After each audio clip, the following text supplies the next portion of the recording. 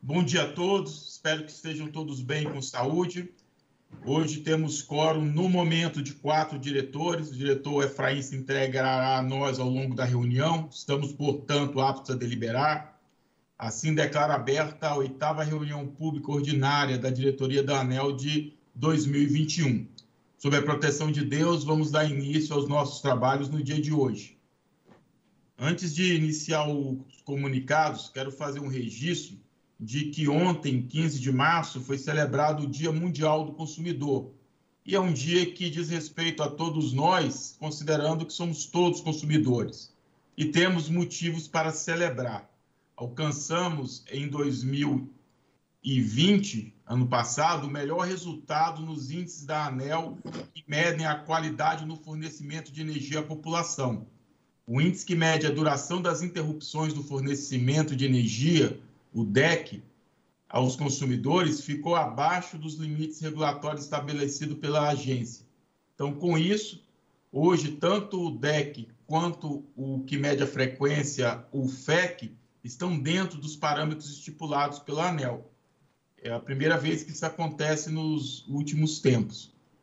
Foram anos de dedicação, anos de luta, anos de trabalho, de esforço para que alcançássemos esse resultado.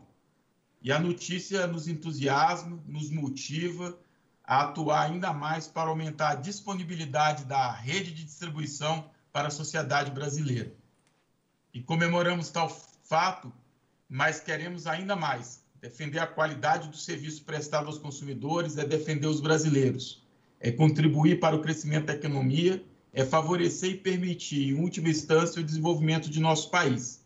Então, por isso, a ANEL continuará sempre empenhada é, nesse trabalho. E toda essa informação está divulgada no nosso site, na internet, na rede mundial de computadores. Então, feito esse registro, passamos aqui aos informes. Na próxima segunda-feira, dia 22, termina o prazo de contribuições para a tomada de subsídio número 1 2021, que tem o objetivo de obter subsídios para o aprimoramento do manual de contabilidade do setor elétrico. É, um, é um, uma norma aqui importante da agência que está passando por aprimoramento esse ano. Então, conclui-se a tomada de subsídio, que é um ato da superintendência que precede o encaminhamento desse processo à diretoria para a abertura de consulta pública. Temos só esse, é, a título de participação pública, temos só esse regulamento aqui concluindo as contribuições durante essa semana até a próxima segunda. Então está feito aqui o registro e para finalizar os informes, vamos apresentar um vídeo hoje que explica que os impostos e subsídios são criados por lei, cabendo à ANEL o cálculo da tarifa de energia. Então solicito à Secretaria-Geral que projete o vídeo.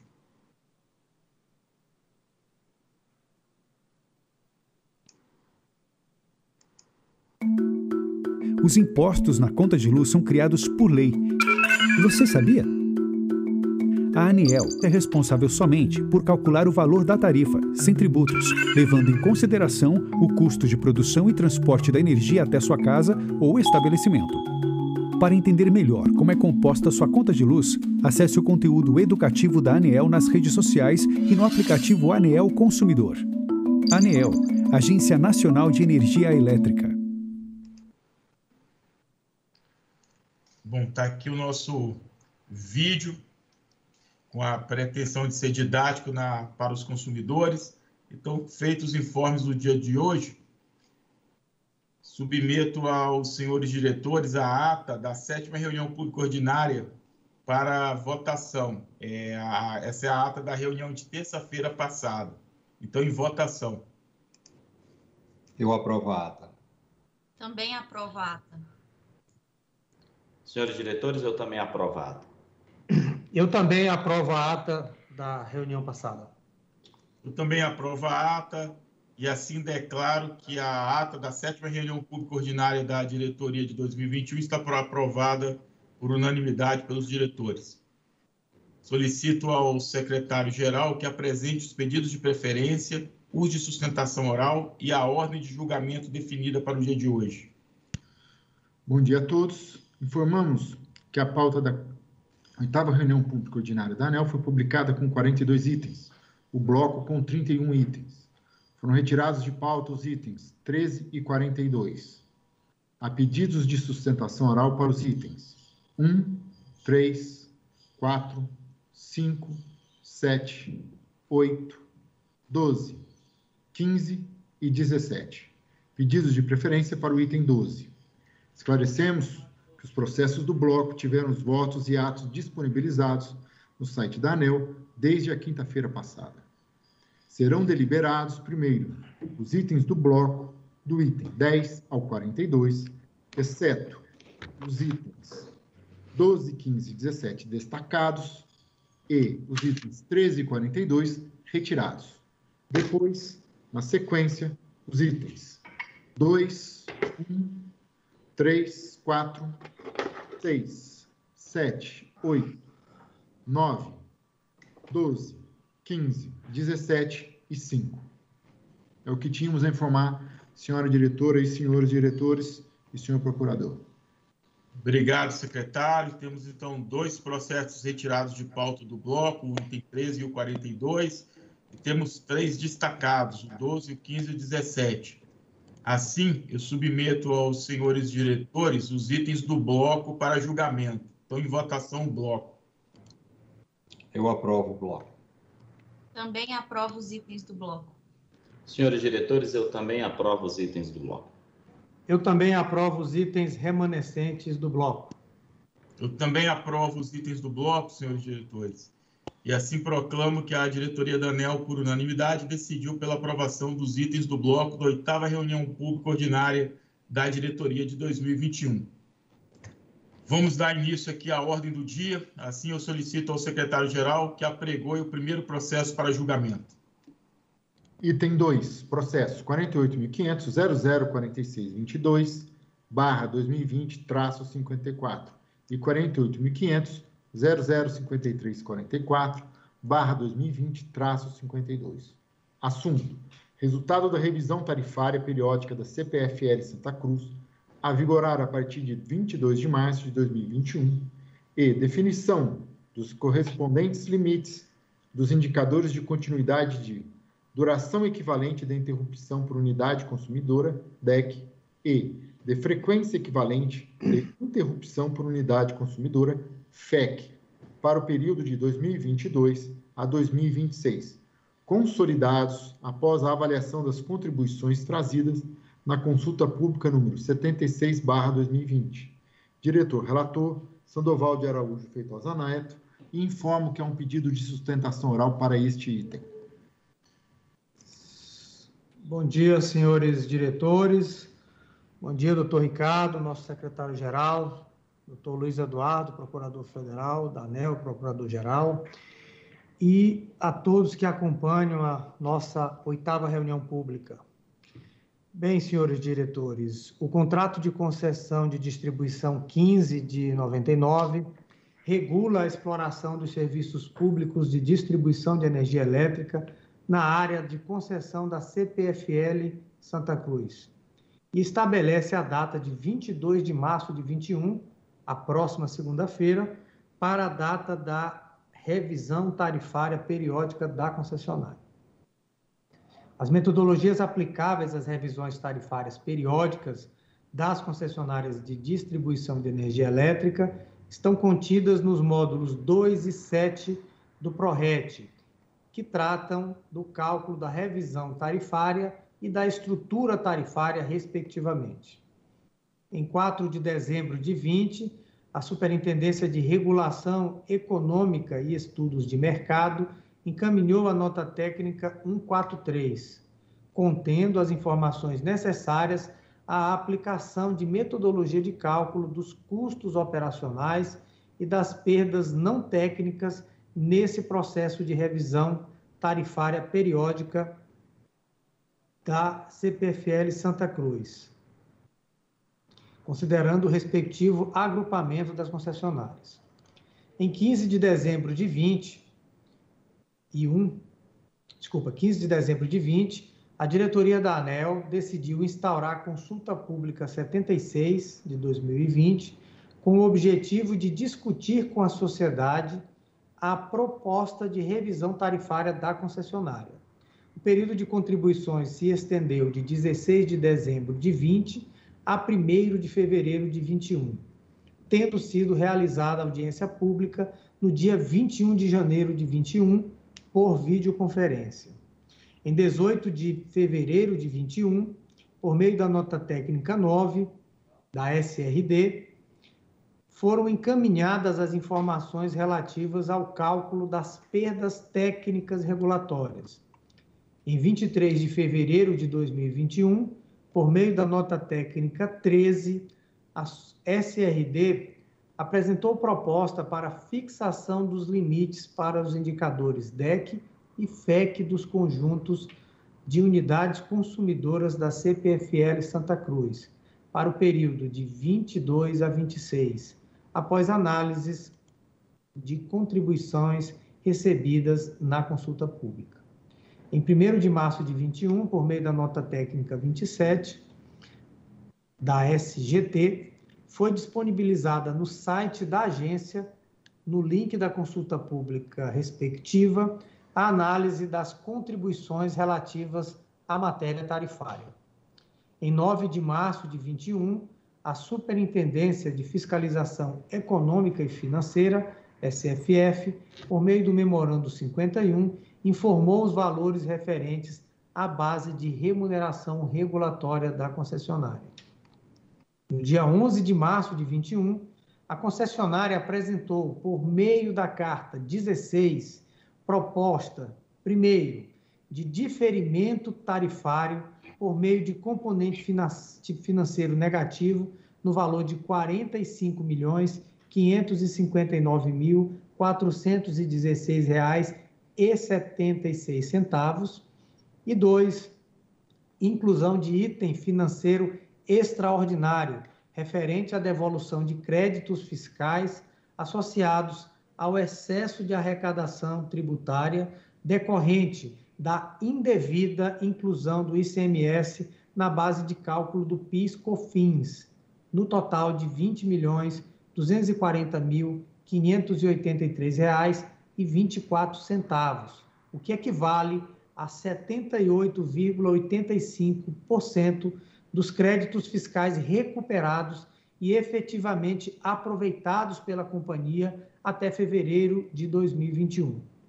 Em contatos posteriores com a equipe da SGT e nossa assessoria, o valor citado no item 1 teve um incremento de montante de diferimento no total de R$ 1 milhão e 500, reais, restando como resultado a atenuação do impacto tarifário médio para o consumidor neste processo para 9,95%. Aqui, senhores diretores, cabe um comentário que na proposta do processo tarifário que trazemos, nós é, fizemos aqui um mix das soluções que têm sido propostas em outros processos tarifários. O primeiro deles incluiu o procedimento adotado na CELP e o segundo deles, o procedimento que foi adotado na Light. Em 12 de março de 21, por meio da nota técnica 36, a SGT consolidou o resultado da tarifa periódica da CPFL Santa Cruz. Em 13 de março de 2021, a proposta final da revisão tarifária foi encaminhada à distribuidora e ao seu Conselho de Consumidores. Vale destacar que foram realizadas diversas reuniões virtuais em função da pandemia de coronavírus com a distribuidora e o Conselho de Consumidores respectivamente, em 3 e 7 de março, para discussão sobre a planilha de cálculo da revisão. Senhores diretores, é o que temos a relatar.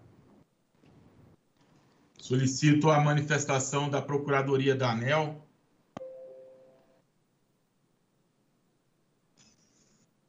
É, senhor diretor-geral, senhor secretário-geral, senhores diretores. Salvo engano, havia um pedido de sustentação oral, não sei se o secretário-geral... Oi. É, eu me equivoquei, é, não temos o pedido de sustentação, é para o Maravilha. item seguinte. Desculpa. Para... Sem problema. Maravilha. É, esse processo de aprovação do resultado, homologação do resultado da revisão tarifária, a Procuradoria Federal não tem considerações jurídicas a fazer.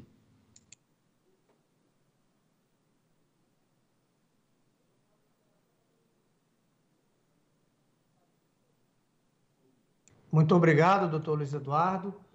É, bem, o presente processo trata da revisão tarifária periódica da CPFL Santa Cruz, a vigorar a partir do dia 22 de março de 2021, como também trata da definição dos correspondentes limites dos indicadores de continuidade DEC e FEC para o período de 2022 a 2026. Como todos sabem, foi publicado o ranking de continuidade das distribuidoras do Brasil e a CPFL Santa Cruz foi a grande vencedora dentro das grandes consumidoras do país, ficando em primeiro lugar entre todas as distribuidoras do seu grupo. Também queria fazer um outro destaque a respeito do ranking, que a segunda colocada é a Equatorial Pará, uma das empresas que já se situou entre os, as piores colocações do ranking e hoje figura como a segunda colocada. Como sabemos, é uma área de difícil, de difícil é, gestão, bastante grande, bastante dispersa, e é um sinal inequívoco de que os sinais regulatórios que essa agência é, emite para o mercado têm sido suficientes para perseguir uma qualidade adequada de prestação de serviço. Há outras questões associadas ao ranking, que o diretor-geral já colocou, e que também serão é, objeto de discussões ao longo da semana. Ao avaliar os autos do processo, eu encaminho decisão no sentido de homologar o resultado da revisão tarifária periódica, que conduzirá a ser aprovado por este colegiado efeito médio a ser percebido pelos consumidores de 9,95%, sendo 18,27% para os consumidores conectados em alta tensão e 5,38% para os consumidores conectados em baixa tensão, conforme tabela abaixo.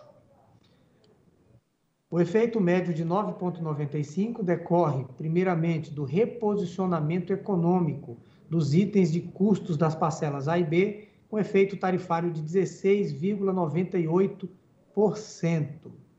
2. Da inclusão dos componentes financeiros apurados no atual processo tarifário, com efeito tarifário de 0,21%. E 3. Retirada dos componentes financeiros estabelecidos no último processo tarifário, que vigoram até a data da presente revisão que representam um impacto de menos 7,24%. Para a apresentação dos demais efeitos do processo tarifário e também da fixação dos indicadores de qualidade para o período de 22 a 26, solicito, por gentileza, que a Secretaria-Geral coloque a apresentação técnica feita pela equipe da SGT.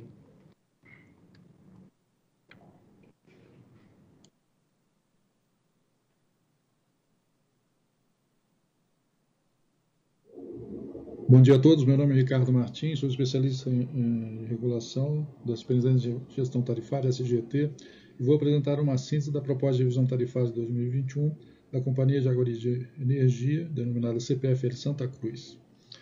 Cabe destacar que além da SGT, outras superintendências participam do processo tarifário, entre elas a Superintendência de Regulação de Serviços de Distribuição, SRD, Superintendência de Regulação de Mercado, SRM, e a Superintendência de Fiscalização Econômica e Financeira, a SFF. O atual processo tarifário compreende a primeira revisão tarifária é, da Companhia Jaguari de Eletricidade, CPFL Santa Cruz, após o agrupamento realizado em 2018. Assim, a revisão tarifária mais recente ocorreu em 2016, quando as empresas ainda eram é, individualizadas. Após a realização da consulta pública 76 de 2020 e audiência pública 12 de 2020, foram analisadas as contribuições recebidas e atualizados os dados das parcelas que compõem a tarifa, resultando no efeito médio de 9,95% sendo que para os consumidores do grupo A, de 18,27%, do grupo B, 5,38%. No slide podemos ver a representatividade de cada componente desse reajuste, sendo que a parcela A, teve maior impacto, foi de 11,90%, parcela B 5,08%, enquanto os componentes financeiros a vigorarem nesse próximo período de 12 meses, de 0,21%, e a retirada dos financeiros, dos componentes financeiros que fizeram parte da tarifa nos últimos 12 meses, eh, representou menos 7,24%, restando esses 9,95% já comentados e que a seguir serão, de certa forma, detalhados.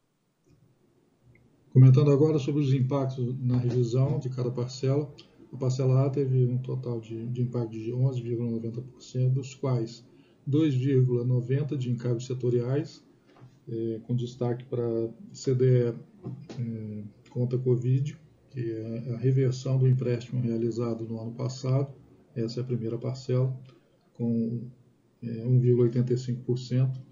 CDE uso, de forma geral, 0,64%.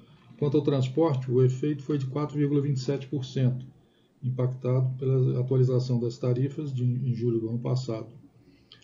Também a energia, com impacto de 4,25%, teve como principal é, efeito a, contra, o contrato associado a Itaipu, sobretudo pela variação do dólar nesse período.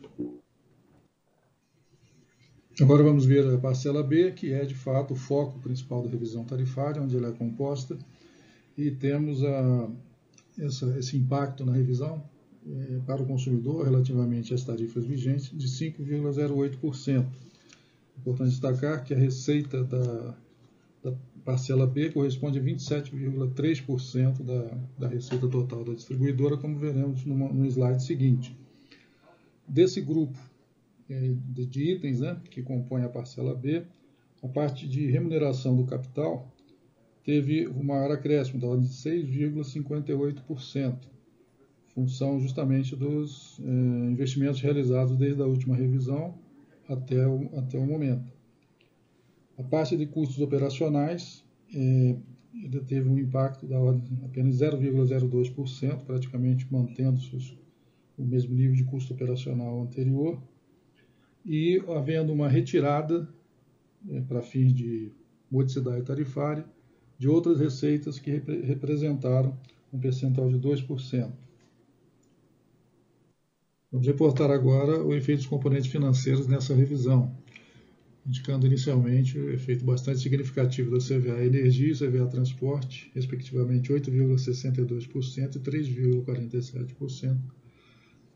E, como destacado nesse slide, a reversão do empréstimo da conta Covid, representando uma redução de 5,42%, restando um efeito médio associado à conta Covid, considerando o encargo atual, desse ano de 1,85% e o componente financeiro de menos 5,42%, é, é, dá esse efeito médio de menos 3,57%, redução, portanto, é, na tarifa em relação ao efeito Covid. Complementando o, os efeitos relacionados aos componentes financeiros, destacamos que o efeito médio associado às bandeiras tarifárias nesse, nesse processo correspondeu a uma redução da ordem de 1,05%, caso não ocorressem eh, as aplicações das bandeiras tarifárias ao longo do ciclo. Destaque também para a proposta feita pela, pela concessionária e aceita pela ANEL para redução do impacto tarifário, considerando antecipação do crédito PIS/COFINS, assunto que ainda está em, em consulta pública, e diferimento dessa revisão é, acarretando um efeito de menos 5,88% é, nas, na, nas tarifas, de tal forma que, no termo de componente financeiro, o impacto é, nesse processo foi de 0,21%. Esse slide consolida o que foi informado anteriormente em termos de, de efeito da, da revisão nas, nas tarifas, em termos de impacto médio, eh, e a comparação com os valores apresentados em consulta pública, onde as principais alterações se deram na parcela A e nos componentes financeiros. Esse slide apresenta a variação da tarif das tarifas né, da CPFL Santa Cruz, a tarifa B1 residencial em reais por megawatt-hora, nos últimos 10 anos, sendo que até o ano de 2017 são apresentados os valores das empresas é, individualizadas anteriormente, pré-agrupamento, portanto. É, Percebe-se que o, nesses 10 anos a variação da tarifa B1 foi da ordem de 45,27%, enquanto o GPM alcançou uma variação nesses 10 anos de 114,46%, muito influenciado pelo, nesse último período de 12 meses, e o IPCA de 73,09%. É, em consulta ao ranking de tarifas B1, disponível no site da ANEL, a tarifa atual, que se encontra no 37º, 37ª posição, passará na aprovação desse reajuste para o 27º é, no ranking é, a partir da tarifa mais alta. Nesse gráfico é resumida a composição da receita da distribuidora, tendo em vista as parcelas é, A e B, da qual a parcela A corresponde a 72,7% da receita, com, nos componentes de custo de energia, 37,5%, que é o maior deles, uma parcela, custo de transporte 16,6%, encargos setoriais 18,1% e receitas recuperáveis da ordem de 0,5%. E o custo da distribuição, que é a parcela B, sendo de 27,3% do total da receita. É, nos processos de revisão tarifária também são é, estabelecidas as perdas regulatórias da distribuição a vigorarem no, no processo tarifário até a próxima revisão. No caso das perdas técnicas, é, o valor é de 6,845%, é, calculado pela SRD, enquanto as perdas não técnicas, é um percentual de 3,46%, que é, permanece, ambos permanecem o mesmo valor até a próxima revisão. É, também na revisão tarifária da CPFL Santa Cruz foi computado o componente T do fator X, que é o componente associado à trajetória de custo operacional, e nos próximos reajustes tarifários, até a revisão seguinte, que vai ser em 2026, é, esse componente vai ser aplicado nesse reajuste, que é, é do valor de menos 0,09%. Já os componentes PD de ganhos médios de produtividade no setor e Q de incentivo à melhoria da qualidade de serviço, eles são apurados a cada processo tarifário. Nos slides seguintes são apresentadas informações da Superintendência de Regulação de Serviços de Distribuição a respeito, a respeito dos limites de, dos indicadores de DEC e FEC. Nesse gráfico pode ser observado os limites de qualidade, os limites regulatórios do DEC, representado pelas linhas, sendo a primeira parte no período até 2021 e o segundo grupo de 2022 a 2027 é, são duas linhas quase que superpostas, uma delas referente à proposta da SRD e valores obtidos em termos de contribuições. No gráfico pode ser observado também nas barras o histórico do DEC da CPFL Santa Cruz, é, com os valores é, sempre abaixo do, do limite regulatório.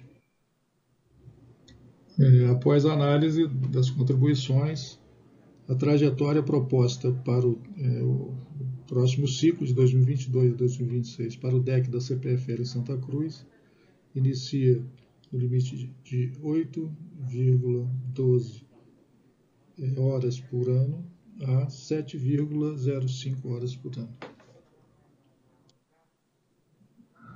Para fins de complementação da informação do DEC, esse gráfico apresenta uma comparação com os limites das distribuidoras da mesma região de atuação da CPFL Santa Cruz, sendo as barras os limites da regulatória da CPFL Santa Cruz e os demais eh, das concessionárias citadas. De forma análoga ao DEC, agora temos ah, os limites de qualidade associados ao FEC, eh, com as linhas indicando os limites regulatórios e as barras, o histórico recente da concessionária em termos de valores realizados. Para o FEC, então, o limite proposto para o período de 2022 a 2028 inicia em 2022 com a frequência de 6,92 é, ocorrências ano até 5,68 ocorrências ano em 2026. Por fim, também, é, comparando com limites regulatórios de outras concessionárias da região Sudeste, o gráfico apresenta os limites da CPFL Santa Cruz nas barras eh, e nas linhas das, das empresas citadas. Encerrando essa apresentação, agradecemos a atenção em nome da SGT e da SRD e peço licença para sugerir aos interessados em se aprofundar no assunto associado ao processo tarifário que consulte no site da ANEL o link associado à luz nas tarifas. Obrigado. Bem, senhores diretores, eu, eu gostaria inicialmente de agradecer ao doutor Ricardo Martins, especialista da SGT, e também a toda a equipe da SGT, que durante este processo de consulta pública atuou de forma exemplar na busca de um processo tarifário mais convergente com, as, com a situação atual é, do, do país e dos consumidores da área de concessão da CPFL Santa Cruz. E também estender os mesmos agradecimentos a toda a equipe da CPFL Santa Cruz. E aí eu gostaria de citar nominalmente o doutor André Gomes, é, diretor de regulação do grupo, ao doutor Luiz Henrique, presidente da CPFL, e também ao CEO do grupo, Gustavo Estrela, uma vez que o envolvimento da CPFL e também das áreas técnicas da agência e nossa assessoria, conseguimos é, gerenciar um, um, problema, que é o, a sinalização de aumento das tarifas. É, durante o relato do voto e também na apresentação muito bem feita pelo doutor Ricardo Martins, nós podemos verificar que no presente processo tarifário nós tivemos um diferimento apontado e solicitado pela empresa de 4,11%, um uso de, de recursos do PIS/COFINS em processo que está ainda em regulamentação na ANEL, sob relatoria do diretor Efraim, e também os esforços da agência, do Ministério e do Governo para criarmos a conta Covid, que permitiu uma redução de 5,42% nas tarifas. Então, percebam que esses três movimentos que eu citei, o diferimento apontado pela empresa, a reversão dos créditos do PIS/COFINS e também o, os recursos da conta Covid permitiram uma atenuação na tarifa, uma redução de 11,3%. Se somarmos estes, esses, essas reduções ao aumento que está sendo proposto, de 9,95%, nós teríamos o cenário impraticável de aproximadamente 20% de reajuste. Então, é louvável os esforços que foram empreendidos por todos os o, as pessoas e instituições envolvidas, como eu citei anteriormente.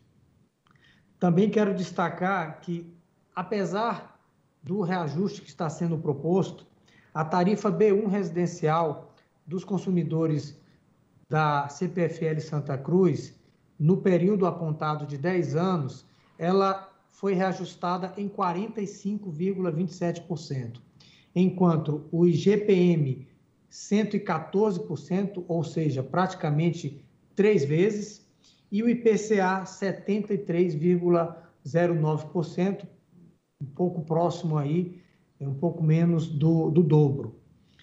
É, o doutor Ricardo apresentou também que esse, esse aumento ele decorreu em grande medida pelo incremento de custos da parcela A, custo de transmissão, custo de geração de energia, o impacto da elevação expressiva do dólar no período. E apesar disso tudo, e aí é um ponto que eu citei no início do voto, a distribuidora CPFL Santa Cruz é hoje a que melhor atende os consumidores do Brasil no quesito continuidade e frequência de interrupções. Nós temos hoje um DEC praticado pela empresa que representa 60% do limite estabelecido pela ANEL e um FEC de 52%. Então, podemos perceber o quão eficiente é a empresa na prestação do serviço. E o último ponto também a destacar, ainda com relação à qualidade, é que quando comparada com as empresas da região sul-sudeste, ela fica abaixo apenas da DEMED, que é uma concessionária é, menor do que a CPFL Santa Cruz. Então, dito isso, é, senhores diretores, quero mais uma, vez, mais uma vez ressaltar o esforço conjunto feito pelas áreas técnicas da ANEL e, sobretudo, pela concessionária e todos os seus representantes que, em diversas reuniões, apresentaram grande sensibilidade com o momento que o país vive e demonstraram um grande respeito pelos seus consumidores.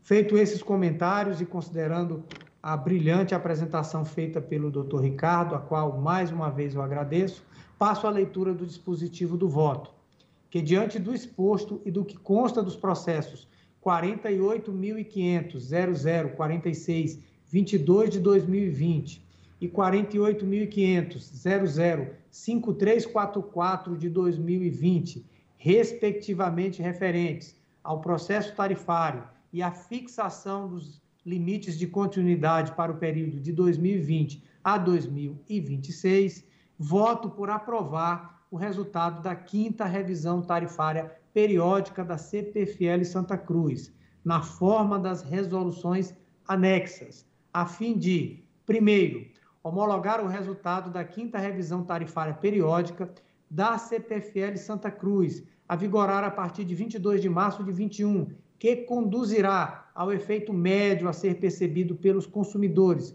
de 9,95, sendo de 18,27 para os consumidores conectados em alta tensão e de 5,38 para os consumidores conectados em baixa tensão. Fixar as tarifas de uso dos sistemas de distribuição, TUSD, e as tarifas de energia elétrica, TE, aplicáveis aos consumidores e aos usuários da CPFL Santa Cruz. Estabelecer o valor da receita anual referente às instalações de transmissão classificadas como demais instalações de transmissão DIT de uso exclusivo.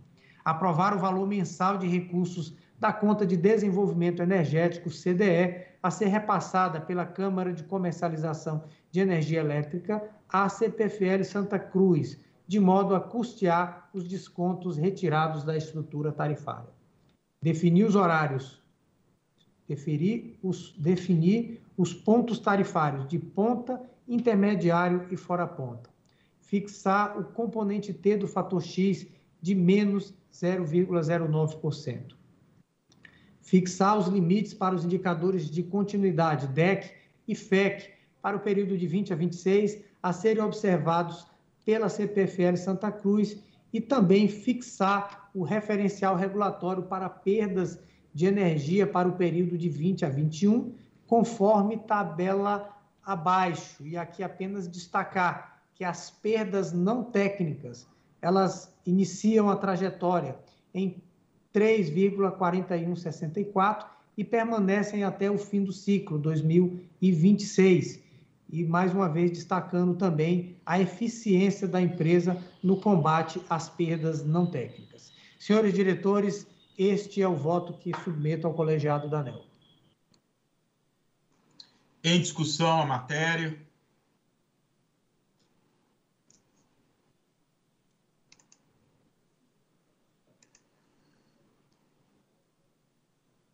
Bom, doutor Sandoval, quero parabenizá-lo pela liderança na condução é, desse processo.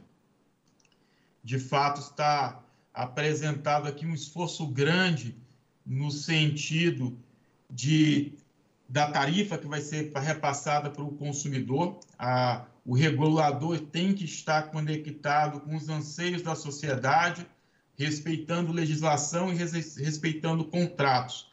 Eu acho que a, esse processo simboliza bem esse esforço. A, o efeito tarifário médio é um efeito elevado, de 9,95%, em função dos, dos pontos de pressão tarifária que o diretor Sandoval apontou na, na, na fundamentação do voto, dólar alto, período de escassez hídrica, despacho de térmica elevado, entre outros pontos.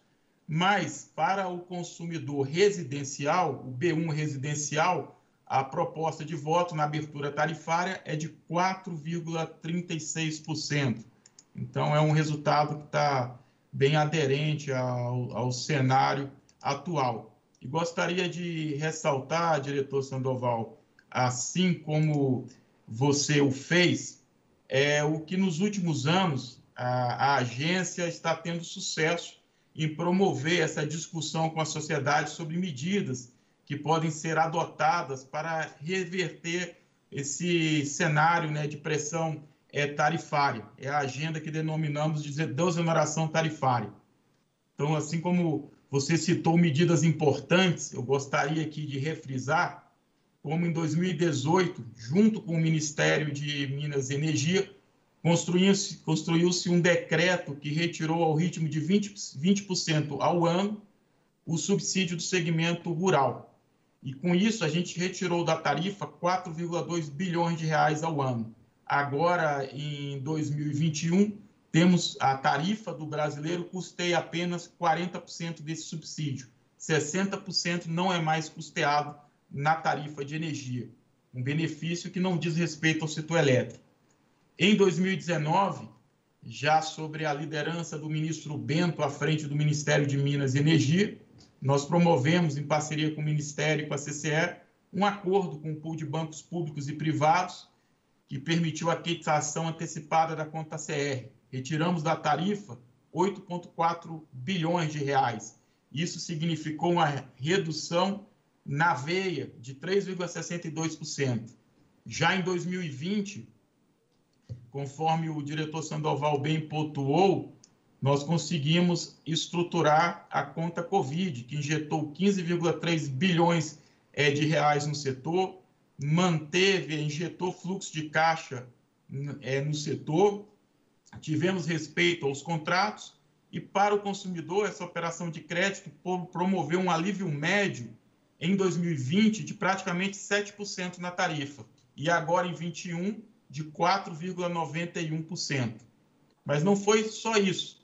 Em 2020, tivemos um outro ato muito importante, que foi a medida provisória 998, que ficou conhecida como MP do Consumidor, e que agora foi sancionada pelo presidente Bolsonaro na Lei 14.120, que também é, promoveu alívio na tarifa, retirou subsídios e também é, permite a amortização de tarifa.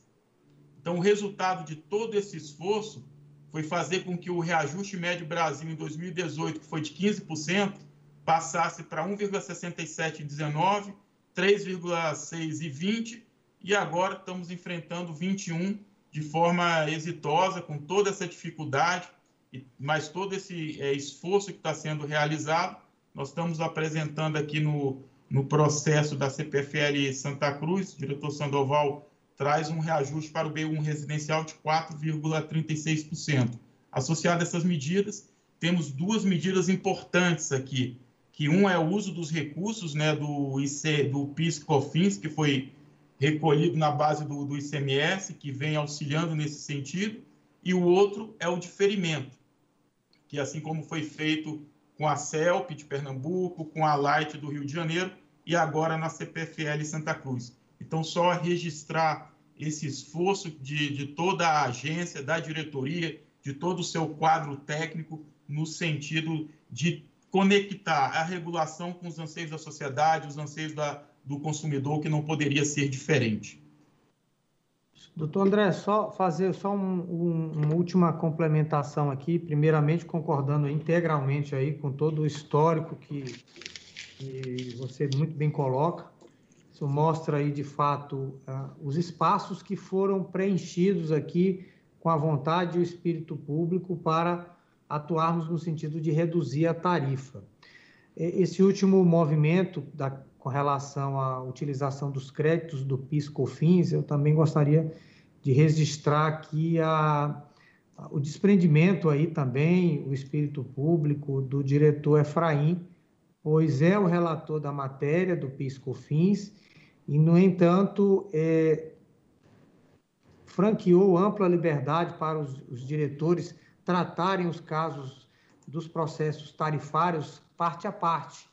E nós já pudermos, não podemos, como você muito bem citou, é, já capturar esses ganhos em alguns processos tarifários, como já foi citado, no caso do, da CEMIG, que foi o primeiro que foi inaugurado, a EDP Espírito Santo, a, e ultimamente CELP Light. Então, eu diria que esse é o quinto processo que nós fazemos uso desse recurso do PIS/COFINS, que seguramente é, auxiliará nesse processo de redução tarifária num ano particularmente difícil, com vários pontos de pressão tarifária. Gostei bastante aí da, da, da observação. Obrigado. Muito bem lembrado, diretor Sandoval. E muito. Só concluir aqui, doutor Efraim, muito justa a, a referência ao diretor Efraim, que é o relator dessa matéria. E lembrando que nós inauguramos essa prática em benefício do consumidor, num ato do diretor Efraim, já como relator da, da matéria, no processo tarifário do ano passado da CEMIG, quando já se usou, se eu não me engano, o doutor Efraim vai falar na sequência, pode me corrigir, se eu não me engano, foi 700 milhões de reais que usamos no processo tarifário da CEMIG, né, de recursos é, do, do PIS-COFINS, que foi usado para já abater e levar a modicidade tarifária a Minas Gerais. Mas enquanto a matéria está em discussão pública, liderada pelo discussão essa liderada pelo diretor Efraim, nós já estamos utilizando até 20% dos créditos habilitados, né, conforme decisão da lavra do próprio relator e aprovada aqui pelo colegiado da, quando da abertura da audiência pública dessa matéria. Mas, doutor Efraim. Só, senhores diretores, é, na deferência dada pelo doutor Sandoval e também pelo doutor André agora, com relação ao dispositivo que permite é, que cada um dos diretores possa é, tratar e negociar de forma direta com as distribuidoras, até porque envolve aí um, um espírito de, de, de, momento com relação a essa pandemia e também com relação a esse momento que nós precisamos conter a escalada tarifária no país.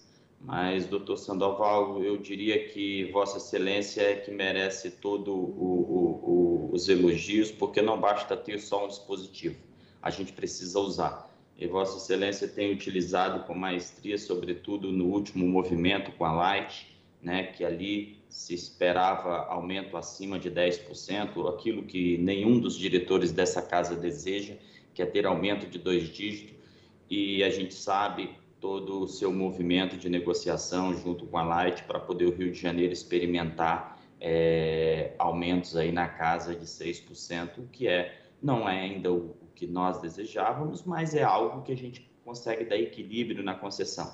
Então, eu queria aqui só devolver a deferência e dizer que os elogios são para todos nós, que assim como Vossa Excelência tem imprimido aí todos os esforços do mundo para conter esse movimento tarifário e acredito que a decisão do colegiado de permitir com que cada diretor é, encaminhe as negociações dos seus processos tarifários é, tem se mostrado a mais acertada. Até porque é aquilo que o doutor André já colocou lá atrás, quando foi a tese que a gente começou a defender lá no movimento do reajuste da CEMIG, onde verdadeiramente ali quase próximo a 700 milhões foram aproveitados, o que permitiu entregar para a CEMIG, na época, eu lembro, de forma é, muito, muito taxativa e muito é, incisiva, hoje presidente do Senado, o senador Rodrigo Pacheco, é, veio essa casa insistir para a utilização desses recursos e que ali nós, atendendo um pedido do senador, mas sobretudo olhando o ambiente regulatório e as normas processuais e sobretudo que nós tínhamos ali um recurso a ser usado, nós conseguimos imprimir ali um, um reajuste zero para a CEMIG, né? ou seja, nós conseguimos anular o efeito tarifário sem mexer na receita da distribuidora, sem alterar em nada o fluxo de caixa da distribuidora, porque a gente está falando em compensação de recursos. Então, só louvar aí a, a, a, a desenvoltura que o, o, Vossa Excelência tem imprimido nos reajustes tarifários de sua autoria, assim como todos os diretores aqui, e louvar a nossa casa por estar tá conseguindo, com o histórico que o próprio doutor André já historiou aí de forma é, é, brilhante, é que a gente, desde 2018, nós pegamos uma casa com, com uma escalada tarifária acima de 15%, né? E que nós temos conseguido aí com soluções extremamente interessantes, como foram as, as que o doutor André historiou, conseguimos aí entregar para a população, entregarmos para os consumidores do setor elétrico brasileiro tarifas aí sempre na casa de um dígito, e eu digo abaixo de 5%. O doutor André historiou um ponto alguma coisa, três ponto alguma coisa, e a gente está conseguindo manter. E eu diria que esse aqui é um esforço conjunto de todo esse colegiado, e a gente tem conseguido obter aí vitórias. Vitórias, mas não são vitórias para o consumidor.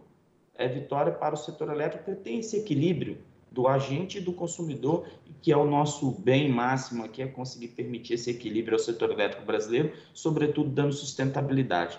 Então, eu diria que um movimento aí extremamente louvável da Agência Nacional de Energia Elétrica, do Ministério de Minas e Energia, na pessoa da doutora Marisete e do, doutor ben, do ministro Bento, que a gente tem conseguido aí, de forma muito louvável, avançar nessa pauta que é a nossa pauta primeira desde o início do nosso mandato, que é falar de uma estrutura de modicidade tarifária, desoneração tarifária, e que graças a Deus a gente tem conseguido, e graças ao espírito público de cada um dos diretores que aqui possuem assento, e que nessa toada a gente tem conseguido dar esse retorno para a sociedade. Então, só é, louvar a a, a, a, negociação que o doutor Sandoval também fez com a Santa Cruz e que hoje traz aí esse resultado tarifário que não, não, não é zero, mas também não é 15 nem 20 e traz para o consumidor um equilíbrio dentro de um razoável reajuste tarifário.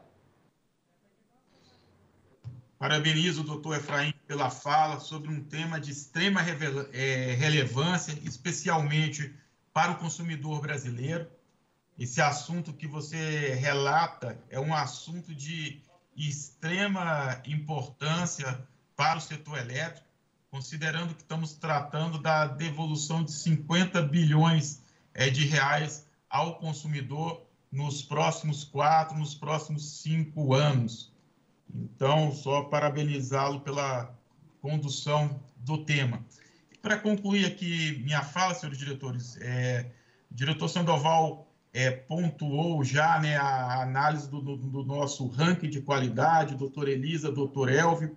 Então, ontem que foi o Dia do Consumidor, temos por tradição divulgar como é que foi a qualidade do serviço prestado ao consumidor. Ao, todo o trabalho que desenvolvemos aqui é para atender o consumidor. Então, no Dia do Consumidor, 15 de março de todo ano, consagrado o Dia do Consumidor, temos a tradição de apresentar é o ranking de qualidade do ano anterior, de 2020. E como é, pontuamos, temos muito a celebrar. As redes ficaram disponíveis ao consumi aos consumidores brasileiros em 99,87% do tempo.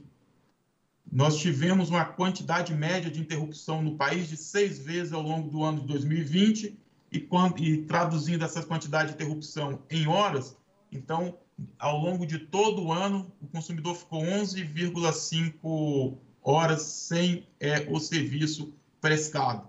Esse é o menor índice que, para que alcançamos no Brasil, mas, como disse, estamos aqui empenhados com todo o nosso corpo técnico, todo o time da ANEL, para reduzir cada vez mais esse índice. E no ranking, o doutor Sandoval é, pontuou, o primeiro lugar é a a concessionária que nós estamos deliberando seu processo tarifário agora, a CPFL Santa Cruz. Então, parabéns ao doutor Gustavo Estrela, que é o CEO da CPFL, em nome de quem cumprimento todo uh, o time da CPFL. Vocês são os melhores, me... vocês são os melhores do Brasil. O time da CPFL Santa Cruz hoje, no ano de 2020, prestou o melhor serviço aos seus consumidores. E em seguida, a gente tem todo o ranking, mas observar que entre os 12 primeiros, nós temos sete concessionárias do grupo Energisa. É um grupo também que fez aquisições importantes, né? É, num passado não muito longínquo, adquiriu as concessionárias do grupo Rede, um desafio grande, e a gente observa que o regulamento, a regulação econômica que estamos imprimindo está dando certo, a, o grupo Energisa está alcançando bons resultados. Das, dos 12 primeiros colocados, temos sete concessionárias do, do grupo Energisa. Segundo colocado, o grupo Equatorial. E aqui no nosso site, então, os senhores podem acompanhar toda essa, essa gradação de qualidade do serviço. Bom, senhores, mas então, concluindo aqui, nada mais a ser dito, em votação a matéria. Eu acompanho o voto do relator. Também voto com o relator. Ah, também acompanho o relator. Eu também voto com o relator e assim proclamo que a diretoria da ANEL, por unanimidade, decidiu homologar o resultado da quinta revisão tarifária periódica da CPFL Santa Cruz, a vigorar a partir de 22 de março de 2021, que conduz ao efeito médio a ser percebido pelos consumidores de 9,95%, sendo 18,27 para os consumidores de alta tensão e 5,38 para os de baixa tensão, e demais itens conforme o dispositivo de voto do relator.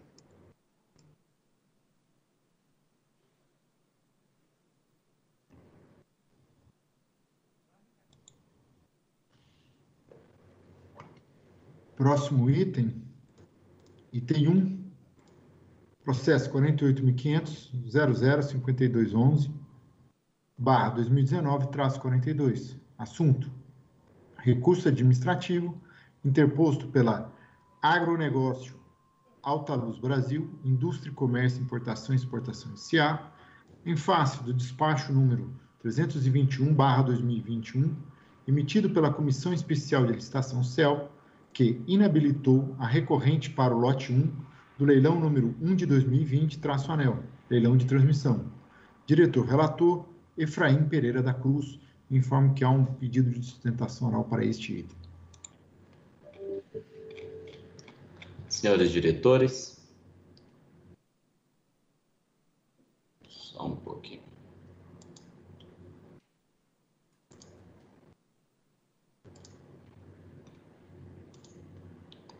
Senhores diretores, é, perdoem aqui, só estava abrindo o arquivo processo 48.500.5211-2019-42. Em 16 de novembro de 2020, tornou-se público o leilão de transmissão número 1 de 2020 da ANEL, destinado a contratar concessões do Serviço Público de Transmissão de Energia Elétrica pelo prazo de 30 anos, incluindo a construção, a operação e a manutenção de instalações de transmissão de energia elétrica a serem integradas ao SIM. Sua sessão pública ocorreu no dia 17 de dezembro de 2020, onde foram licitados e arrematados todos os lotes, totalizando algo em torno de 1.959 quilômetros de linhas de transmissão e algo em torno de 6.420 MVAs em capacidade de transformação, cujo investimento estimado é da ordem de 7,3 bilhões de reais. Até 11 de janeiro de 21, todas as proponentes vencedoras dos lotes dos empreendimentos de leilão entregaram os respectivos documentos de habilitação. A CEL, com auxílio da Bolsa de Valores B3, analisou com auxílio da Bolsa Brasil B3, analisou os documentos de habilitação jurídica, econômico, financeira e de regularidade fiscal e trabalhista apresentados em cumprimento ao disposto no edital. Em 22 de janeiro de 21, a CEL encaminhou o ofício 3 de 21 da CEL ANEL ao proponente do lote 1 Agronegócio Alta Luz Brasil, possibilitando alguns esclarecimentos quanto, alguns, quanto ao aumento de capital e a apresentação de demonstrações contábeis do último exercício e aspectos pormenores. Consta dos autos, resposta da interessada, datada de 28 de janeiro de 21. Por meio do despacho 321 de 5 de fevereiro, a CEL decidiu habilitar as proponentes dos lotes 2 a 11, conforme motivação que consta na nota técnica 3.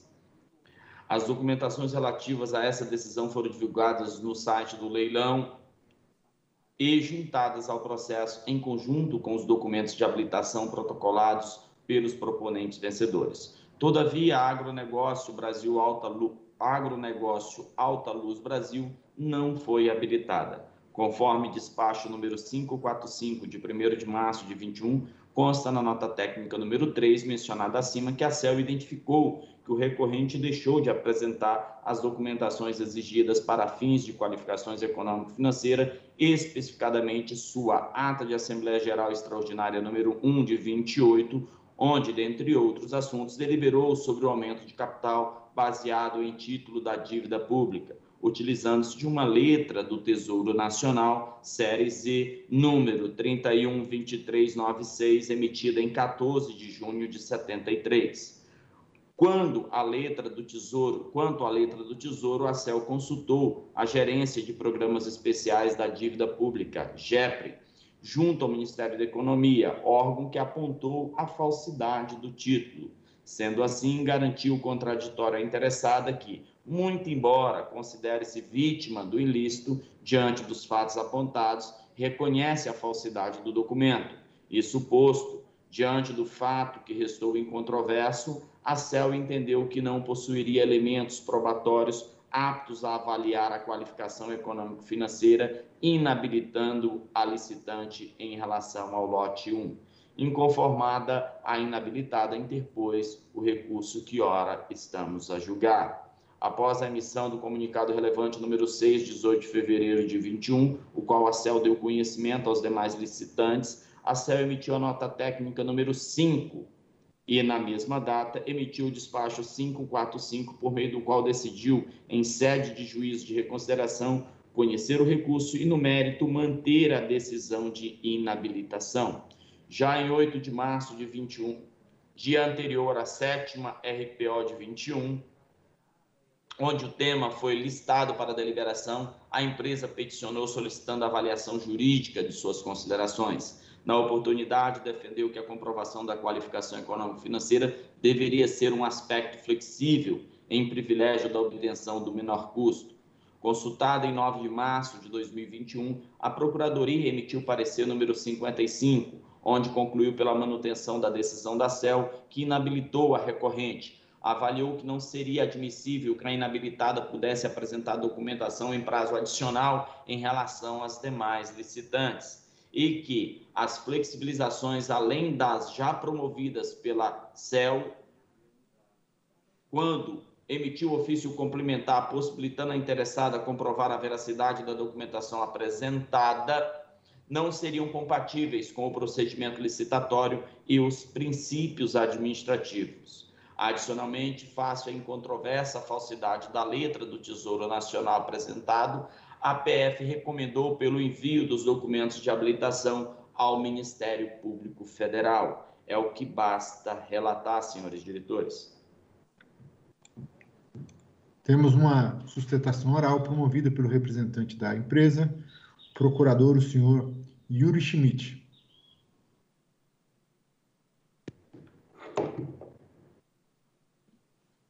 Bom dia, senhores diretores, seu secretário, procurador-geral, demais participantes dessa reunião pública.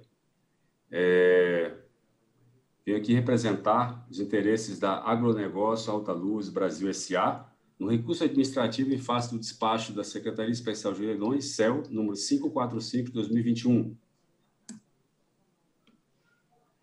Primeiro ponto é a inexistência de vedação no edital. Né?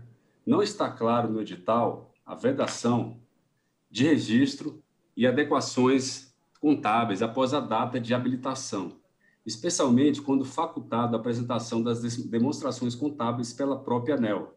O item 10.10.2 do edital estabeleceu o seguinte: demonstrações contábeis, o que é exigido né, para habilitação? Demonstrações contábeis do último exercício social já exigíveis e apresentadas na forma da lei, vedada a sua substituição por balancetes ou balanços provisórios, podendo ser atualizados pelo IPCA quando encerrados há mais de três meses da data definitiva desse edital, para o recebimento do envelope contendo os documentos de habilitação que permitam aferir a condição financeira da proponente, proponente e o patrimônio líquido exigido. O edital não veda ajustes ou registro das demonstrações contábeis após a data da habilitação.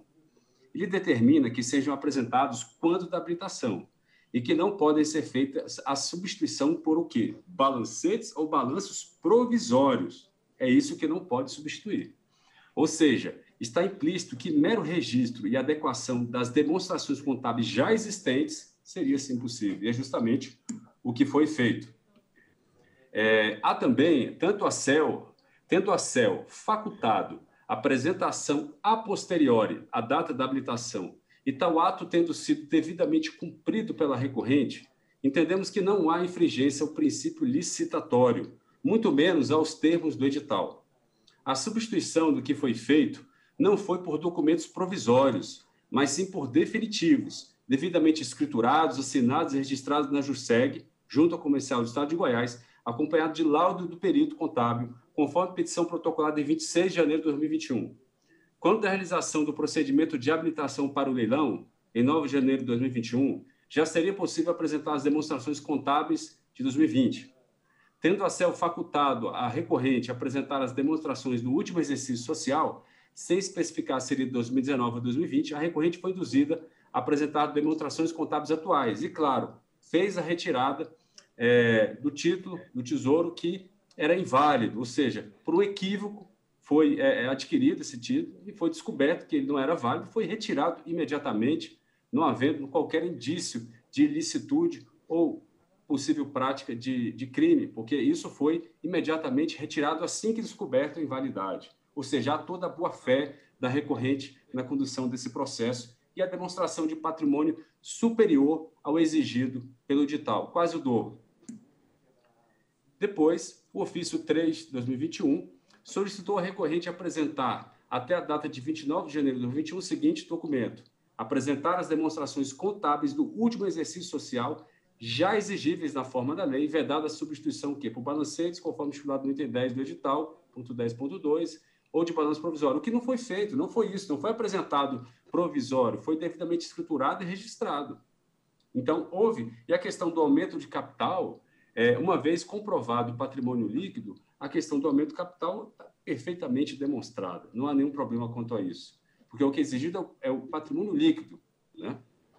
Isso que é necessário. As demonstrações contábeis do último exercício social não poderiam ser outras senão de 2020. Foi justamente isso que a CEL pediu. Mas que, por questões burocráticas, somente foi possível ser registrado na junta comercial em 2021.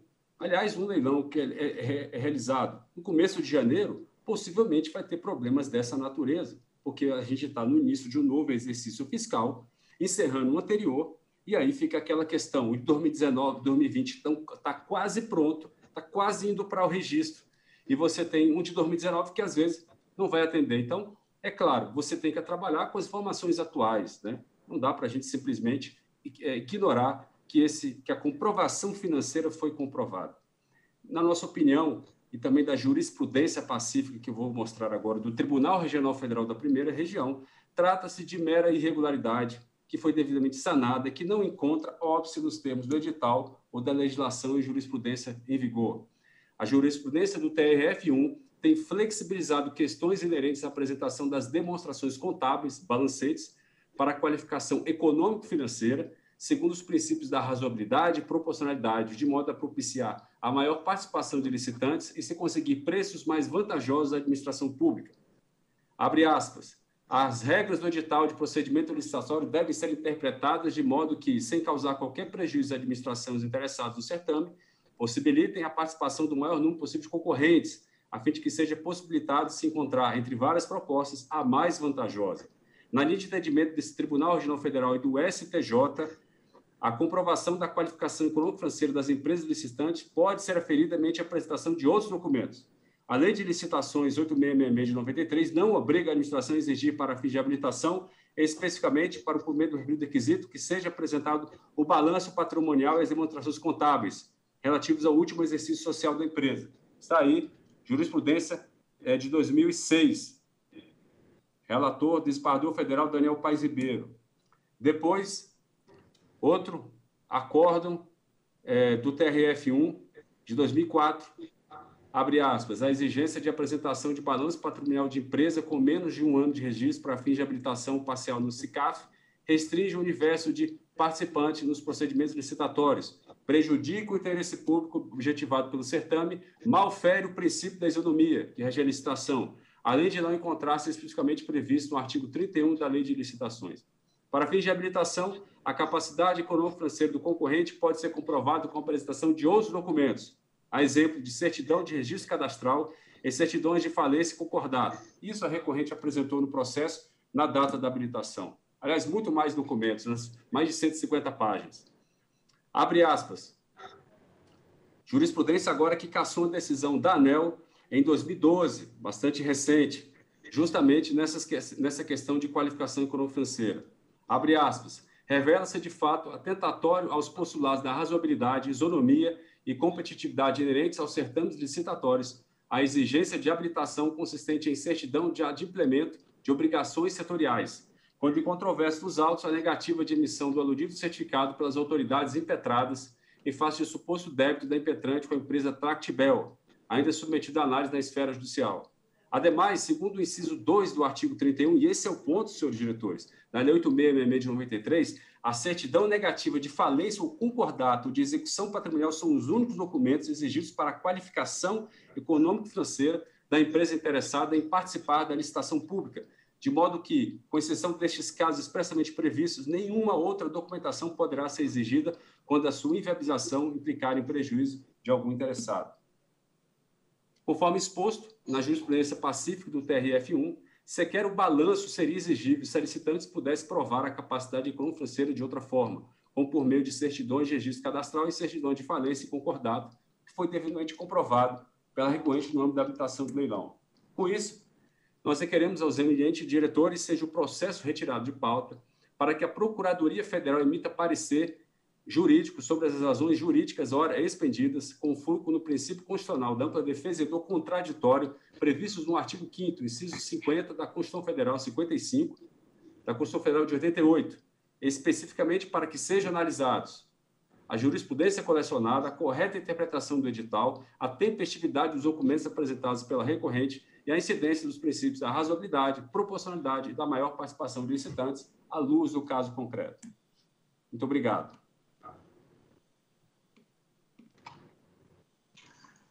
Agradeço ao doutor Yuri, doutor Yuri, ilustre causídico, está sempre presente aqui na agência em suas sustentações orais, agregando valor ao debate nosso colegiado. Doutor Luiz Eduardo. Bom dia, senhores diretores, senhora diretora Elisa. É, agradeço a Yuri pela sustentação oral. É, a Procuradoria foi consultada pelo diretor relator, é, que retirou o processo de pauta da última reunião a pedido da própria empresa e a Procuradoria fez análise consolidada no parecer número 55 de 2021, em que concluiu que houve, de fato, des total descumprimento da cláusula 10.10.2, que exige a apresentação de demonstrações contábeis do último exercício social. Essa cláusula possui fundamento no artigo 31, inciso 1 da Lei de Licitações, e é, o que ocorreu no presente caso é um fato curioso. A, a empresa apresentou, no momento é, da habilitação, uma letra do Tesouro Nacional no valor de 170 bilhões de reais, bilhões com B, é, que posteriormente terminou por se revelar é, fa falsa. E é por essa razão que a Procuradoria sugere que é, seja essa documentação seja enviada ao Ministério Público Federal para posterior análise. É, a empresa, então, ela bus buscou apresentar demonstrações contábeis produzidas após a data de habilitação, o que viola frontalmente o artigo 43, parágrafo 3 da Lei de Licitações, que possui a seguinte redação: é facultada à comissão ou autoridade superior, em qualquer fase da licitação, a promoção de diligência destinada a esclarecer ou complementar a instrução do processo, vedada a inclusão posterior de documento ou informação que deveria constar originariamente da proposta. Assim, a Procuradoria opina pela negativa de provimento ao recurso da recorrente.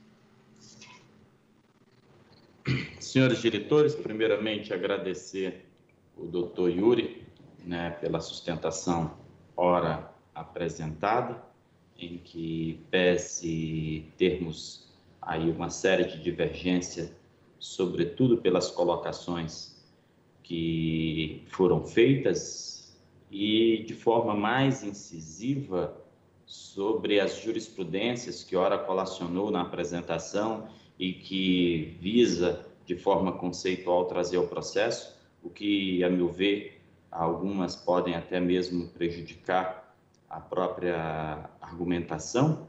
E falo isso porque nós não estamos aqui a licitar nem a leiloar um lote de corpos para administração pública, ou uma contratação de carro, ou uma contratação de limpeza. Nós estamos aqui a leiloar um segmento de infraestrutura do país em que há uma robustez, sobretudo, das normas que regem.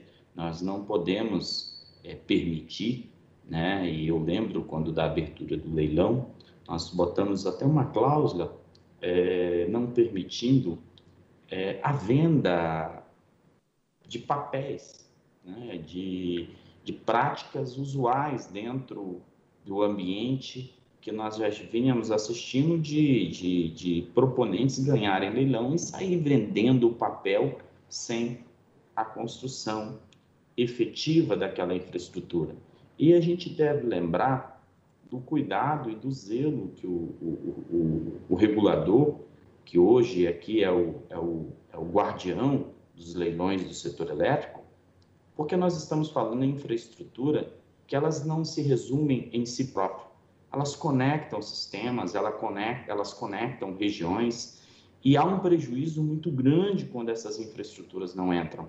Então, a gente não está falando de uma licitação simples e pura qualquer da administração pública. Não a gente está falando de um segmento de infraestrutura em que há toda uma robustez para essas contratações e é inadmissível aventureiros, é inadmissível a tentativa de burla, é inadmissível um processo de uma envergadura tão grande escutarmos que houve um equívoco. Eu penso que a gente tem que refletir até sobre tudo de como que a gente vai se justificar. Né? Eu diria que lá na, aqui no colegiado tem alguns nordestinos, né? que minha região, doutor André, doutor Sandoval, doutor Luiz Eduardo, e lá... O registro, doutor Efraim, maioria nordestina. Maioria nordestina. E lá na nossa terra, o pai da gente ensinou o seguinte, quando a gente erra, fica calado, porque já vai apanhar. Né? Não adianta. Não adianta. E, e, e é, é até uma forma de, de você reconhecer o erro e tentar se organizar para que amanhã você não seja ali chamada a atenção do seu pai e nós nunca, né? O orgulho do nordestino sempre tentou fazer as coisas corretas, que é para justamente não ser chamada a atenção do seu pai. E quando nós erramos, nós te, a gente passa a ter vergonha do erro, não tentar sustentar o erro. Isso é muito ruim. Isso no setor elétrico, um segmento de infraestrutura em que os brasileiros dependem dessas linhas de transmissão, né? Veja o que, que a gente acabou de sofrer no Amapá, veja o que, que a gente tem aí de restrições no, no segmento de transmissão brasileiro, que causa custos enormes para os brasileiros. Não estamos aqui para analisar esses conceitos de forma minimalista para tentar alcançar algo tão expressivo. Agradecer também ao doutor Luiz Eduardo, nosso doutor procurador, nosso colega nordestino aqui de, de assento também neste colegiado, né, que sempre de forma muito brilhante expõe o posicionamento da Procuradoria e sempre com espírito público de proteger o equilíbrio do setor elétrico, mas tentando sempre ser muito justo. Vou aproveitar aqui fazer a propaganda do doutor Luiz Eduardo para aqueles que, que gostam do direito e que gostam de estarem antenados no direito. Doutor Luiz Eduardo, agora dia, dia 18, motivo de orgulho para nossa casa, vai estar tá dando aula magna lá no, no CEDIM, né, que é o Centro de Estudos e Direitos e Negócios, né, e representará aí com certeza a, a nossa, nossa parte jurídica da, da ANEL e estará falando para os alunos e até recomendo quem tem interesse de assistir pelo, pelo site, a inscrição é gratuita e com certeza estará ali atualizando a todos o setor elétrico, sobretudo como que a gente, a ANEL e como que o setor elétrico enxerga o ambiente jurídico. Então, feita essa fala, senhores diretores, eu passo aqui a fundamentação do processo, mas antes de nada, eu gostaria de agradecer também a todo o corpo da CEL, na pessoa do superintendente, doutor Patrus, né, que também é outro causídico, senhores diretores, e que muito nos honra aí na posição que hoje se encontra. Como apresentado acima, trata-se de recurso administrativo interposto pela Agronegócio Alta Luz Brasil, Indústria, Comércio e Importação, face ao despacho 321, conforme todos sabem, inabilitou a empresa. No tocante ao mérito, conforme informado acima, a recorrente foi inabilitada conforme decisão da CEL, consubstanciado no despacho 321 por ter deixado de apresentar documentações hábeis e caracterizar sua qualificação econômico-financeira. A licitante deixou de apresentar demonstrações contábeis do último exercício, descumprindo o item 10.10.2 do edital. Apesar de tais fatos, em seu recurso argumenta que os documentos teriam sido apresentados dentro do prazo estabelecido pelo edital e que a complementação da documentação foi providenciada em resposta ao ofício citado acima. Assim, defendeu o que se depreende da peça recursal, que poderiam ainda que parcialmente serem tais documentos considerados para fins de habilitação, hipótese na qual teria como comprovar a capacidade necessária. Vejam que essa não é a regra do leilão. Não é eu tento ganhar o leilão para depois tentar comprovar. A regra, infelizmente, para aqueles que tentam assim, não é a regra do setor elétrico. Nesse ponto, vejamos que o edital estabeleceu para a qualificação econômico-financeira que a proponente vencedora deveria apresentar, dentre outros, demonstrações contábeis do último exercício social, item 10.10.2 do leilão, o que esmiuça de forma muito clara. Ocorre que não foram apresentadas as demonstrações contábeis. Perdão, senhores diretores, um minutinho.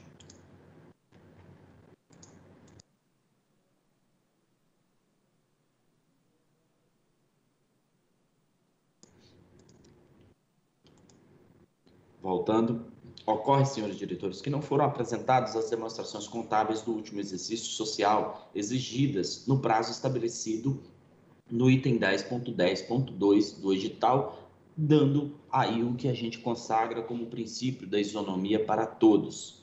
Inclusive, como consequência dessa ausência, a CEL enviou ofício para o então licitante com vistas ao devidos esclarecimentos e complementações tendo assim oportunizado a interessada a apresentação de considerações e, inclusive, quanto ao prazo do ofício. Número 003, a CEL que é interessada alega ter cumprido o prazo. Contudo, esse apenas buscou esclarecer aspectos e, naturalmente, não poderia acrescer prazo em relação ao edital, sob pena de naturalmente ofender os diversos princípios licitatórios, sendo um deles o da isonomia.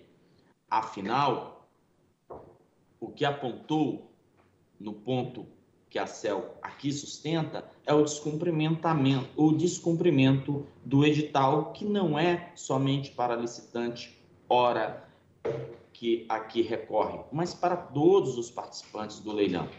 Reitere-se que, após oportunizar a licitante comprovar a veracidade do seu aumento expressivo de capital social, a CEL defrontou-se com a manifestação da GEPRE, do Ministério da Economia que apontou pela falsidade de parte dos documentos apresentados, qual seja a letra que ora nós já também nos pronunciamos e que o próprio procurador também já entrou no mérito. Por essa razão, no ofício a recorrente 003 já referenciado, a área buscou esclarecer fatos relativos à falsidade da LTN, até porque, independentemente da possibilidade de habilitação, o achado tem relevância criminal que sobressai a competência dessa agência. Veja, senhores diretores, que a licitante tenta se socorrer dando a compreensão que o ofício que a CEL ora encaminhou no pedido de esclarecimentos, haja vista até esse achado dessa letra, era para esclarecimento.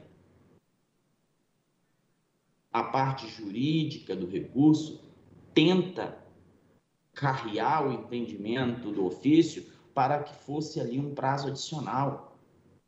Qualquer um que participa de uma licitação dessa envergadura sabe que qualquer coisa que mude o edital não é via um ofício a um licitante. Naturalmente, são publicados fatos relevantes e que servem a todos. E que em momento próprio, o que não foi o caso. Cabe destacar neste ponto que a falsidade do título é fato incontroverso, tendo sido objeto de reconhecimento mas ainda foi reconhecido pela parte licitante. Por tal razão, esse ponto não é mérito dessa análise, tampouco poderia, por sobressair a competência da nossa casa. Para além dos fatos criminais, a recorrente alegou que, apesar do ocorrido, mesmo sem o título em seu balanço, a empresa possui patrimônio líquido mais do que o suficiente para cumprir os requisitos do edital. Buscando comprovar sua afirmação, a Agronegócio Alta Luz Brasil apresentou cálculos e diversas informações extraídas do seu balanço, concluindo que o valor do seu patrimônio líquido era na ordem de 73 milhões de reais, já considerando, já desconsiderando o valor da letra. O que, portanto, seria superior ao exigido no edital, que seria de próximo aos 42 milhões de reais ainda no sentido de demonstrar sua capacidade financeira, embora não constituísse exigência editalícia para a fase de habilitação, a recorrente apresentou uma cópia diminuta de apólice de seguro-garantia, negociada com a potencial seguradora no valor de aproximadamente 21 milhões de reais para garantir o fiel cumprimento ao contrato a ser celebrado. Apresentou também cópia de documento expedido pela Deus Test Bank AG em 12 de, no... em 12 de fevereiro de 21, informando sobre linha de crédito pré-aprovada no valor de aproximadamente 100 milhões de euros para implantação dos empreendimentos do lote 1. No entanto, no entanto, as informações apresentadas não são suficientes para atender às exigências do edital, do certame, para comprovação de patrimônio líquido, sendo necessário o levantamento de balanço intermediário, bem como seu registro tempestivo nos órgãos competentes, na forma da lei, como acertadamente considerou a nossa área de leilões da CEL. A situação da agronegócio Brasil, agronegócio Alta Luz Brasil, portanto, deve ser avaliada à luz da documentação e das informações apresentadas no processo previsto no edital. E dessa forma, a comprovação do seu patrimônio líquido mínimo restou prejudicada haja vista não apenas o descumprimento ao prazo editalício para o protocolo dos documentos de habilitação. Não há, portanto, razões aptas a determinar a revisão da decisão da CEL. Adicionalmente, quanto aos fatos relevantes à falsidade da LTN e à recomendação da PF para que os fatos sejam notificados ao MPF, compreendo que a CEL tem competência para avaliar a situação e adotar as providências decorrentes dessa constatação, assim como para, caso entenda adequado, instruir um processo administrativo sancionatório, hipótese na qual deverão ser aplicadas as penas previstas no edital do leilão e na legislação pertinente. Então, senhores diretores, feitas essas considerações, passo diretamente ao dispositivo de voto. Diante do disposto, diante do exposto e do que consta no processo 48.500.5211.2019-42, voto por conhecer o recurso administrativo interposto pela Agronegócio Alta Luz Brasil e no mérito por se, e no mérito por negar por não conceder o provimento, mantendo assim os despachos da Comissão Especial de Licitação número 321 de 5 de fevereiro de 2021 e 545 de 1 de maio de 21 por seus próprios fundamentos. Em discussão, eu gostaria, diretor André, de fazer uma breve observação em relação a esse caso e, inicialmente, a cumprimentar o diretor Efraim pela, pelo, pelo voto e pela é, proposta que faz. E quero também acompanhar o que disse o diretor André em relação ao advogado Yuri, que realmente, como sempre, é, fez uma defesa aqui de forma eloquente, como, como sempre, e, e, e apresentou seus argumentos, mas penso, e com todo respeito ao Yuri, que se faz sempre presente aqui na agência e muitas vezes ajuda né, a construir né, as nossas decisões, é, mas penso que, como também foi enfatizado pelo diretor Efraim, pelo diretor relator, ele desviou do tema central que está em discussão. Então, me perdoe o Yuri, mas aqui ele desvia do tema central. Claro que todos têm direito à defesa e fez muito bem o papel do, dele, o advogado Yuri. Mas aqui está em discussão, não está em discussão a apresentação de documentos após o prazo de encerramento da habilitação. Não, é o caso em discussão, mas sim a apresentação de documentação falsa. Esse é o ponto. Então, é, e aqui eu quero fazer um, uma referência ao que disse o advogado, uma, uma, uma expressão que ele usou, mera irregularidade. Me perdoem, mas aqui não se trata de mera irregularidade. Como bem destacou o diretor Efraim, aqui nós estamos falando de uma ação criminosa. Então, não é uma mera irregularidade, me perdoem. Eu fui presidente da Comissão Especial de Licitações durante quatro anos. E eu confesso aqui que eu nunca vi nada parecido apresentar um documento falso. Nós tivemos em algumas situações apresentação de documentos que nós percebemos que poderia ser um documento que não que teria perdido validade, mas documentação falsa nós nunca recebemos. Tenho certeza que esse é o comportamento é, dos agentes, dos interessados em apresentar é, ou em participar das, das licitações promovidas pela ANEL, seja para contratação de empreendimentos para prestação de serviços de energia elétrica, seja para a contratação é, de serviços administrativos. E isso que aconteceu é apostar que a comissão de licitações da ANEL ela seria incompetente para desconfiar de um documento falso como disse o, o, o, o procurador-geral, Luiz Eduardo, especialmente um título que tinha seu valor de face de 170 bilhões, como vou repetir aqui a expressão dele, bilhões com B de reais. É uma falsificação quase que grosseira. Eu classifico até que quase que obscena. Então, é, é tratar a, a comissão de licitação como uma comissão que não, com o histórico que tem, não tem capacidade, competência para identificar esse tipo de comportamento. Eu penso, diretor Elisa, diretor André, diretor Sandoval, diretor Efraim, eu penso que além da remessa do processo ao Ministério Público, eu esse, esse caso ele deveria ser, como foi proposto pelo diretor relator, aberto procedimento administrativo para apurar o cabimento da declaração de inidoneidade, avaliar o cabimento da suspensão de empresa, de uma empresa como essa, de contratar com a ANEL, no mínimo contratar com a ANEL, se não com a administração pública.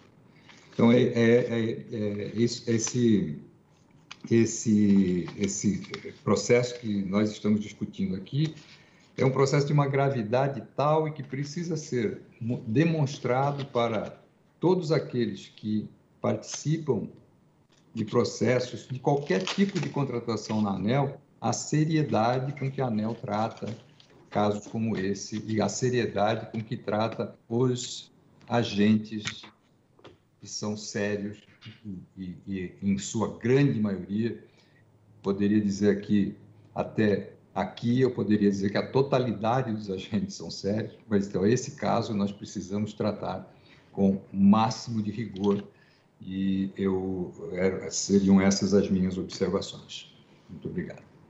Bom, diretores, é, quero aqui parabenizar o voto do diretor Efraim e faço coro com as palavras do diretor Elvio. Esse é um tipo de postura que não é admissível aqui na agência.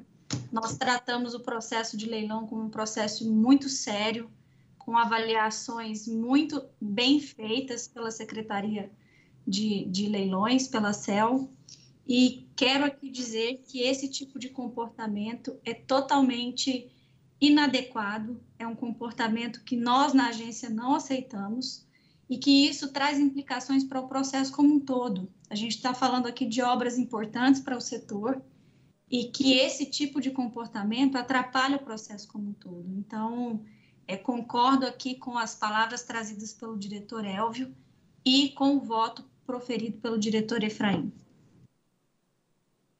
É, bem, é, senhores diretores, eu ouvi atentamente a sustentação oral do doutor Yuri e também os comentários muito qualificados do doutor Elvio. E, assim, é, realmente me espantou aqui, já estou na agência há 16 anos, eu acho que o que mais se aproximou do caso que ora estamos a, a debater foi uma contratação administrativa e que de longe tem a, a repercussão de uma contratação do, de uma concessão pública. Então, no momento em que uma irregularidade é relativizada como mera irregularidade em um processo de contratação pública, de concessão pública, é, fruto de um processo, de um certame, de uma licitação, de um edital público, é, não, não é cabível em, em nenhum cenário em nenhum cenário. O, o histórico de atuação da agência, ela tem demonstrado de forma inequívoca a intransigência da ANEL no processo licitatório. Isso ocorre pelo zelo que temos como servidores públicos, isso mostra o senso de patriotismo de, dos servidores da agência, isso mostra o compromisso que temos com o país. Tratar com desdém, eu colocaria isso, a atuação da Secretaria Executiva de Leilões, no sentido de apresentar uma prova grosseira num processo de habilitação técnica e jurídica de um concessionário público, vamos repisar essa expressão, um concessionário público, um ente jurídico que atua em nome do Estado brasileiro. Não pode começar uma relação de confiança de 30 anos com um documento falso. É inadmissível. Mais uma vez, eu coloco que eu nunca presenciei isso na agência. E doutor Elvio, como ex-presidente da comissão de licitação, doutor André Pepitone, que já está aqui na ANEL há bastante tempo, atuando em posições de dirigência, e o doutor Efraim, claro, como defensor do direito, por ter seu ofício, nessa, nessa seara, e doutora Elisa, que durante muito tempo atuou no Ministério na formulação de leilões. Eu repito, é inadmissível isso. Então, doutor Elvio, eu já também concordando com os encaminhamentos do diretor relator, eu também sugiro a imediata abertura de um processo de idoneidade e proibição de contratação com a administração pública, não apenas da SPE, que, por óbvio, depois desse julgamento, deverá se extinguir, mas dos representantes legais da empresa, que tiveram o assinte de apresentar um documento falso ao órgão regulador brasileiro. Então, essas são as minhas ponderações e já concordando com tudo que fora exposto inicialmente. Senhores diretores, somo o meu comentário nesse instante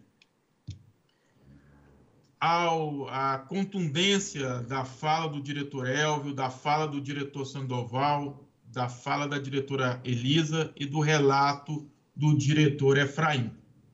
Ao verificar a documentação apresentada pela recorrente para fins de habilitação, a comissão de licitação da ANEL, liderada pelo doutor André Patrus e com um time muito competente, de larga experiência, decidiu não habilitar a empresa em razão de dois episódios. Primeiro, pelo descumprimento do prazo estabelecido no edital para protocolar a documentação de habilitação. E segundo, pela ausência de comprovação do patrimônio líquido. E por que o patrimônio líquido não foi comprovado? Por dois fatos. Primeiro, pelo fato de a recorrente não ter apresentado tempestivamente a demonstração contábil exigida. E segundo, porque a recorrente apresentou o título da dívida pública falso para fins de aumento de capital e registre-se que a falsidade desse documento foi atestada pela Secretaria do Tesouro Nacional. Então, senhores diretores, penso que devemos instaurar processo tendente a aplicar penalidade por descumprimento de obrigação editalícia e multa.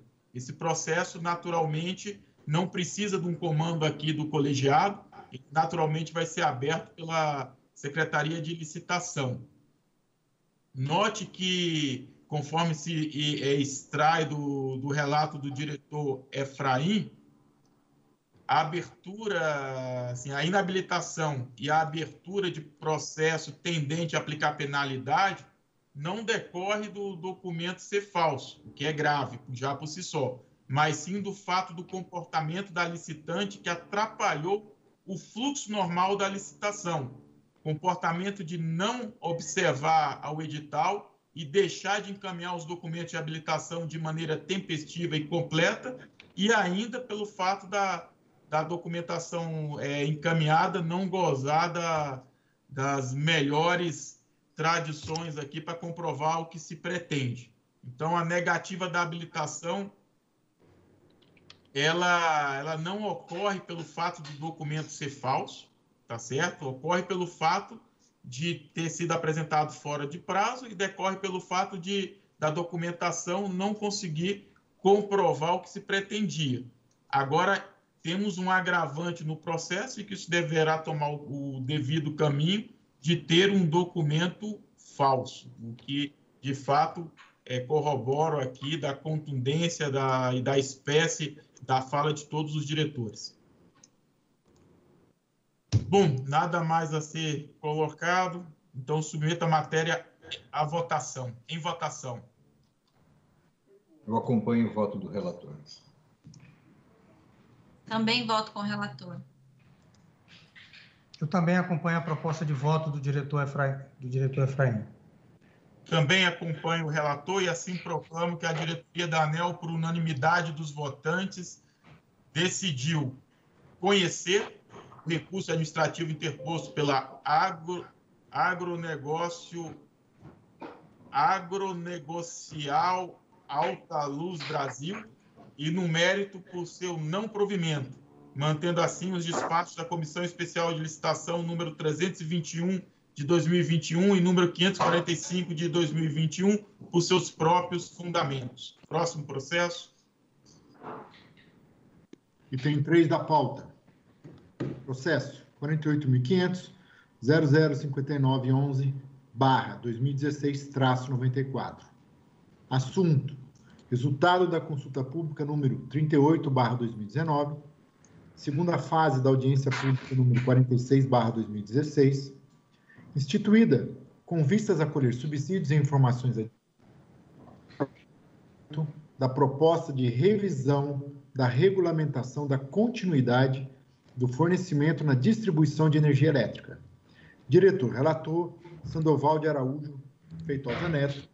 E informo que há um pedido de sustentação oral para este item. Bem, doutor Ricardo, muito obrigado. É... Só um por favor, só para organizar aqui o voto. O módulo 8 dos procedimentos de distribuição de energia elétrica no Sistema Interligado Nacional, PRODIST, cuja primeira versão foi publicada em 31 de dezembro de 2008, regulamenta a continuidade do fornecimento de energia elétrica no país.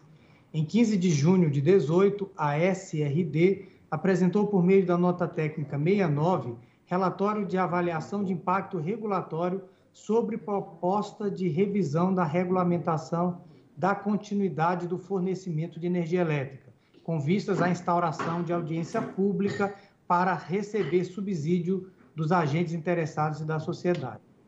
Em 3 de setembro de 18, o processo foi a mim redistribuído.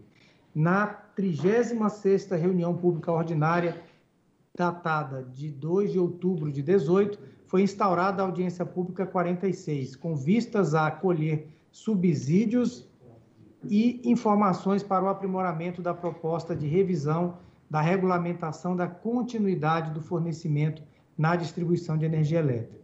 As contribuições recebidas durante a audiência pública foram analisadas pela área técnica e apresentadas, juntamente com as minutas de textos para alteração da regulamentação, por meio da nota técnica 46, em 28 de junho de 19.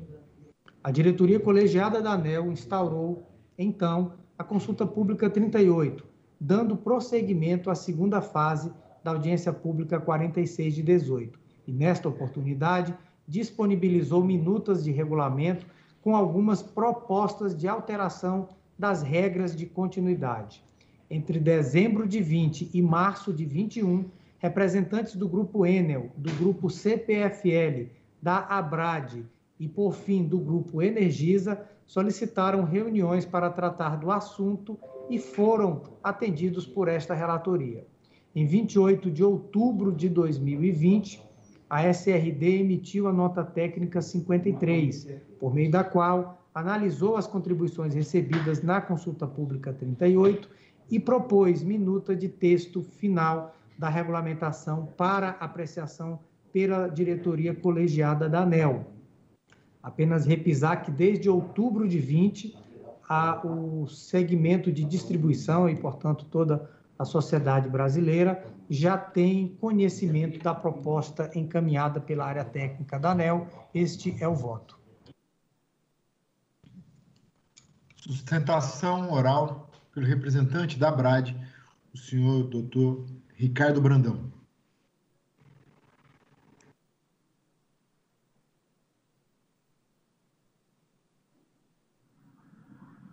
Bom dia a todos. Mais uma vez, a ABRAD vem aqui, a diretoria da ANEL, trazer suas considerações a respeito da consulta pública 38 de 2019, que diz respeito à regulação da continuidade do fornecimento da distribuição de energia elétrica. De início, é importante reconhecer alguns avanços. Primeiro, é o fato de focar-se agora nos 2% piores conjuntos atendidos. Isso está em linha com a ideia da, da ANEL de sempre buscar a melhoria contínua do, da qualidade. Também um avanço o fato de que a, a periodicidade agora passa a ser exclusivamente mensal, que também avança na linha da simplificação. E terceiro, o, o fato de que o parâmetro do valor base é, deixa de ser o EUSD e passa a ser o EUSD fio B, que tem como vantagem retirar a, as oscilações que são típicas da, das variações da parcela A. Desde 2010, vigora o, o modelo de compensações. Então, a ANEL deixou, em 2010, de fazer processo tanto de fiscalização e aplicação de multas com base na Resolução 63 e compensações, para partir exclusivamente pelo modelo de, de compensações. A mudança agora, como destaquei, é que a base de cálculo passa a ser EU, o EUS de fio B. Então, a proposta que foi colocada em consulta pública era de buscar esse mesmo montante é, existente né, é, e fazendo uma conta de chegada simples, focar nele, mas agora com essa nova é, valor de, de base de cálculo. O problema é que a, base de cálculo, o valor que é utilizado, é o de 2016. E aí nós temos dois pontos que trazem, pontos de atenção que, que trazemos aqui. O primeiro é que o ano de, de 2016 foi um ano particularmente atípico, foi o segundo maior valor monetário de toda a, a série, especialmente porque a parcela A de 2016, impactada principalmente pela, pela CDE, provocou é, esse, essa distorção no valor base de 2016.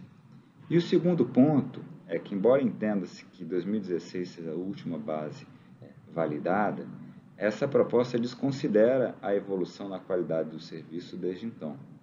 Nós trazemos aqui números que desde 2015 é, a evolução do DEC saiu de 18,73 para 12,85 em 2019 e ontem mesmo, dia do consumidor, a ANEL trouxe números que mostram a melhoria ainda mais acentuada da qualidade e dos índices do DEC. Por isso, a fórmula da ABRAD é simples, é sem alterar a essência do que foi colocado pela ANEL, mas sim aplicando um ajuste na, na base. E esse ajuste na base essencialmente considera esses dois pontos. Primeiro, o comprometimento da parcela B considerada no estudo original de 2019, ou seja, neutralizando esse impacto da volatilidade da, da parcela A, e também considerando essa evolução na qualidade apontada aqui, cerca de 19%, no, no desempenho dos indicadores de continuidade. Esse é o dado ao que me referi agora, que foi é, dado publicidade pela ANEL ontem, no Dia do, do Consumidor, que mostra a melhoria contínua no, na, na, qualidade dos índices do, do DEC, uma melhoria em 2020 ainda considerável em relação a 2019, o que só reforça a necessidade de consideração da evolução dos índices de qualidade de, desde de 2016, que é exatamente o que colocamos na nossa proposta. Outro ponto de destaque diz respeito à origem das interrupções. Esse é um, um, um dado que já foi trazido nas nossas contribuições por ocasião da, da consulta pública, trazendo o dado de que essas interrupções no sistema de transmissão, que foi o nosso foco, podem transcender a capacidade de gestão da, da distribuidora. Esse é um aspecto, inclusive, que já é considerado no novo contrato de concessão. Isso foi trazido é, como nossa contribuição para que seja devidamente é, avaliado. E a nossa conclusão, em linha do que a Abrage é, sempre defende, é que o mais adequado é considerar apenas as interrupções do sistema de, de distribuição. Em relação ao componente Q do fator X, a nossa proposta, de forma bastante objetiva, é de exclusão dos multiplicadores com foco na simplicidade e na previsibilidade. Mais uma vez, reconhecemos avanços, como o fim do mecanismo é, comparativo, né, dado que essa exclusão do ranking comparativo entre as distribuidoras traz mais previsibilidade aos resultados. Isso é um pleito já trazido em outras ocasiões pela, pela Brand. O outro ponto, da simplificação da metodologia. Existe aqui na proposta a substituição de quatro curvas por duas curvas de análise e utilização apenas do indicador do, do DEC. Isso também vai na mesma linha da, da simplificação. A nossa proposta, como já dissemos, é de exclusão dos, dos multiplicadores. O multiplicador por conjuntos é, tran, é, transgredidos traz uma penalidade aplicada para índice inferior a 80% dos conjuntos que cumpram com as metas regulatórias. O problema dessa proposta é o retorno da complexidade metodológica, dificuldade de previsibilidade dos resultados e sinais regulatórios cruza é, cruzados, porque na medida em que, por um lado, se busca a simplificação da metodologia, por outro lado, a aplicação desses multiplicadores só trazem mais complexidade ao processo. De, outra banda, a, o multiplicador por violação global ele tem como característica a penalidade majorada para as distribuidoras que violam os limites globais de DEC e FEC de forma reincidente. A nossa percepção é que isso, inclusive, propicia uma dupla penalização. Como um todo, a nossa percepção é que já existem outros mecanismos diversos que já dão sinal regulatório para a melhoria dos conjuntos e atendimento das metas globais de qualidade. Podemos citar que, por exemplo, que os planos de resultado, é, inclusive com altas multas em caso de descumprimento, já sinalizam nesse sentido, o ranking do DGC, as regras de caducidade também já dão incentivo a essa melhoria e atendimento das metas é, globais de qualidade, a cumulatividade do, do XQ nos reajustes tarifários já dá um sinal econômico para a busca dessa, dessa qualidade, por essa razão, a nossa proposta é de eliminação desses multiplicadores. Esse slide ilustra porque, na nossa avaliação, a nova metodologia é um sinal econômico exagerado para incentivar a melhoria da qualidade. O que a gente observa com a simulação desse novo componente Q do fator X é uma redução significativa no conjunto de todas as distribuidoras em relação à sua receita. Não tem aqui uma percepção de, de benchmark em que se é, dividem as empresas mais ou menos eficientes. Existe uma penalização generalizada, mesmo para as empresas que já têm um bom desempenho. Por essa razão, entendemos que essa penalização é exagerada e desproporcional e ela já se soma com diversas ferramentas regulatórias já existentes para a qualidade. Portanto, a nossa, a nossa proposta aqui é de eliminação desses multiplicadores.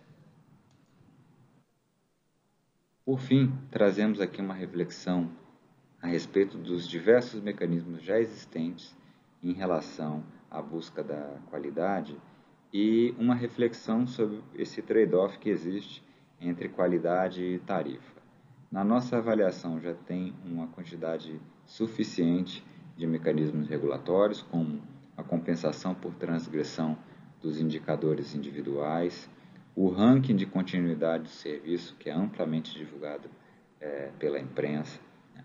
o componente Q do fator X, que tem um sinal econômico direto na tarifa das distribuidoras, a ideia de planos de resultados iniciados em 2014 inclusive com a possibilidade de aplicação multa, de multa por não cumprimento dos limites regulatórios e as regras de caducidade que foram recentemente aperfeiçoadas pela ANEL. A nossa preocupação é que esse conjunto de incentivos não venha redundar numa oneração da tarifa dos consumidores. Aqui um breve resumo das nossas contribuições.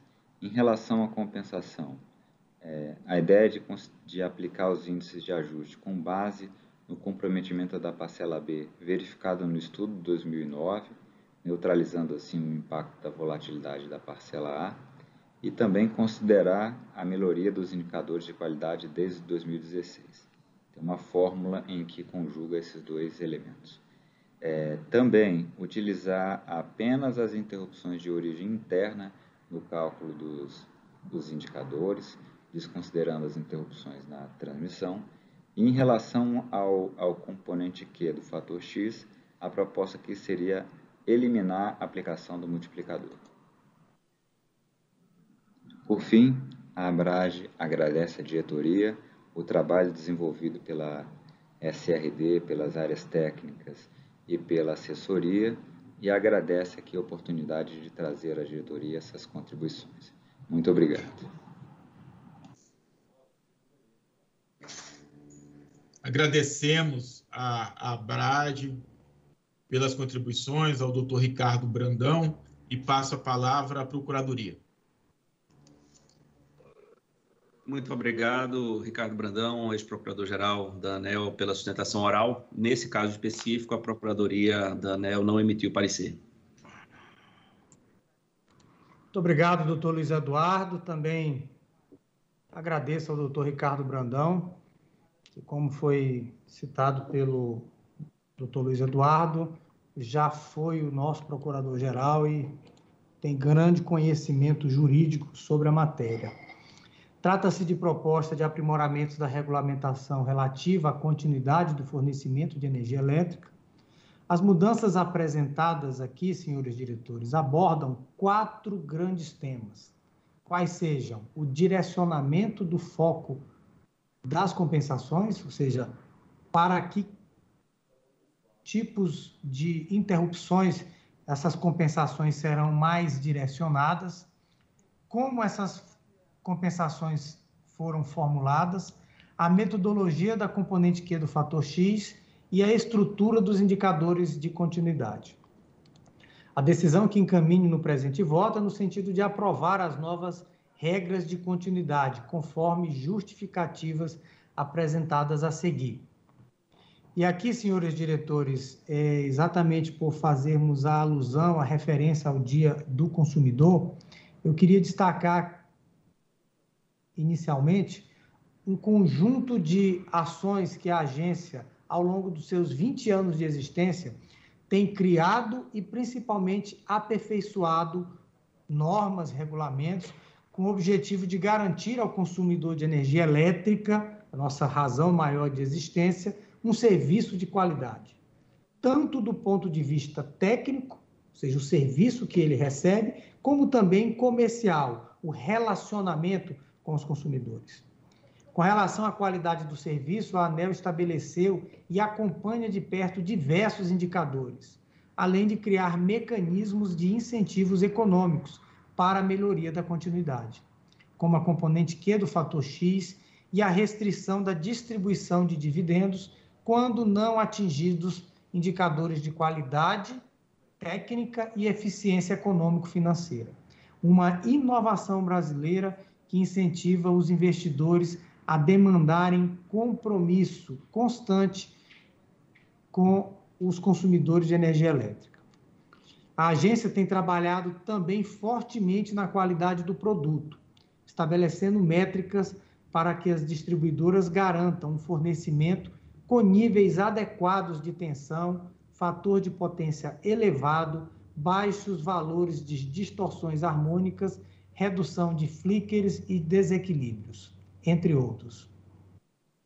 Ainda sob o prisma do consumidor, a ANEEL estabeleceu regras específicas para ressarcimento de danos, definiu prazos para os serviços comerciais, ligação nova, análise de projetos, religação, vistoria, conclusão de obras, dentre outros serviços. E obrigou também as distribuidoras a compensar financeiramente seus consumidores caso esses prazos não sejam cumpridos. Além dessas ações, a agência tem participado ativamente de diversas frentes multidisciplinares voltadas à defesa do consumidor, dentre as quais eu destacaria a participação da ANEEL no Conselho Nacional de Defesa do Consumidor, a coordenação da Comissão de Apoio ao Processo Regulatório sob a perspectiva do consumidor, a consolidação e publicação da agenda regulatória, o fomento à participação dos conselhos de consumidores, inclusive sou o relator da matéria de revisão dessa norma, coordenação de grupo temático de ação para a melhoria do ambiente de negócios na presidência da República e além do nosso cotidiano relacionamento com os órgãos de defesa do consumidor. Percebam, eh, senhores diretores e a todos que nos acompanham, a preocupação com o consumidor de energia elétrica da ANEL, pela ANEL, ela é parte do nosso trabalho. Dentre todas essas ações com foco no consumidor, e aqui este processo se reveste de uma maior importância, porque a confiabilidade do fornecimento de energia elétrica tem papel de destaque, pois é vetor fundamental de crescimento, desenvolvimento social e econômico das sociedades modernas. Entre 2015 e 2020, a quantidade média de horas que os consumidores ficaram sem energia caiu 38,6%. E em 2020, o serviço de distribuição, como já citado pelo Dr. André, ficou em média 99,87% disponível para o consumidor brasileiro. Mas entendemos ainda que, como esse número é médio, precisamos melhorar mais ainda, uma vez que existem regiões no país com ainda fragilidade no atendimento de energia elétrica e que sofrem ainda muitas interrupções no suprimento e, portanto, têm dificuldade na industrialização e na geração de empregos. Sem falar nos diversos prejuízos diretamente afetar, que afetam as populações, que ficam sujeitas a perdas econômicas, alimentos e remédios, que precisam de refrigeração constante, por exemplo, experimentam maiores dificuldades na educação formal e deparam-se com mais problemas de segurança em razão da falta de iluminação pública e de equipamentos de vigilância. Além disso, e aqui quero ressaltar, que o atendimento precário do serviço de distribuição de energia, principalmente a camada mais pobre da população, que paradoxalmente pagam a mesma tarifa dos demais consumidores, acentua ainda mais as desigualdades regionais em nosso país, que já é desigual na distribuição de diversas outras riquezas e oportunidades. Então, senhores diretores, não pode a eletricidade contribuir para piorar ainda mais esse cenário, pois trata-se de um bem essencial a toda a sociedade. É com o objetivo de reduzir essas desigualdades e incentivar as concessionárias para prestarem um serviço de qualidade, de forma isonômica e que alcance todos os cidadãos brasileiros, que este processo foi conduzido. O aprimoramento das regras de continuidade pretende reforçar a obrigação de cumprimento dos indicadores DEC e FEC em toda a área de concessão da distribuidora e, ao mesmo tempo, incentivar o atendimento dos, dos indicadores individuais daqueles consumidores que sofrem com os piores níveis de serviço. Para tanto, as principais mudanças propostas foram agrupadas em quatro eixos de atuação. O primeiro deles, o direcionamento das compensações para os consumidores que recebem os piores níveis de serviço, mas que, como eu já citei, pagam as mesmas tarifas. Dois, simplificação na formulação das compensações, com a exclusão de limites trimestrais e anuais, e aqui, senhores diretores, nós é, atendemos uma das, um dos anseios das distribuidoras no sentido de simplificar a formulação das compensações. Item C, mudança na metodologia da componente Q do fator X, para incentivar as distribuidoras a zelarem pela qualidade geral dos consumidores. E D, da atualização da estrutura dos indicadores de qualidade. A seguir, apresento em mais detalhes os principais aspectos em cada um desses quatro tópicos principais. O, na sustentação oral que o doutor Ricardo Brandão fez, ele abordou algumas, alguns aspectos da norma que, por simplicidade, eu farei ao final do voto.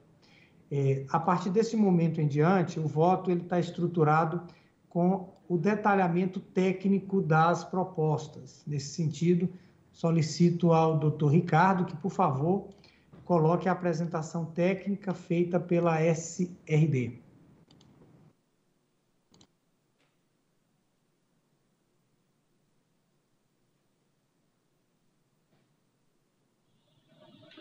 É, bom dia a todos, meu nome é Marcelo Castro, trabalho no grupo de qualidade da SRD. Vou apresentar aqui a proposta de aprimoramento na regulamentação de continuidade do fornecimento de energia elétrica, que foi discutida no âmbito da consulta pública número 38 de 2019 e que trata do item número 8 da agenda regulatória da ANEL para o biênio 2021-2022. A CP 38 de 2019 foi realizada em duas fases e agora estamos na etapa final em que foram analisadas as contribuições recebidas com vista à elaboração da proposta final de aprimoramento. É, para contextualizar, aqui nós temos o histórico da evolução dos indicadores de continuidade DEC e FEC no Brasil contra os respectivos limites estabelecidos para o período de 2011 a 2020. Nas barras estão os valores apurados e nas linhas os limites estabelecidos. A cor azul representa o DEC e a vermelha o FEC. Nós podemos observar que os valores apurados de FEC sempre estiveram abaixo dos limites estabelecidos. Por outro lado, de 2011 a 2019, os valores apurados de DEC no Brasil sempre estiveram acima dos limites estabelecidos. A partir de 2016, é possível observar uma expressiva melhora do indicador DEC e, em 2020, pela primeira vez, o DEC apurado no Brasil ficou abaixo do limite definido pela ANEL, com o valor apurado de 11 horas e meia contra um limite definido de 12,28 horas. Portanto, a partir desse diagnóstico, pode-se concluir que o principal desafio associado à qualidade no Brasil está relacionado à melhoria do indicador DEC. Nesse slide, nós temos a evolução dos valores pagos e da quantidade de compensações em decorrência de violações dos limites dos indicadores individuais de continuidade, DIC, FIC, DEMIC e DICRI no período de 2012 a 2020. Nas barras estão representados os montantes compensados pelas distribuidoras e nas linhas a quantidade de compensações. Nós podemos observar que a quantidade de compensações cai a partir de 2016, em linha com a melhoria observada no indicador DEC. Diferentemente, para o montante anual pago em compensações, verifica-se um aumento nos anos de 2019 e 2020. Isso ocorre em função das variações dos componentes da tarifa, que é a base de cálculo das compensações. Em 2020, as distribuidoras pagaram cerca de 630 milhões de reais para mais de 79 milhões de compensações. Na CP 38 de 2019, foram recebidas contribuições de 20 agentes, sendo 9 distribuidoras, 3 associações, um instituto, 6 conselhos de consumidores e uma agência estadual. Com relação ao nível de aproveitamento das contribuições, 5,5% foram aceitas, 5,5% foram parcialmente acatadas e 89% não foram aproveitadas. Os aprimoramentos propostos na CP38 tiveram o objetivo de conferir maior simplicidade, efetividade, previsibilidade e coerência conceitual aos instrumentos regulatórios relacionados à qualidade do fornecimento. Foram quatro os aspectos abordados nos aprimoramentos: os incentivos financeiros e a componente Q do fator X, o foco das compensações pela violação dos limites de continuidade individuais, a formulação da compensação e a estrutura dos indicadores de continuidade. Com relação aos incentivos financeiros, Hoje nós temos dois mecanismos associados à melhoria da qualidade, sendo o primeiro as compensações aos consumidores por violação dos limites dos indicadores e o segundo a componente Q do fator X. O primeiro problema identificado é que o valor do incentivo associado às compensações é muito maior que aquele relacionado à componente Q, o que causa um desequilíbrio entre os mecanismos. Outro problema diz respeito à imprevisibilidade do incentivo associado à componente Q, fazendo com que esse instrumento seja pouco efetivo para orientar a tomada de decisão das distribuidoras. Para tratar esses problemas, as propostas de aprimoramento passam por reavaliar o valor do incentivo e conferir maior previsibilidade e simplicidade ao mecanismo da componente Q do fator X. Para a componente Q do fator X, a proposta discutida na CP 38 de 2019 prevê que na avaliação do desempenho das empresas seja considerado somente o DEC interno, não mais o DEC e o FEC como é atualmente. Isso porque, conforme já mostrado, o principal desafio associado à qualidade é o indicador DEC. Na avaliação, as distribuidoras seriam enquadradas em duas curvas, uma para quem atende o limite do indicador, curva azul, e outra para quem não atende, a curva vermelha. Diferentemente da regra atual, o enquadramento das distribuidoras não mais dependeria do desempenho de outras empresas, o que mitigará o problema da imprevisibilidade associada ao regulamento atual. Assim como é hoje, o valor do incentivo seria limitado a mais ou menos 1,4% da parcela B da empresa. Embora os valores percentuais, o incentivo seja o mesmo da regra atual, de acordo com as nossas simulações, o valor financeiro passaria de cerca de 97 para 162 milhões de reais. Esse aumento de 67% no valor do incentivo é obtido por meio do ajuste na inclinação das curvas. Outra dimensão prevista na proposta é a consideração de um multiplicador de reincidência para as empresas que descumprem o limite. Para essas distribuidoras, se o DEC piorar, a penalidade seria intensificada, e se o DEC melhorar, o incentivo é atenuado. O objetivo aqui é fazer com que as empresas deixem de descumprir os limites. A atuação do multiplicador de reincidência também não seria limitado pelo limite de mais ou menos 1,4% da parcela B, então, caso uma empresa viole o limite de DEC consecutivamente por três ou mais anos, a penalidade pode chegar a 2,45% da parcela B. Por fim, ainda está prevista a avaliação das empresas quanto ao cumprimento dos limites de DEC dos conjuntos. As empresas que não atingirem o percentual de 80% de cumprimento dos limites dos conjuntos teriam um prêmio atenuado em caso de melhora do DEC ou a penalidade intensificada em caso da piora do indicador, de acordo com as faixas e multiplicadores indicados nessa tabela. O objetivo da avaliação do cumprimento dos limites dos conjuntos é de promover uma maior uniformização na qualidade do fornecimento dentro da concessão. E o objetivo dos aprimoramentos da componente Q, aqui proposto, é de aumentar a efetividade desse instrumento na tomada de decisão das empresas nas ações com vistas à melhoria da qualidade. O segundo aspecto abordado na proposta é o foco das compensações por violação dos limites dos indicadores individuais que ocorre hoje é que uma grande quantidade de consumidores são compensados por valores muito baixos. Isso ocorre porque as compensações são direcionadas para as áreas de maior densidade e mercado. Então, a nossa proposta é reorientar as compensações para os consumidores que experimentam uma pior qualidade no fornecimento, e a implementação passa por uma revisão dos limites dos indicadores individuais de continuidade, de forma a incentivar a melhoria das áreas com pior serviço. Para exemplificar o objetivo da proposta, tem-se aqui o histograma das compensações do Brasil em 2017. Verifica-se que quase 90% das compensações são pagas para consumidores de conjuntos com limite de DEC de até 20 horas por ano. Então, o objetivo é realizar o deslocamento dessas compensações para os consumidores pior atendidos e que as compensações também tenham valores individuais mais significativos. Nesta tabela estão detalhados os efeitos do aprimoramento proposto de reorientação do foco das compensações. No ano de 2016, considerando 43 distribuidoras, nós tivemos um total compensado de mais de 422 milhões de reais. Na nossa proposta, esses mesmos 422 milhões seriam pagos para um número menor de consumidores, justamente aqueles que experimentam a pior qualidade do serviço. No estudo, ao invés de 11%, seriam compensados 2,6% dos consumidores e o valor médio das compensações passaria de R$ 5 para 21 reais, um aumento de 4,2 vezes no valor da compensação. O terceiro aspecto objeto de aprimoramento é a formulação da compensação. O primeiro problema aqui identificado é referente à base de cálculo que utiliza a TURG cheia, a qual está sujeita às variações da parcela A que não possuem relação direta com o serviço prestado pelas distribuidoras. O segundo problema diz respeito à complexidade do mecanismo, que prevê compensações mensais, trimestrais, anuais e ainda regras de abatimento. Assim, os aprimoramentos propostos passam por reavaliar a base de cálculo das compensações e pela simplificação do mecanismo. Nesse slide são apresentados os efeitos da variação ao longo do tempo dos itens que compõem a TUR cheia, que é a base de cálculo das compensações atualmente.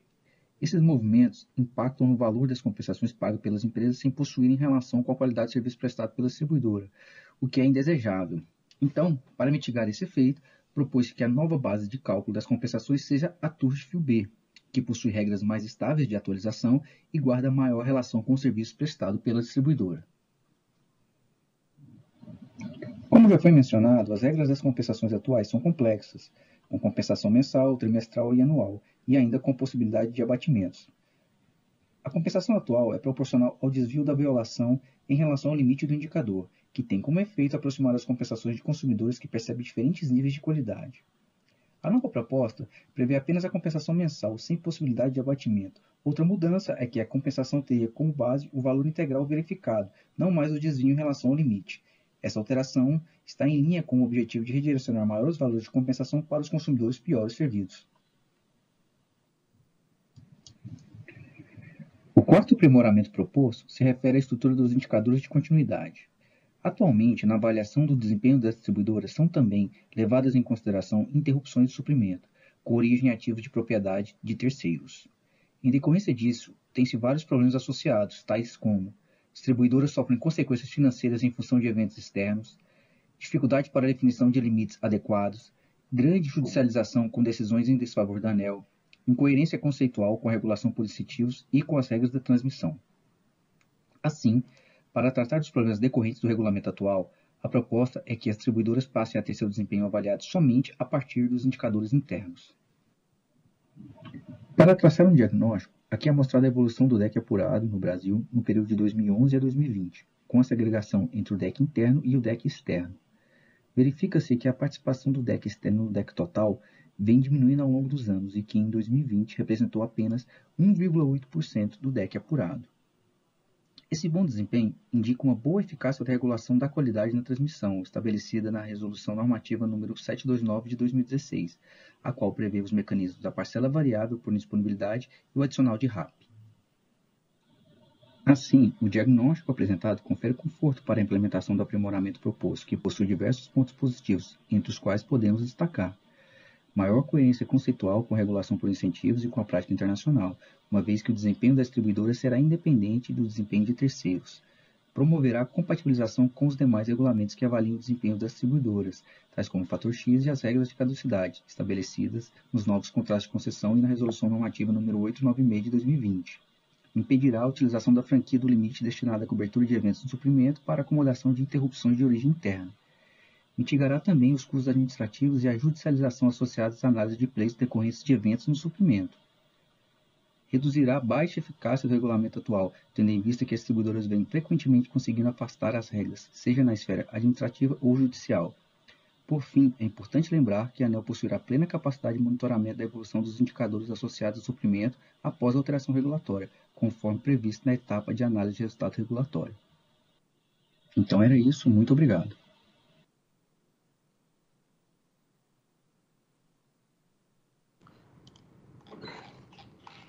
Bem, senhores diretores, agradeço a apresentação feita pelo Marcelo, da SRD, e me permito aqui alguns comentários a respeito da proposta que ora, que ora trago para a deliberação da, desse colegiado. É, inicialmente, no que se refere ao foco aos, das compensações, que é o primeiro eixo de atuação da norma, observa-se observa que com a proposta trazida, reduz-se a quantidade de consumidores compensados, Entretanto, aumenta-se o valor médio dessas compensações para aqueles consumidores com os piores níveis de serviço. Na proposta apresentada, a quantidade média de consumidores que receberiam compensações seria reduzida de 11% para 2,6%. Entretanto, o valor médio pago aumentaria mais de quatro vezes, ou seja, de R$ 5,00 para algo em torno de R$ 21,00. Nas análises realizadas, foram utilizadas bases de dados referentes ao ano de 2016 para ajustar os montantes de compensação aos novos limites propostos. Com esta base, ela refere-se a um período anterior. Diversos agentes questionaram sua utilização, solicitando que os cálculos fossem refletidos com base em dados mais recentes. Entretanto, senhores diretores, para chegarmos a esta proposta de indicadores individuais de continuidade, diversas etapas foram necessárias. Primeira delas, solicitação de dados para todas as distribuidoras, recebimento desses dados, tratamento dos dados, definição de critérios de consistência dos dados, integração para correção de informações, elaboração de dois documentos, qual seja o análise de impacto regulatório e também a discussão dos interessados por meio da audiência pública da discussão do regulamento. Veja que foi uma grande, uma grande é, conjunto de informações que tiveram que ser manuseadas. Agora, um ponto importante da contribuição da BRAD é que ela destaca que o ano de 2016 foi um outlier, quando olhado de 2016, 2012 a 2016. Entretanto, quando se olha do período de 2015 a 2020, que é o período mais recente, a média de compensações foi de 200, desculpe, 567 milhões. Enquanto que o ano de 2016, que foi destacado como outlier, ele foi ele teve 576 milhões de compensações, ou seja, uma diferença de apenas 9 milhões. Vejam que a ordem de grandeza é a mesma. O que difere aqui é a referência, que nesse caso a Abrad, obviamente, trouxe a que melhor reforça os seus argumentos. Entretanto, não resiste a uma análise mínima de consistência, como eu apresentei. Dessa forma, eu entendo que a proposta de solicitação de uma nova base de dados sob o argumento de defasagem, ela não merece prosperar. Ademais, o distanciamento temporal entre o estudo e a aplicação, ela é natural e ficaria cada vez maior se nós iniciássemos o estudo agora. Nós teríamos, obviamente, mais dois, três ou quatro anos e, novamente, isso seria argumentado como um ponto desfavorável da norma. A escolha do montante total de compensações, outro ponto trazido também pela BRAD, é uma definição metodológica do regulador. Neste aspecto específico da mudança da proposta, que objetiva buscar melhor qualidade para os consumidores que hoje experimentam os piores níveis de serviço, ele consistiu de um arranjo regulatório optando-se pela realocação desse montante total, de maneira que as compensações sejam direcionadas aos consumidores que hoje experimentam os piores indicadores de qualidade. Caso, e aí é importante destacar, os níveis de qualidade melhorem em relação a 2016, os montantes de compensação, por óbvio, irão reduzir. Então, basta atuar na redução dos indicadores que as compensações reduzem. Com relação à exclusão dos limites trimestrais e anuais, ressalto que exatamente por simplicidade é que a ANEL é, é, está sinalizando no sentido de excluir esses indicadores. No entanto, permitindo ainda é, é, é, mantendo os mesmos montantes de compensação. O que a gente traz aqui é uma maior simplicidade, praticidade e compreensão do consumidor e também das próprias distribuidoras. Acerca do uso do EUSD fio B em substituição ao EUSD, entendo que o primeiro reflete mais adequadamente os custos da prestação do serviço de distribuição. Dessa forma, quando houver má prestação do serviço, nada mais razoável que a compensação tenha como balizador este item, ou seja, a receita referente ao encargo associado à parcela B. Com relação à componente Q do fator X, tendo em vista que estamos propondo alterações no instrumento das compensações exatamente para direcioná-los aos consumidores com piores níveis de serviço, torna-se necessário também incentivar, por meio de outros instrumentos, a melhoria da qualidade média. Dito de outro modo, enquanto as compensações atuam na extremidade da curva, compensando os consumidores pela falta de energias, a componente Q do fator X atua na média. E aqui no gráfico da figura 1, logo após o na página 9, nós percebemos visualmente exatamente como esses dois instrumentos atuam. A compensação atuando na, na cauda da curva, enquanto que o componente Q do fator X atua na média. Para tanto, foi proposto para discussão com a sociedade três alterações na definição Q do fator X. A primeira delas, a simplificação das curvas e a retirada do, do FEC. Dois, a introdução de um multiplicador de reincidência. E três, a criação de um multiplicador de, um multiplicador de violação de conjuntos. Grande parte das contribuições, inclusive, foram repisadas pelo Dr. Ricardo Brandão em sua sustentação, é, se concordou com a exclusão do FEC na componente Q e com a simplificação das curvas. Relembro a esse colegiado, e não precisamos retroceder tanto, hoje nós tivemos uma, uma deliberação de uma distribuidora eficiente que performa no FEC 50% do limite regulatório estabelecido para a ANEL, o que é uma grande realidade na maioria dos processos de revisão tarifária. Então, percebam que o indicador FEC ele, tá, ele vem sendo apurado bem abaixo dos limites globais, ao contrário do que ocorre com o FEC. Não foi o caso da CPFL Santa Cruz, que também performa muito abaixo do DEC limite.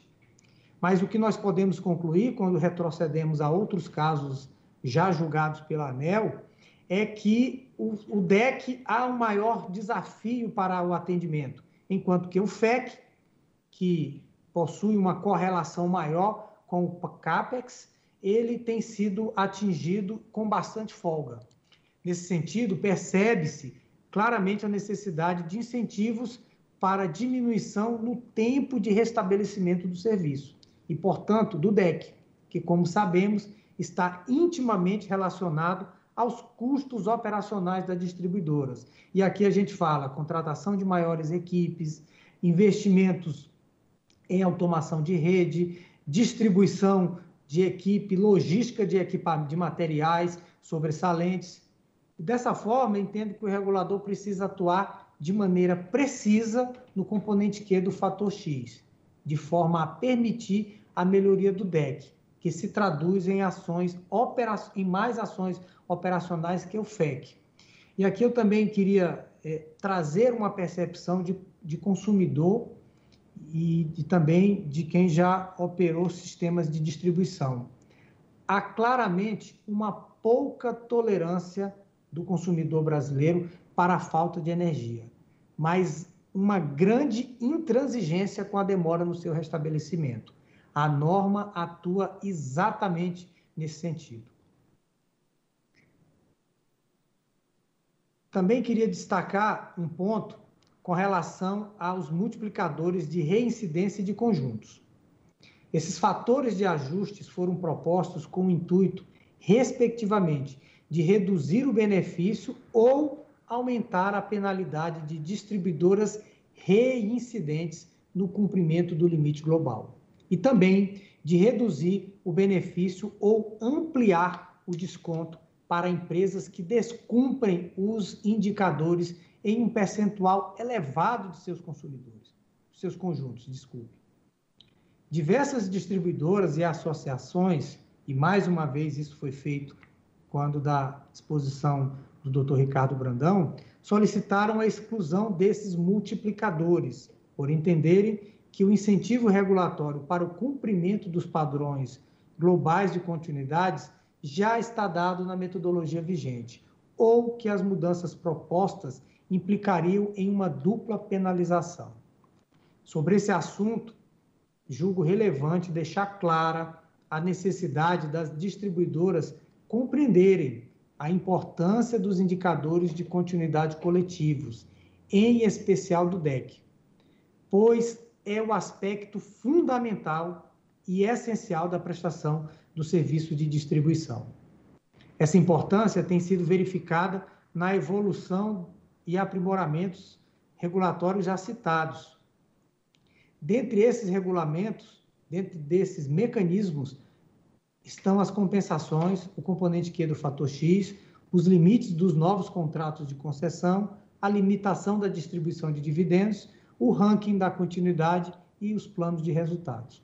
Apesar de todo esse esforço, resta claro que o incentivo ainda não foi suficiente, pois o indicador DEC do Brasil ficou acima do limite global em todos os anos no período de 2010 a 2019, sendo que apenas em 2020, como foi citado quando da publicação do ranking ontem, situou-se na média abaixo dos limites regulatórios, apresentando ainda grandes desafios para o atendimento dos limites de forma isonômica nos conjuntos das áreas de concessão. E aqui eu queria destacar que os consumidores em uma área de concessão, eles pagam tarifas iguais, mas não podem ser tratados de forma desiguais. É relevante deixar clara a importância de evitar a violação dos limites globais, pois implica em prestação do serviço em níveis piores que os estabelecidos para a área de concessão. Não por outra razão, os novos contratos trazem cláusulas que podem levar à caducidade da concessão na ocorrência de violações consecutivas desses indicadores.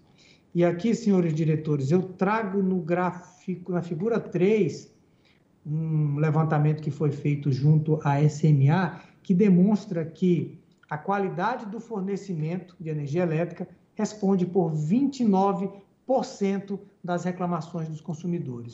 Então, é inequívoca a correlação entre a qualidade do serviço com a percepção do consumidor. Por isso, entendo que a inserção na componente Q do fator X de multiplicadores de reincidência e de conjuntos, ela é crucial e visa realmente coibir a violação do indicador global, DEC, sinalizando com redução tarifária caso não haja atendimento dos indicadores pelas distribuidoras. E aqui, esse é exatamente um argumento que vai de encontro a, a uma afirmação da ABRAD na sustentação oral de que o regulamento vai no sentido de onerar tarifas. Muito pelo contrário. O regulamento ele traz sinais de redução de tarifas caso a prestação do serviço não seja adequada. E mais uma vez, com relação ao multiplicador proposto para incentivar a melhoria do DEC, dos conjuntos de unidades consumidoras, queria destacar que a proposta que fora para a consulta pública, ela previa o atendimento de 90% dos consumidores da área de concessão atendidos dentro dos limites globais. Então veja que ainda estaria se elegendo 10% para os consumidores para os conjuntos não atenderem os limites globais. Entretanto, após a análise das contribuições, identificamos que esse, esse limite, essa meta de 90%, poderia ser reduzido para 80%, recalibrando-se as médias anteriores. E é o que foi feito.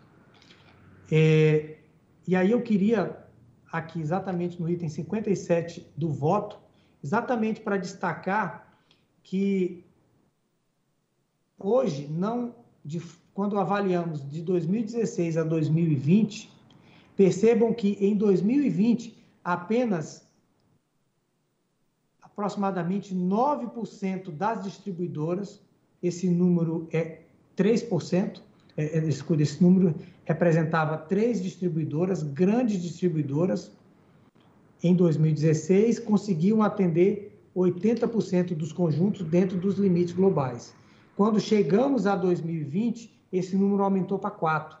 Apenas quatro distribuidoras no Brasil atendem 80% dos seus conjuntos dentro dos limites globais. Vejo que ainda há um grande espaço de evolução e melhoria do serviço a ser alcançado.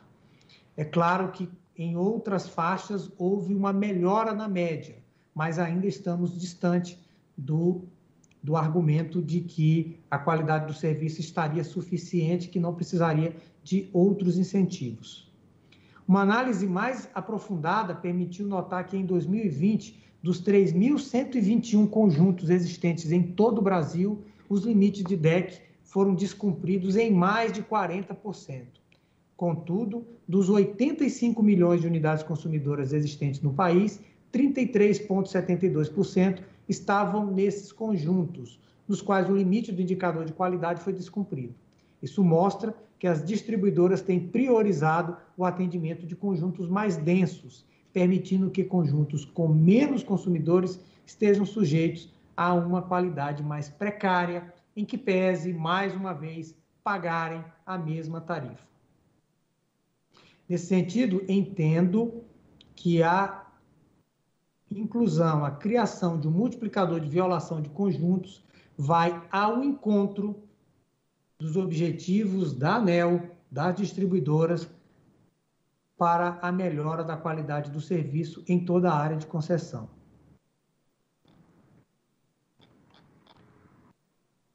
Em resumo, com relação à componente Q do fator X, é, as novas regras passarão a ser mais simples, e, ao mesmo tempo, mais intensas no incentivo à melhoria da qualidade média do serviço de distribuição, sobretudo nos casos em que houver descumprimento reiterado dos indicadores, aqui majorado pelo multiplicador de reincidência. E naqueles em que as distribuidoras não estiverem atendendo devidamente a uma grande parcela dos conjuntos, multiplicador dos conjuntos. Percebam que aqui, mais uma vez, esses incentivos eles vão ao encontro de reduzir a tarifa quando o serviço não for adequado. É a exata correlação entre o serviço prestado e a tarifa paga. Com relação à estrutura dos indicadores de continuidade, o ponto principal da, da proposta que ora, que ora trago para a deliberação dos, dos diretores é a retirada dos indicadores de origem externa a, ao sistema de distribuição da avaliação do desempenho das distribuidoras, tanto para pagamento de compensações, limites individuais e coletivos e componente Q.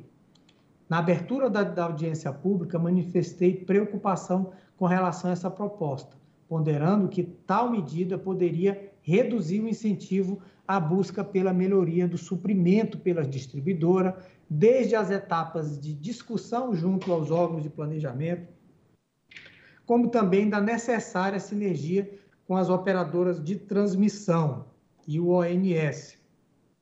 E, além disso, a retirada de eventos com origem na transmissão afastaria mais o indicador de qualidade daquilo que é efetivamente percebido pelos consumidores como falta de energia. Com relação a esses aspectos, as contribuições recebidas na consulta pública e as análises efetuadas pela SRD permitiram uma avaliação mais robusta sobre o tema. No contexto internacional, verifica-se que em alguns países com o setor de energia desverticalizado, como é o caso do Brasil, os segmentos de distribuição e transmissão possuem esquemas de penalização e incentivos próprios, com cada agente respondendo pelos ativos de sua propriedade, não sendo impactado pelo desempenho da rede de terceiros. Nesse sentido, a retirada do DEC externo no cômputo do DEC justifica-se na medida em que uma eventual penalização de um agente pelo desempenho de terceiros não é tão fiel ao modelo de regulação por incentivos. Com relação à percepção do consumidor, cabe ressaltar que os cidadãos sempre sentem em suas residências, comércio, indústria, o tempo médio total do qual o serviço esteve indisponível, ou seja, o DEC total, que é a soma do DEC interno, DEC externo e o DEC expurgado. Sobre esse ponto, nota-se que no horizonte considerado do AIR, o DEC expurgado representa, em média, 20,64% enquanto o DEC externo possui uma participação de apenas 2,58% no DEC total.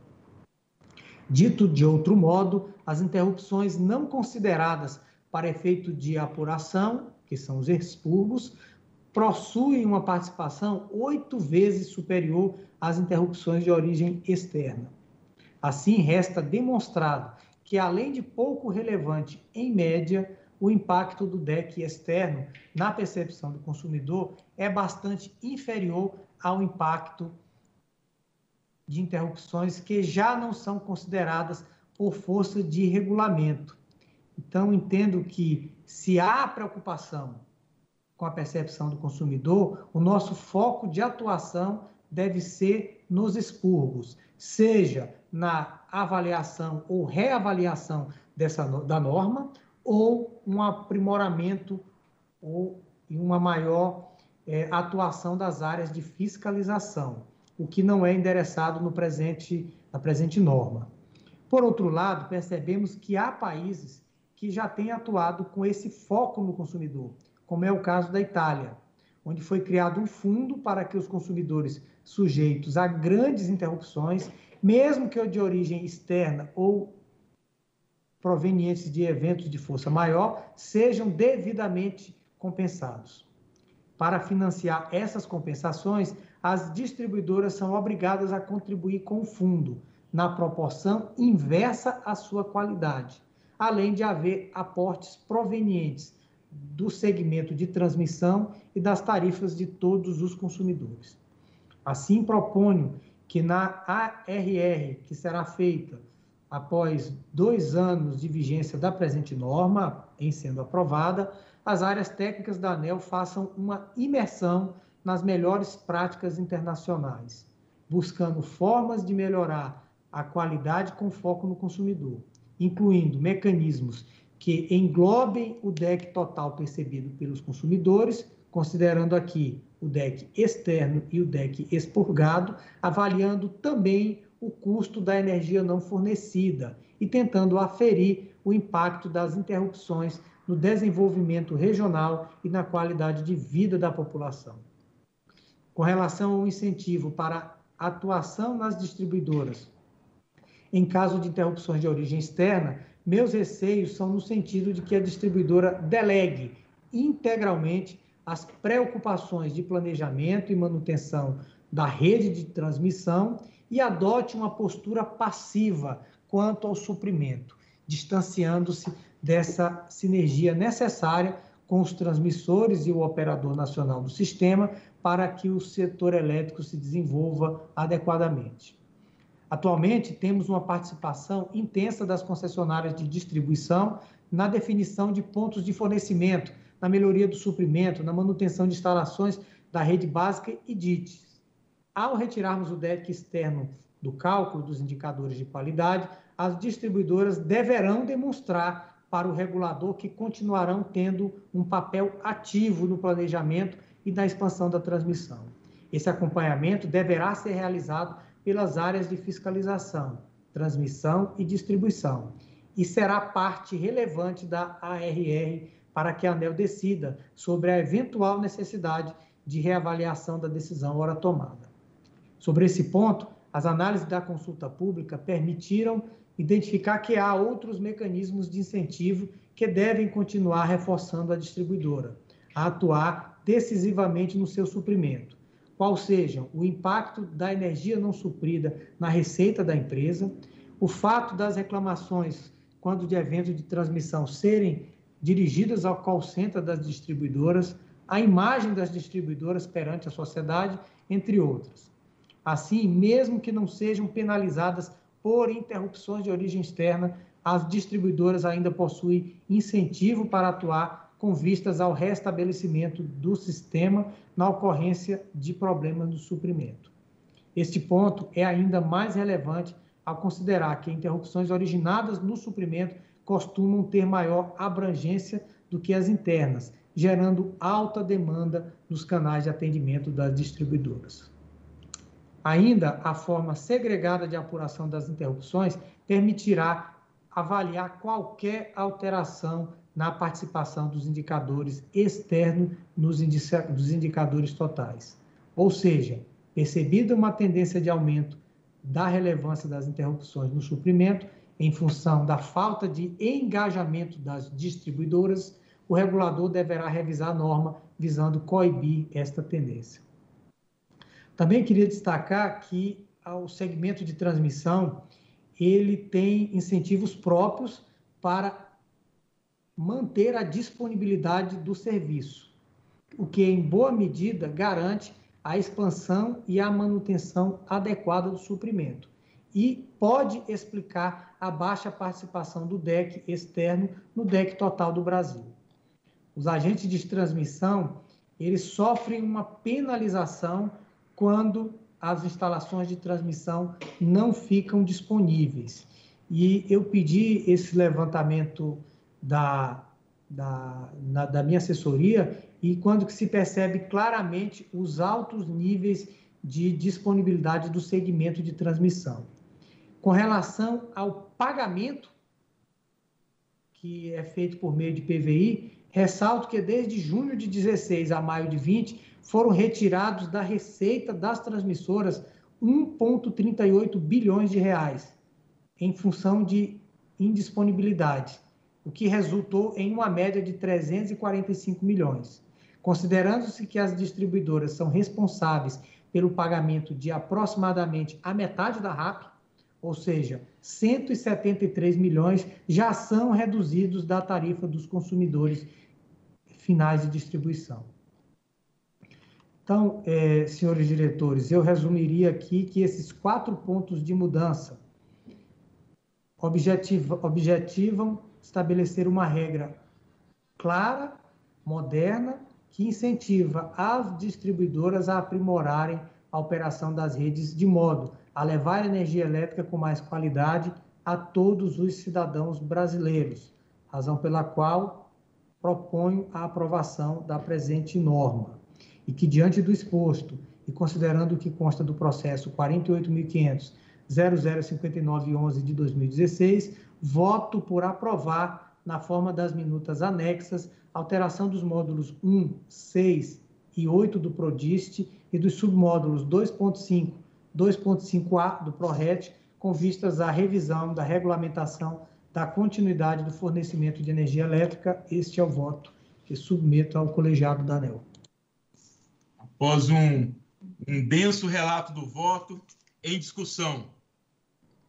Bem, diretor André, é, de fato, é, repetindo a sua expressão, com, a, com essa densidade com que, e qualidade né, com que o diretor é, Sandoval traz o processo para a nossa deliberação, seria, no mínimo, excessivo nós falarmos alguma coisa adicional.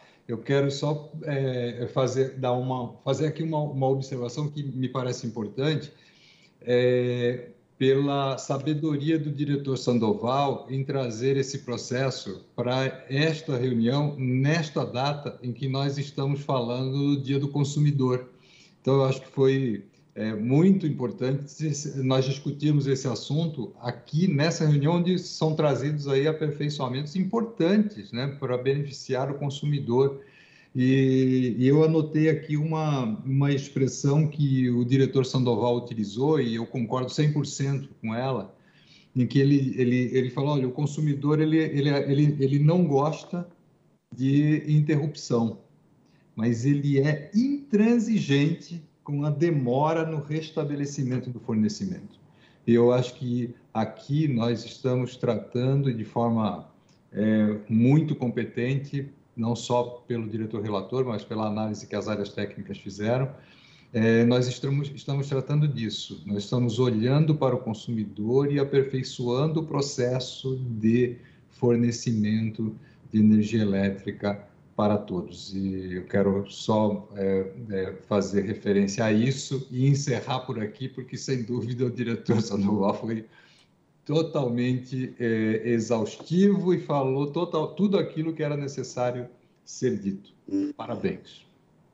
Bom, acho que concordando aqui com, com o diretor Elvio, acho que esse processo foi colocado em pauta num momento muito oportuno, né? Na, ontem foi o dia do, do consumidor, a gente está na semana do, do consumidor, para a gente poder avaliar a qualidade do fornecimento de energia elétrica, né? A gente avançou muito é, em relação ao acesso de energia elétrica, mas não basta ter o acesso, né? É necessário que o fornecimento seja contínuo. Acho que as interrupções de energia elétrica elas produzem um impacto na qualidade de vida das pessoas, né? E no próprio desenvolvimento socioeconômico do país, né? Acho que o nosso desafio aqui como regulador é garantir essa qualidade adequada, né, no fornecimento de energia elétrica dentro de um patamar de tarifas acessíveis a todos os consumidores. É, ontem nós tivemos os indicadores de DEC e FEC publicados, né, como já mencionou o diretor André, juntamente com o ranking da qualidade. Acho que pela primeira vez em 10 anos, o DEC apurado apresentou um valor inferior ao limite. Né? Significa isso que, que, em média, a duração dessas interrupções se mostrou inferior aos padrões considerados adequados, né? Isso de acordo com as tarifas cobradas e as características de cada concessão, né? É, e além disso, no mesmo período, houve uma redução de 46% no FEC e 37% no DEC. Acho que esses resultados eles vêm das diversas iniciativas da agência para melhoria desses indicadores de, de, continuidade, como, por exemplo, o ranking de continuidade do serviço, que foi criado em 2011, o resultado publicado ontem, né, que, que o cujo resultado foi publicado ontem, como, como já mencionado, a questão do componente Q do fator X, que foi criado em 2013, o próprio acompanhamento das concessionárias por meio do plano de resultados, que, que foi iniciado aqui na agência em 2014. Nós tivemos também a inserção da qualidade na metodologia de custos operacionais, isso em 2015. E também os novos contratos que prorrogaram as concessões de 33 distribuidoras é, tiveram critérios de caducidade e limite de distribuição de proventos em caso de descumprimento de indicadores de qualidade. E, e eu também destaco a ação da fiscalização, né, que passou a agir de forma responsiva, com enfoque na prevenção e fazendo uso de técnicas baseadas em evidências. Né? Acho que todas essas medidas que eu citei, elas refletem o trabalho conjunto né, de várias áreas da agência, né, a SRD, SRM, SCT, SGT, as fiscalizações, né, é, e o nosso canal de, de comunicação com o consumidor, que é a SMA. Mas a gente tem que reconhecer que essa melhoria ela não aconteceu de forma uniforme para todas as unidades consumidoras, né? As áreas mais distantes dos centros urbanos e com menos densidade populacional, elas ainda estão com níveis de qualidade distantes é, do ideal. E aí, diante desse problema, a própria SRD, com a orientação do diretor Sandoval, a quem já, já parabenizo aqui novamente pela condução é, do, do, processo e pelo voto que, que, que proferiu, essa, essa, essa, esse problema trouxe uma a gente, essa proposta trouxe uma série de aprimoramentos é, com foco nos consumidores que têm os piores níveis de serviço né? E isso por meio de alteração nos limites desses indicadores individuais, de continuidade individual e do instrumento da própria compensação. Né? É, acho que, que, dito isso, a proposta ela traz uma, uma coerência conceitual com a regulação por incentivo, né? considero relevante o acompanhamento dessa nova estrutura de DEC-FEC, é, e aqui eu penso que pode ser bastante relevante para o acompanhamento dos resultados a aplicação de uma ARR transversal, né? que seja capitaneada pelas áreas que de fato aplicam a norma né? e podem contribuir na avaliação do resultado regulatório, que nesse caso é, seria a SFE e a SMA, né? que terão os insumos sobre a atuação das distribuidoras e a percepção do consumidor, mesmo que essa ARR seja conduzida é, pela, pela própria área que criou a norma, que é a SRD, eu acho que a, que a fazer uma ARR transversal com as áreas que aplicam a norma traz um resultado muito é, positivo, né? E por fim, aqui eu quero parabenizar os técnicos da ANEL, que ao longo de vários anos né, trabalham com afinco para efetiva melhoria da qualidade no fornecimento de energia elétrica no Brasil. E também, de novo, a atuação do diretor Sandoval, que teve esse olhar voltado para o consumidor, né? É, que ainda sentem essa qualidade de energia inadequada. E, esse, e trouxe para a gente deliberar aqui aprimoramentos, né? Que reforçam o nosso compromisso de buscar um fornecimento de energia elétrica de qualidade e acessível a todos os consumidores. Eram esses os meus comentários. Senhores diretores, só acompanhando aqui a, a fala de cada um dos diretores, eu vou acrescentar que a verdadeira modernização do setor elétrico, no aspecto regulatório, se faz da forma, doutor Sandoval, que Vossa Excelência traz para o colegiado. É, eu acredito que esse é um caminho de uma modernização, esse sim é o que nós podemos dizer como a verdadeira modernização do setor elétrico. Eu diria que, eu já falei em outros momentos, que talvez modernizar o setor elétrico é simplesmente simplificar tudo que nós temos. Porque eu creio que a complexidade é que traz todas essas assimetrias. E aqui, doutor Elvio, tem algo extremamente importante. Quando o senhor traz um elemento de geração, eu costumo dizer a Vossa Excelência que Hoje nós temos alguém no colegiado que, que, que conhece com exímia é, qualidade todo o processo de geração. E nesse processo ele tem um caráter todo especial com uma outra característica.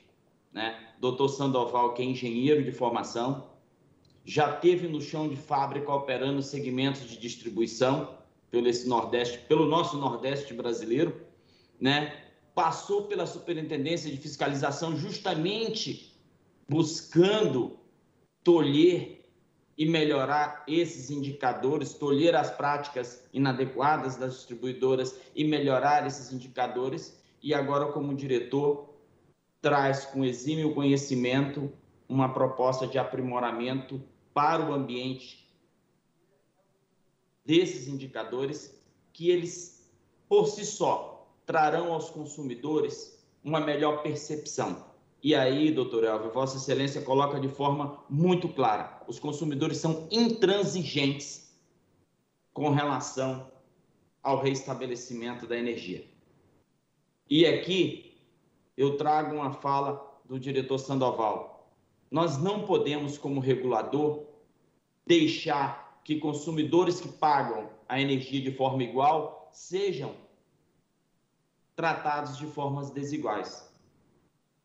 Eu, que já tive no segmento de distribuição, doutor Sandoval, que já atuou operando, já mais no chão de fábrica, sabe a prática que é adotada no tocante a DEC, FEC, DIC, FIC, DMIC, no reestabelecimento de cargas. Então, doutor Sandoval, aqui louvo a proposta que Vossa Excelência traz para o colegiado.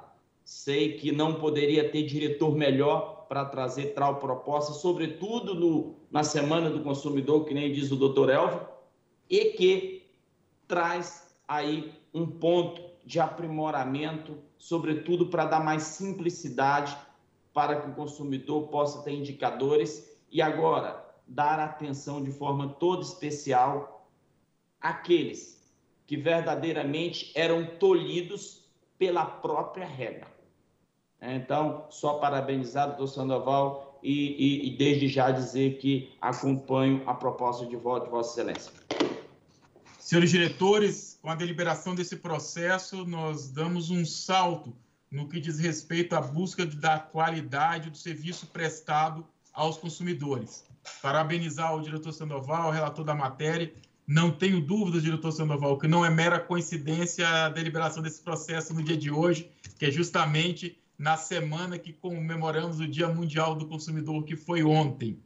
Mas o, o grande apontaria quando o grande mérito desse processo é a gente buscar nivelar a qualidade do serviço em toda a área de concessão da distribuidora, pois era um grande incômodo que tínhamos, que tínhamos, não, que temos aqui na ANEL, é o fato de que, ao fazer um contrato com a distribuidora, o consumidor paga a tarifa.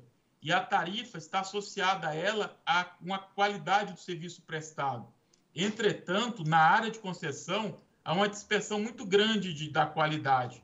Geralmente, nas capitais, nas grandes cidades, nós temos um, um deck muito pequeno e no interior um deck muito elevado sendo que o consumidor que está na capital ou no interior paga a mesma tarifa daquela área de concessão. Então, o grande desafio desse regulamento, que o diretor Sandoval liderou muito bem a condução desse processo, era dar um sinal regulatório econômico para que buscássemos uma homogeneidade na qualidade do serviço prestado, dentro, mesmo dentro da, do mesmo conjunto da distribuidora como também dentro da área de concessão, ou seja, em todos os conjuntos da distribuidora. E com esse regulamento, tá se alcança, acreditamos que estamos dando sinal econômico para que alcancemos esse objetivo. Então, é, eu vou citar aqui quatro pontos que posso reputar de é, a forma como sintetizar esse, esse regulamento. O primeiro é a compensação pela violação dos indicadores individuais de continuidade.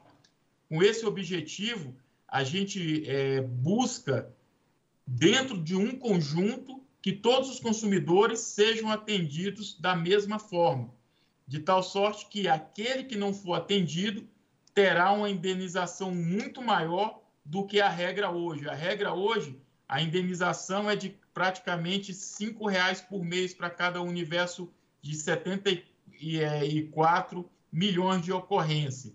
É que eu não digo consumidor, porque o consumidor pode, essas ocorrências é num ano, né? Então, ao longo do, do mês a mês, o mesmo consumidor pode ter várias ocorrências.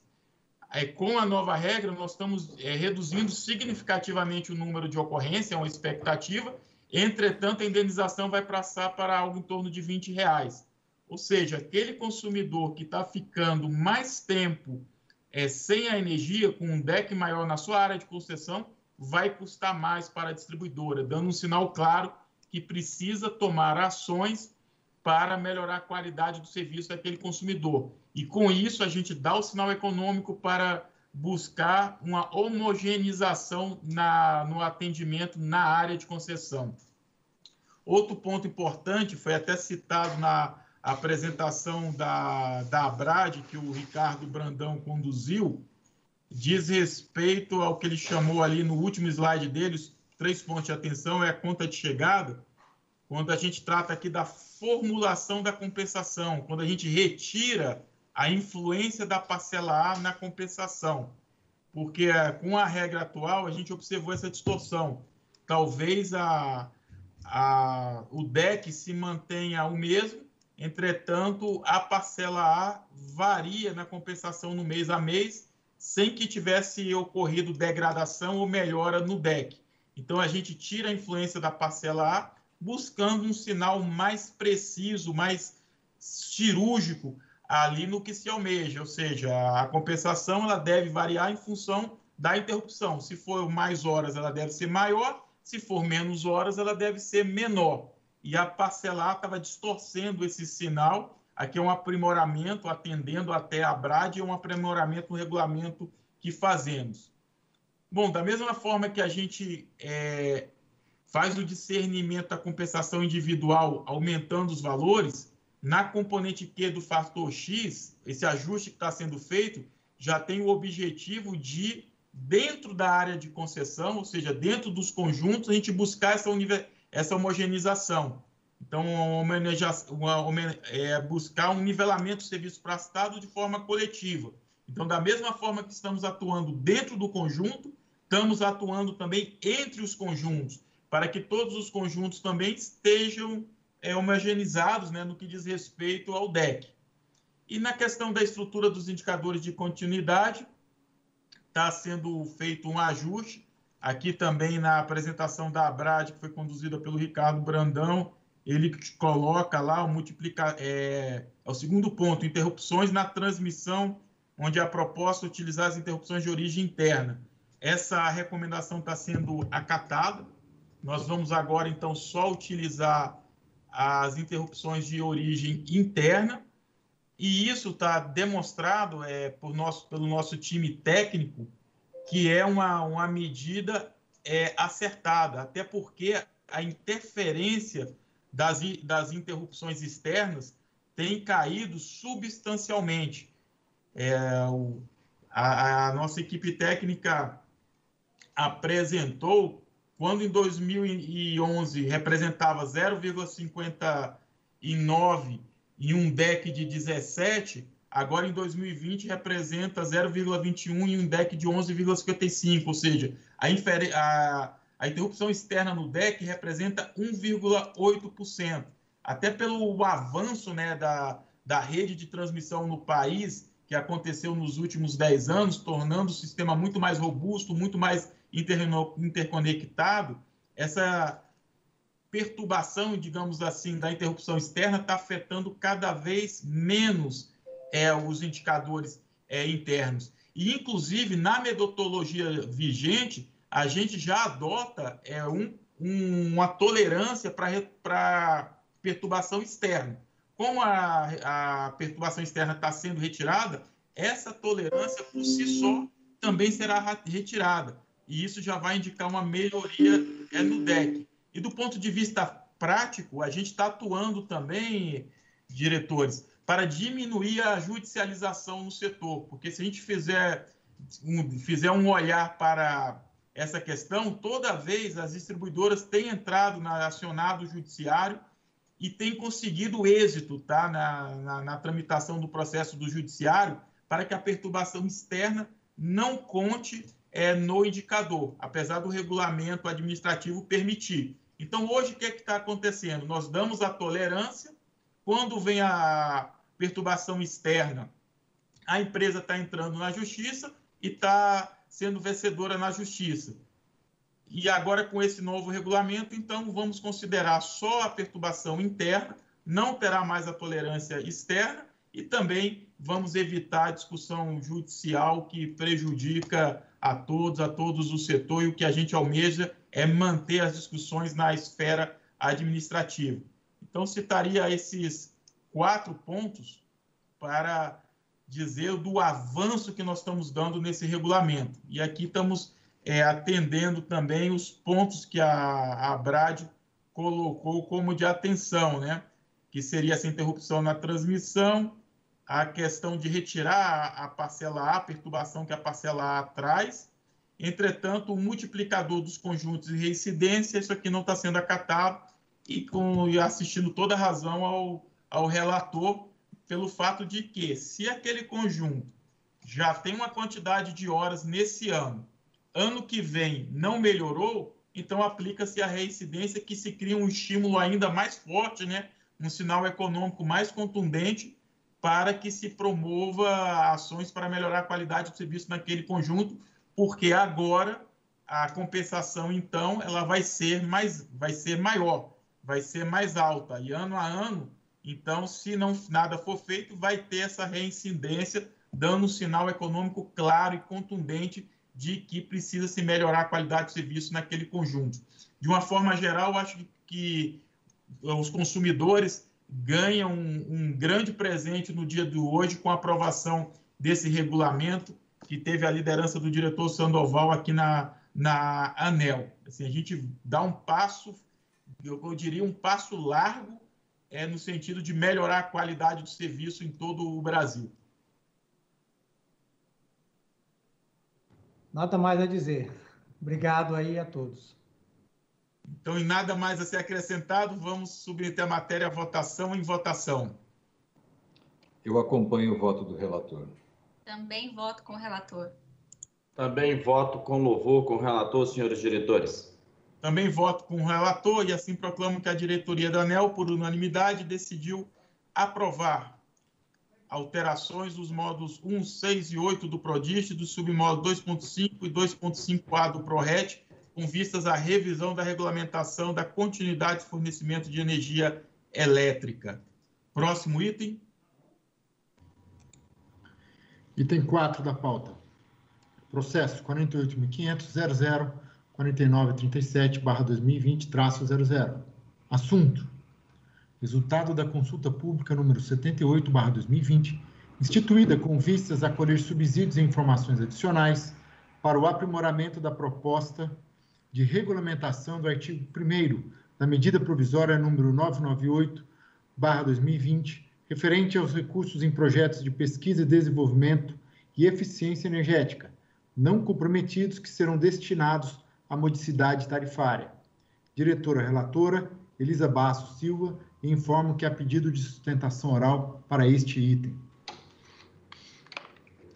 A Lei 9.991, de 24 de julho de 2000, dispõe sobre a realização de investimentos em pesquisa e desenvolvimento e eficiência energética por parte das empresas concessionárias, permissionárias e autorizadas do setor de energia elétrica. A medida provisória 998, de 1 de setembro de 2020, trouxe em seu artigo 1 alterações à Lei 9.991 nas disposições relacionadas à destinação dos recursos Cabe à ANEL regulamentar tais alterações e assim definir como será o recolhimento de parte dos recursos dos programas de P&D e eficiência energética para a CDE. Em 21 de setembro de 2020, o presente processo foi distribuído por sorteio à minha relatoria. Por meio da nota técnica 496 de 18 de dezembro de 2020, a SPE e a SFF apresentaram os fatos, contextualização, premissas, dados e informações que subsidiaram a proposta de regulamentação deste dispositivo legal. Em 23 de dezembro de 2020, a diretoria colegiada desta agência instaurou a consulta, a consulta pública número 78, com duração de 30 dias, com vistas a receber contribuições para o aprimoramento da proposta regulatória elaborada pelas áreas técnicas. As contribuições foram recebidas até 21 de janeiro de 2021. Além das contribuições por meio de formulário eletrônico disponibilizado no portal da Consulta Pública número 78, foi autorizado ainda o envio de novas versões das planilhas com informações sobre a base de dados e projetos de cada programa regulado, originalmente recebidas em resposta aos ofícios circulares número 7 e número 8, de 26 de outubro de 2020. Fim do prazo para as contribuições, a SPE e a SFF, por meio do memorando número 1, encaminharam, a consulta, encaminharam consulta à Procuradoria Federal, junto à ANEL, acerca dos aspectos jurídicos abordados nas contribuições recebidas no âmbito da Consulta Pública 78. Em 1 de fevereiro de 2021, por meio do memorando número 2, as áreas técnicas solicitaram consulta adicional à Procuradoria, especialmente sobre questionamento relacionado ao Centro de Pesquisa de Energia Elétrica, o CEPEL, também abordado como contribuição no âmbito da Consulta Pública 78. Durante a sessão pública realizada no Senado Federal em 4 de fevereiro de 2021, foi aprovado o projeto de lei de conversão número 42, relativo à medida provisória 998. A versão aprovada trouxe algumas alterações em relação ao texto original do artigo 1 da MP, decorrente de emendas apresentadas na Câmara dos Deputados e no Senado Federal. A Procuradoria Federal, junto à ANEL, em 12 de fevereiro de 2021, por meio do parecer número 30, devidamente aprovado pelo despacho número 53, se manifestou sobre os questionamentos jurídicos encaminhados pelas áreas técnicas. Em 1 de março de 2021, foi publicada a Lei 14.120, a qual, em seu artigo 1, manteve o texto aprovado pelo Senado Federal por meio do PLV 42. Por fim, em 15 de março de 2021, a SPE e a SFF emitiram a nota técnica número 7, por meio da qual encaminharam à diretoria proposta para a regulamentação do artigo 1 da Lei 14.120, referente aos recursos em projetos de pesquisa e desenvolvimento e eficiência energética não, não comprometidos que serão destinados à modicidade tarifária. É o relatório. Pela ordem, a primeira sustentação oral será da ABRAD pelo seu representante, o senhor Ricardo Brandão.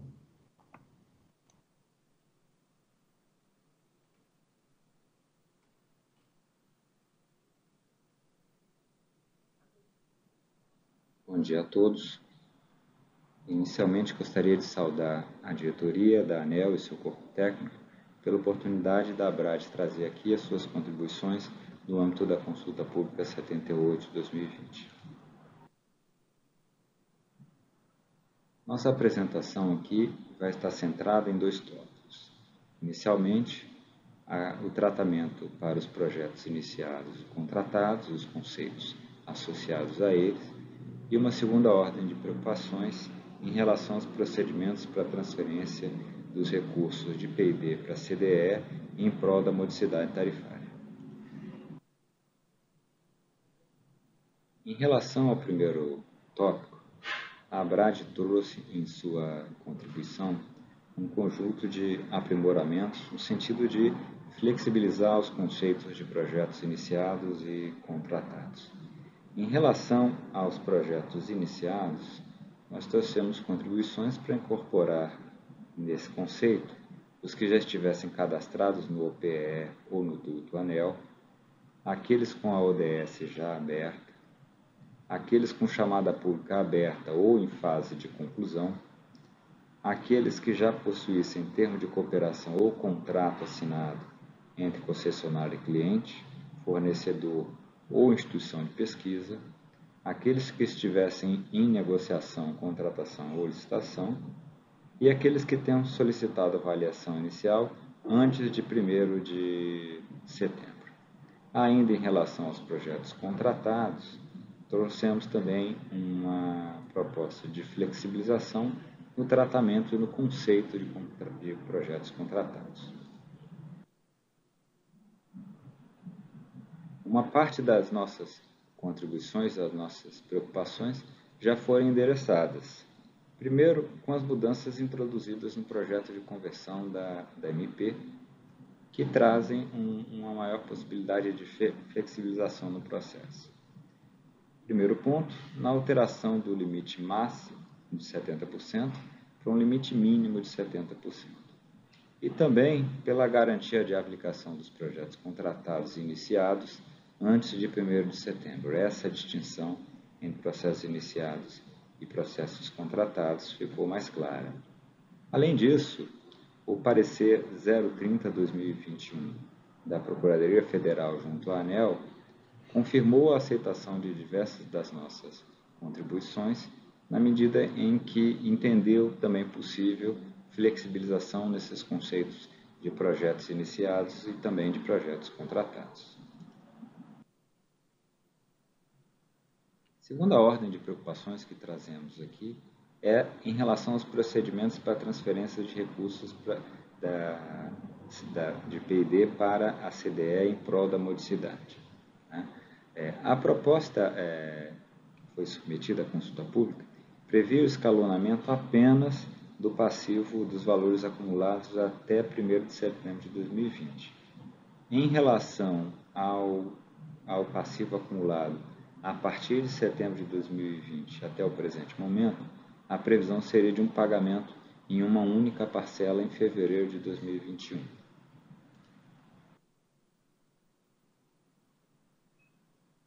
As preocupações que nós trazemos aqui em relação a essa proposta é em face do momento delicado que enfrentam as distribuidoras, especialmente os seus impactos no caixa.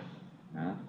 É, como visto, a, a, previsão de pagamento de todo esse passivo acumulado desde setembro de 2020 até o presente momento, havia a previsão de pagamento em uma única parcela.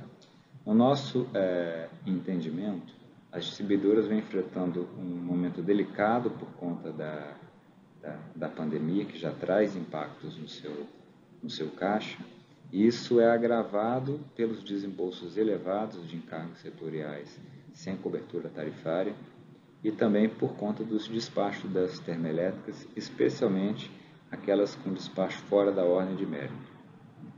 O pleito da, da Abrad é que seja estabelecida a mesma regra para todo o passivo, tanto aquele é, antes de 1 de setembro, como aquele já acumulado de 1 de setembro até o presente momento, ou seja, um parcelamento até o final do ano em 10 parcelas, iniciando em, em, em março. Dessa maneira, se minimiza o caixa, o impacto no caixa das distribuidoras, sem prejuízo para a CDE, que já é calculada em bases anuais. São essas as contribuições da, da Abrad e mais uma vez aproveitamos para agradecer a oportunidade nesse processo democrático de trazer as contribuições do segmento de distribuição. Muito obrigado. A próxima contribuição, é, como sustentação oral, é da Eletrobras, pela sua representante, a senhora Vládia Viana.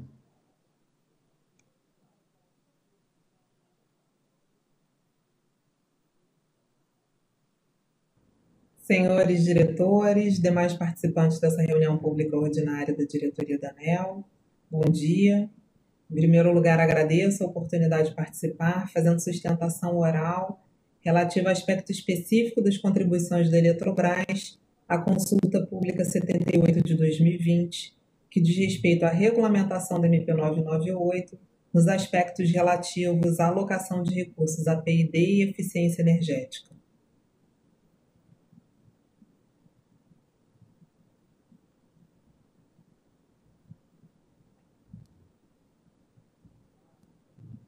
A questão específica que quero abordar diz respeito a um ponto particular contido na nota técnica e no parecer jurídico da Procuradoria da Agência, que concluem que a contribuição ao CEPEL não deve ser considerada projeto iniciado ou contratado e, portanto, entendem pelo afastamento da aplicação de recursos do passivo ou corrente oriundos da Lei 991 a contribuição associativa a esse centro.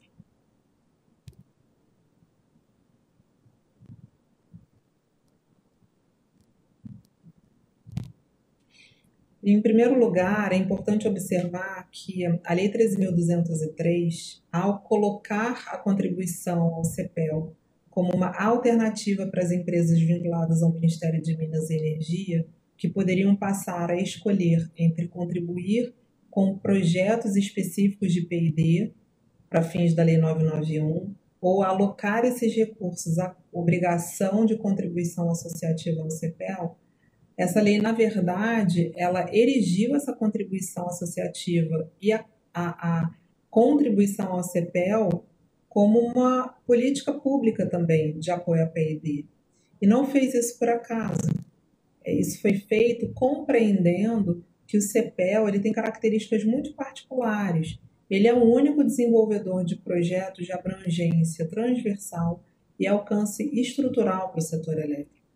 Os projetos do CEPEL eles são alinhados a necessidades setoriais, alinhados ao apoio a programas governamentais e têm, portanto, características muito específicas. Tanto assim que, frequentemente, os destinatários de seus produtos são os próprios agentes institucionais, no caso, a ANS, CCE, EPE. A abrangência dos projetos do CEPEL é muito grande. E ele tem uma característica muito específica de prontidão tecnológica, estando permanentemente disponível para atendimento a necessidades tecnológicas do setor. É importante a gente refletir que é, o setor elétrico, como é, é, ele está muito associado a produtos do CPEL. É o caso dos programas e modelos computacionais, como New Wave, DCEM, Decomp. É impossível se imaginar o setor elétrico hoje sem esses produtos. Então, de fato, tal como apontado pela Procuradoria é, da ANEL, a Lei 14.120, que é a Lei de Conversão da MP 998, trouxe uma política pública de modicidade tarifária, isso é fato, mas é importante também observar que, diferentemente da política pública de apoio ao CEPEL, que é totalmente alinhada à finalidade da Lei 991, que é a PIB, a Lei 14.120 ela traz uma política pública desalinhada dessa finalidade da lei. É uma, uma política pública de natureza excepcional, uma finalidade excepcional que foi dada aos recursos de PIB. E, portanto, as limitações que são trazidas por essa lei, ela deve, elas devem ter interpretação restritiva. E é importante também notar que a Lei 14.120 ela não revogou a finalidade da Lei 13.203, que é a finalidade de alocação de recursos ao CEPEL, ela não conflita com essa lei anterior, ela não impede a sua aplicação, e, portanto, a interpretação desta lei mais nova deve ser feita conforme a lei anterior, né? Ou, de outro modo, o que se estaria fazendo por medida interpretativa seria vedar o curso à Lei 13.203. É importante mencionar que a Lei 14.120 ou MP 998 poderiam sim ter restringido as finalidades da Lei 13.203, mas não fizeram. Desse modo, sua interpretação deve compatibilizar, deve estar compatível com a Lei 13.203. Nesse sentido, como fazer essa compatibilização? Compreendendo que a contribuição ao CEPEL ela deve sim equivaler a projeto iniciado ou contratado por, por três fundamentos. Em primeiro lugar, porque de fato a Lei 13.203 ela equipara a contribuição associativa ao CEPEL a projeto. Ela coloca as duas finalidades em mesmo nível hierárquico, sem estabelecer precedência entre uma ou outra. É importante também mencionar que a Lei 13.203 ela reconhece a contribuição associativa ao CEPEL como uma obrigação constituída. A lei usa a expressão obrigação expressamente. A diferença é que essa obrigação ela não é constituída por um contrato de prestação de serviço, como os contratos que são feitos para o desenvolvimento de projetos de PID, e sim por uma obrigação estatutária que decorre da adesão das, das empresas, no caso, empresas fundadoras, a, essa, a esse centro. É importante observar, por fim, que a Lei 14.120 ela traz um limite temporal para o que deve ser considerado recurso comprometido, projeto iniciado ou projeto contratado, estabelecendo que isso tudo deve ter acontecido antes de 1 de setembro de 2020. E a contribuição associativa ela decorre de uma obrigação muito anterior a essa data, e, portanto, até o limite temporal é observado também para essa finalidade. Então, os recursos é, do passivo da Lei 991 devem sim ser compreendidos como recursos que podem ser destinados à contribuição associativa ao CPEL.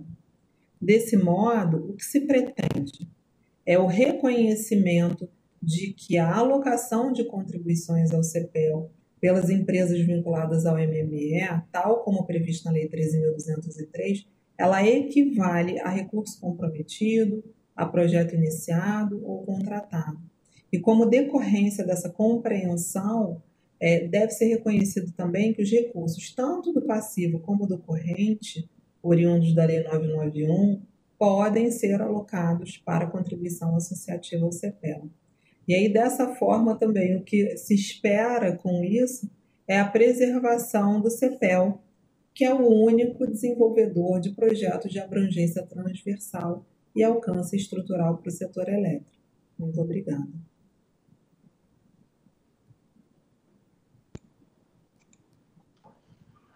Próxima sustentação oral, promovida pela BIS Consultoria, através de seu, por meio do seu sócio José Tenório.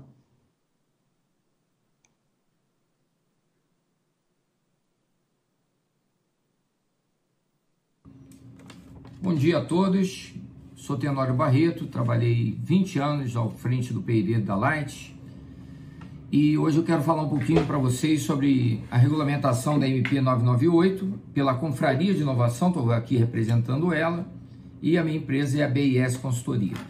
Bem, um ponto importante é que nós estamos a favor da MP 998, né? Ela tem vários pontos interessantes para o setor elétrico, só que a questão de buscar recursos de P&D, principalmente com uma visão distorcida de represamento, né? Esse represamento, na verdade, nunca existiu. O que existia era uma questão regulatória é, do manual da ANEL, né? Que permitia um, um valor ficar estocado em conta por dois anos, você poderia acumular até duas vezes seu compromisso regulatório. E isso pode ter gerado uma percepção de muito recurso disponível. Mas, na verdade, era um capital de giro. O que nós sugerimos, né, e que o Guilherme vai até fazer uma apresentação também nesse mesmo contexto, é sugerimos que esse prazo reduza. Quando você, primeiro que você não vai ter muita margem para guardar recurso, porque boa parte dele quando você não gastar, 30% vai para a CDE. É, nunca vai poder ser mais de 30%. Ou seja, se você gastar 60%, você vai ficar represando 10%, porque você mandou 30% para a CDE. Então isso pode gerar algum acúmulo, mas o que a gente pede é que isso não passe de um ano esse represamento desse recurso. E isso é uma questão regulatória que pode ser bem, é, pode ser bem acompanhada pelo ANEL. Bem, outra questão que a gente também coloca é essa MP mostrou muito bem que o PID precisa de três agentes integrados: ANEL, quem executa e quem é, na verdade, tem o recurso que é a concessionária. Quem executa, na verdade, logicamente, é o core business de quem executa, está interessado no assunto, a ANEL também, né? interessada sempre do PID, a SPE, e as concessionárias também mas o nível de maturidade ainda precisa evoluir mais. E a gente sugere que o que, que acontece? A exemplo de muitas concessionárias que hoje já tem uma estrutura forte de PD, de inovação, que haja um incentivo para quem faz uma boa gestão desses recursos, um incentivo regulatório. E aí a gente pode pensar o que, poderia ser esse incentivo regulatório. É, outra coisa interessante é a gente entender que a, o valor do, do o valor que está hoje é considerado represado, né, o passivo considerado pelas empresas, ou na verdade pela ANEL, ou, ou seja, tem um valor corrente e um valor que é o passivo, que vai ser destinado de alguma maneira para projetos iniciados, para projetos contratados, que também vai partir de uma, de uma interpretação do que, que seriam essas duas palavras. Mas a gente entende que quando um projeto, em algum momento, ele entra na cadeia de inovação, ou seja, ele entra lá numa das fases, desde a pesquisa básica até a inserção de mercado, se ele entra no meio dela, parte do pressuposto que ele compromete as, as fases posteriores a que ele entrou. E isso poderia estar no passivo, que a gente acha que faz todo sentido esse valor estar no passivo, para que se preserve o final dessa história de cada projeto, com recursos já garantidos que seriam desse passivo.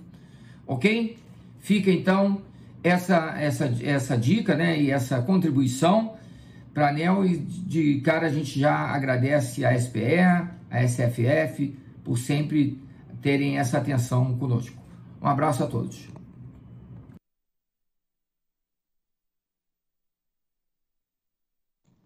Próxima sustentação oral e última, pelo Instituto Avançado de Tecnologia e Inovação, o senhor Guilherme Cardim.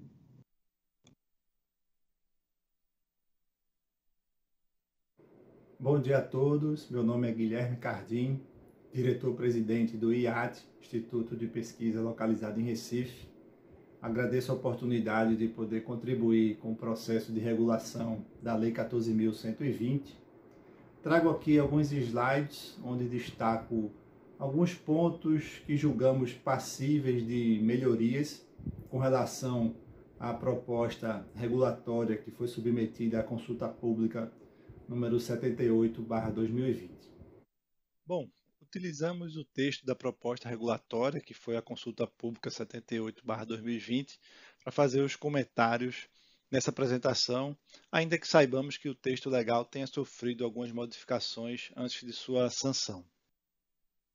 Bom, é importante definir os projetos contratados ou iniciados, uma vez que esses recursos permanecerão ou não no passivo das empresas a depender dessa conceituação, desse enquadramento dos projetos nessas condições.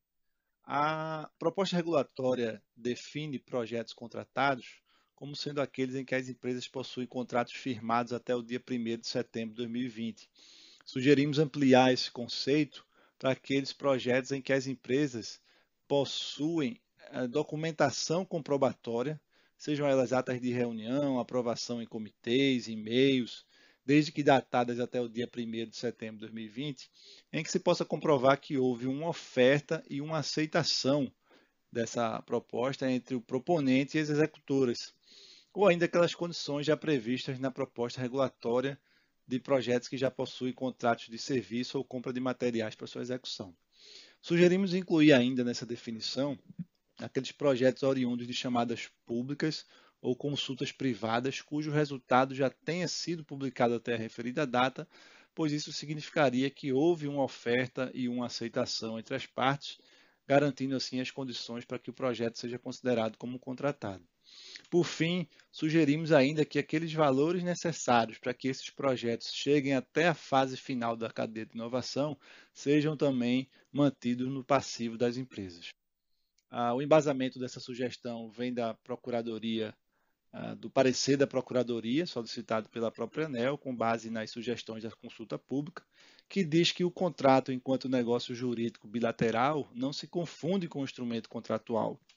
Portanto, um contrato é considerado firmado com a concordância dos termos da proposta. Ah, portanto, para fins da regulação da MP 998, a assinatura de um instrumento contratual representa um detalhe que não impede o reconhecimento do negócio jurídico e conclui dizendo que as áreas técnicas não devem se ater a um documento contratual para considerar um projeto como contratado ou não. Ah, já com relação aos projetos iniciados, a proposta regulatória sugere que sejam definidos como aqueles projetos que atendem a uma dessas condições. No entanto, faz a menção à data de 1 de setembro como condicionante para que esses projetos sejam considerados iniciados ou não. Bom, Entendemos que, na verdade, essa data ela vai definir, na verdade, somente se esses recursos desses projetos serão mantidos no passivo ou se a empresa deve utilizá-los do recursos do corrente. Por exemplo, se um XML de um projeto foi carregado no duto anel antes do dia 1 de setembro, os recursos para a execução desse projeto devem ser mantidos no passivo, enquanto que se isso ocorreu após o dia 1 de setembro, a empresa deve utilizar os recursos do corrente. Portanto, sugerimos que a conceituação mantenha-se a mesma, excluindo-se a questão do condicionante da data de 1 de setembro, mantendo-se as, as condições já previstas, e fazemos comentários apenas sobre duas situações. A primeira é com relação aos projetos submetidos em chamadas públicas de eficiência energética.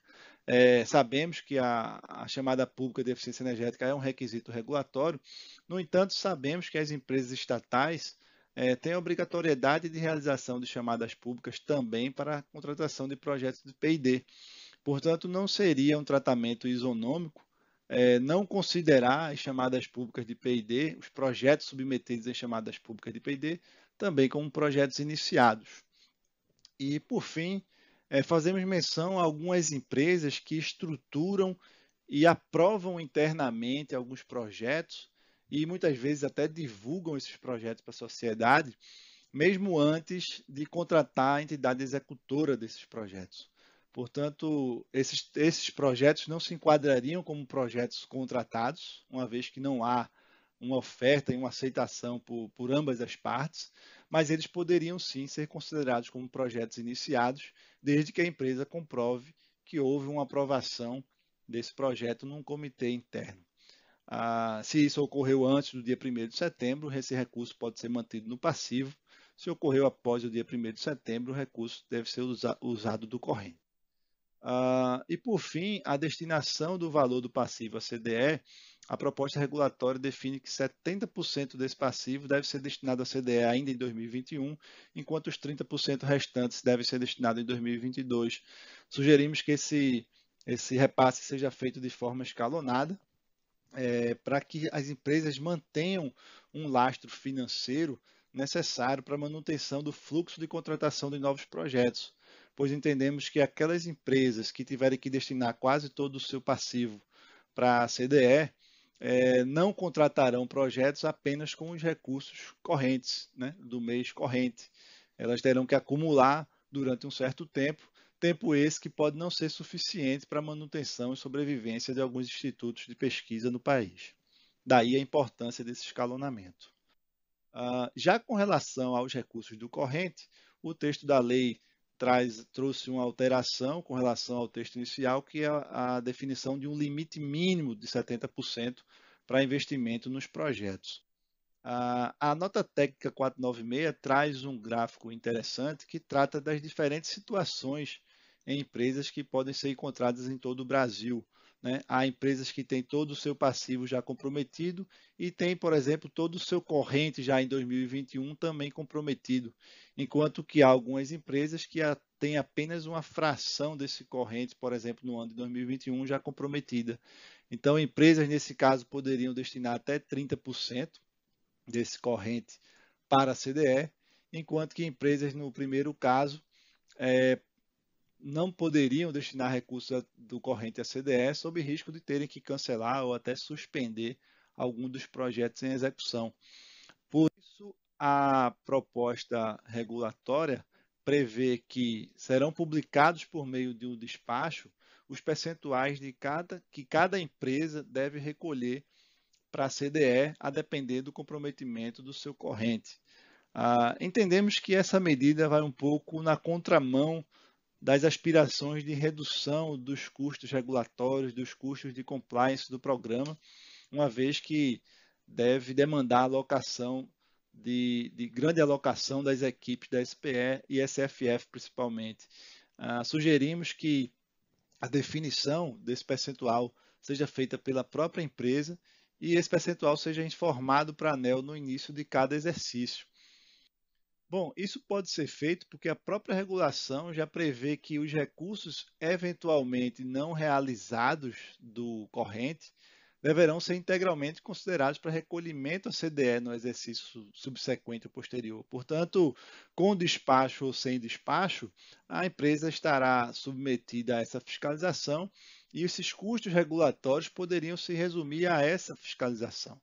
Ah, fazemos uma observação só com relação a dois aspectos dessa norma, que é em relação a recursos não realizados e essa questão de serem integralmente considerados para recolhimento a CDE.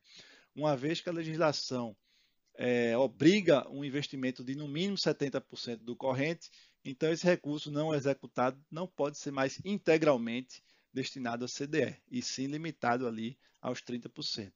E já com relação a realizados, recursos não realizados, entendemos realizados como despesas efetuadas. É, há projetos já com esses recursos comprometidos, mas por uma série de motivos podem não ter essas despesas efetuadas naquele exercício. Pode ser uma importação que levou um tempo maior para acontecer, uma licença que não saiu na data prevista.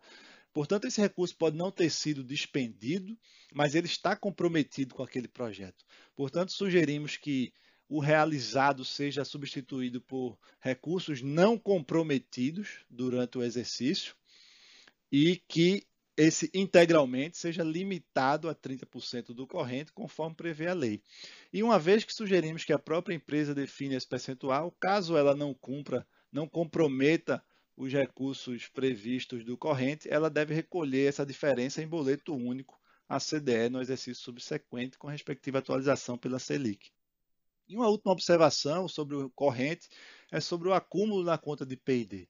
Uma empresa que, por exemplo, só tem uma fração de seu corrente comprometida com projetos, deve ainda contratar, então, a, essa fração restante que, que, que complete os 70% mínimos obrigatórios, já que o, o, a contribuição para a CDE está limitada aos 30%. Portanto, caso ela não venha comprometer esses recursos com novos projetos, esse valor vai ser acumulado na conta e hoje esse, esse acúmulo é permitido pelo investimento obrigatório dos últimos 24 meses anteriores. É, talvez essa seja uma das razões para que se tenha essa falsa impressão de que há muito recurso represado nos programas, há, há um recurso em excesso nos programas, e caso isso venha a ser reduzido para 12 meses, entendemos que terá um, um impacto positivo no fluxo contínuo de contratação de novos projetos. Portanto, o resumo das nossas considerações sobre o passivo é que sugerimos redefinir eh, o conceito de projetos contratados e iniciados, escalonar esse repasse do passivo à CDE até 2025. Ah, e com relação ao corrente, que esse percentual de repasse do corrente à CDE seja informado pela própria empresa anualmente, a ANEL, que não devem ser destinados à CDE os valores não realizados do corrente, mas sim aqueles valores não comprometidos que esse repasse seja limitado aos 30% do corrente, conforme prevê a legislação, e que deve ser reduzido esse limite de acúmulo no saldo da conta uh, em até 12 meses. Uh, agradecemos a oportunidade e esperamos ter contribuído para a proposta regulatória.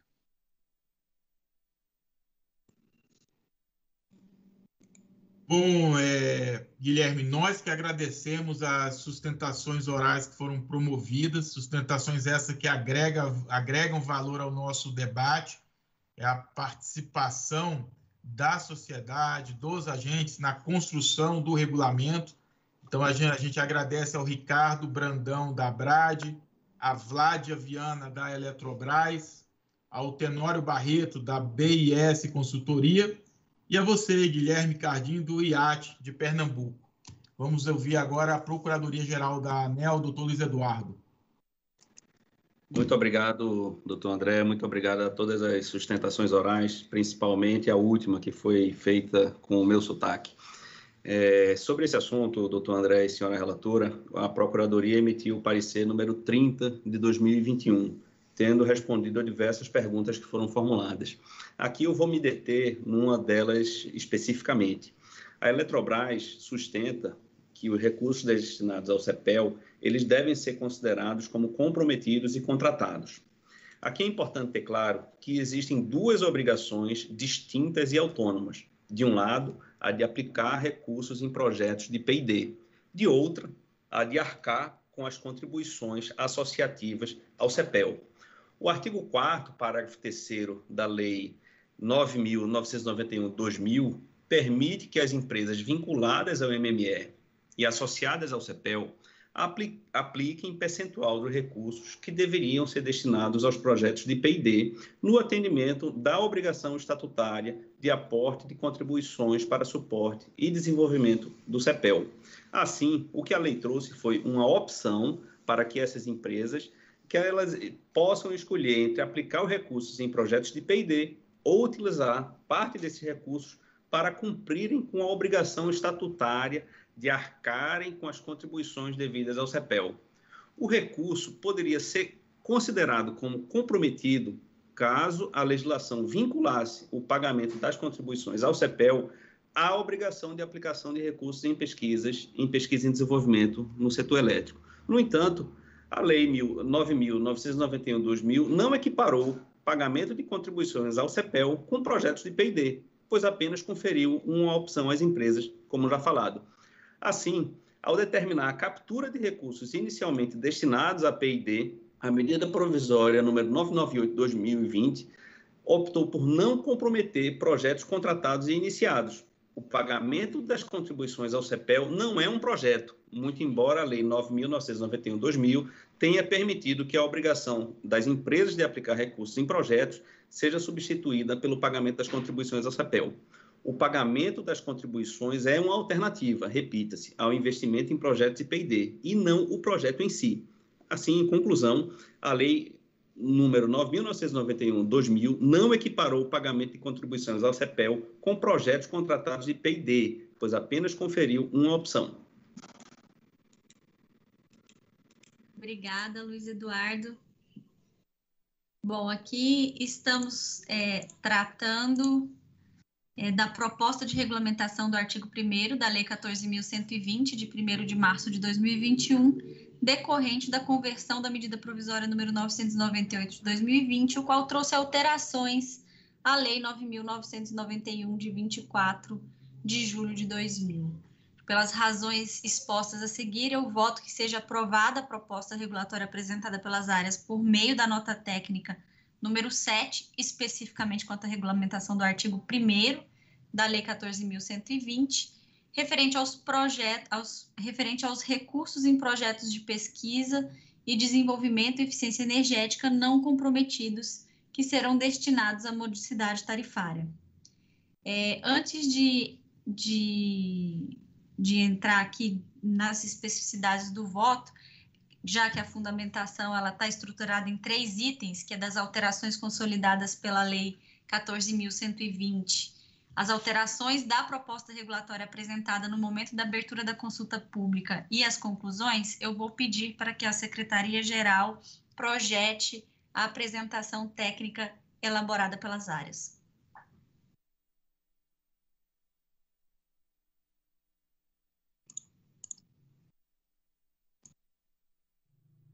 Olá a todos. Meu nome é Lucas Ribeiro e eu sou coordenador adjunto de pesquisa e desenvolvimento juntamente com Alexandre Caldas, coordenador de fiscalização de encargos setoriais e regras de comercialização, apresentaremos a proposta de regulamentação do artigo 1 da medida provisória 998 de 2020, hoje já convertida na Lei 14120 de 2021. Esta proposta ela é fruto do trabalho conjunto das equipes da Superintendência de Pesquisa e Desenvolvimento e Eficiência Energética, SPE, e da Superintendência de Fiscalização Econômica e Financeira, SFF, eu apresentarei o histórico, as nossas premissas de trabalho e os resultados das nossas projeções. O Alexandre apresentará o fluxo de arrecadação para a CDE e o processo de fiscalização. Cronologicamente, o processo de regulamentação foi marcado por cinco eventos. O primeiro deles foi a publicação da medida provisória 998 em 1 de setembro de 2020. Em seu artigo 1, a medida provisória determinou a utilização dos recursos não comprometidos nos programas de pesquisa e desenvolvimento e de eficiência energética em favor da modicidade tarifária, sem prejuízo para os projetos já iniciados ou contratados.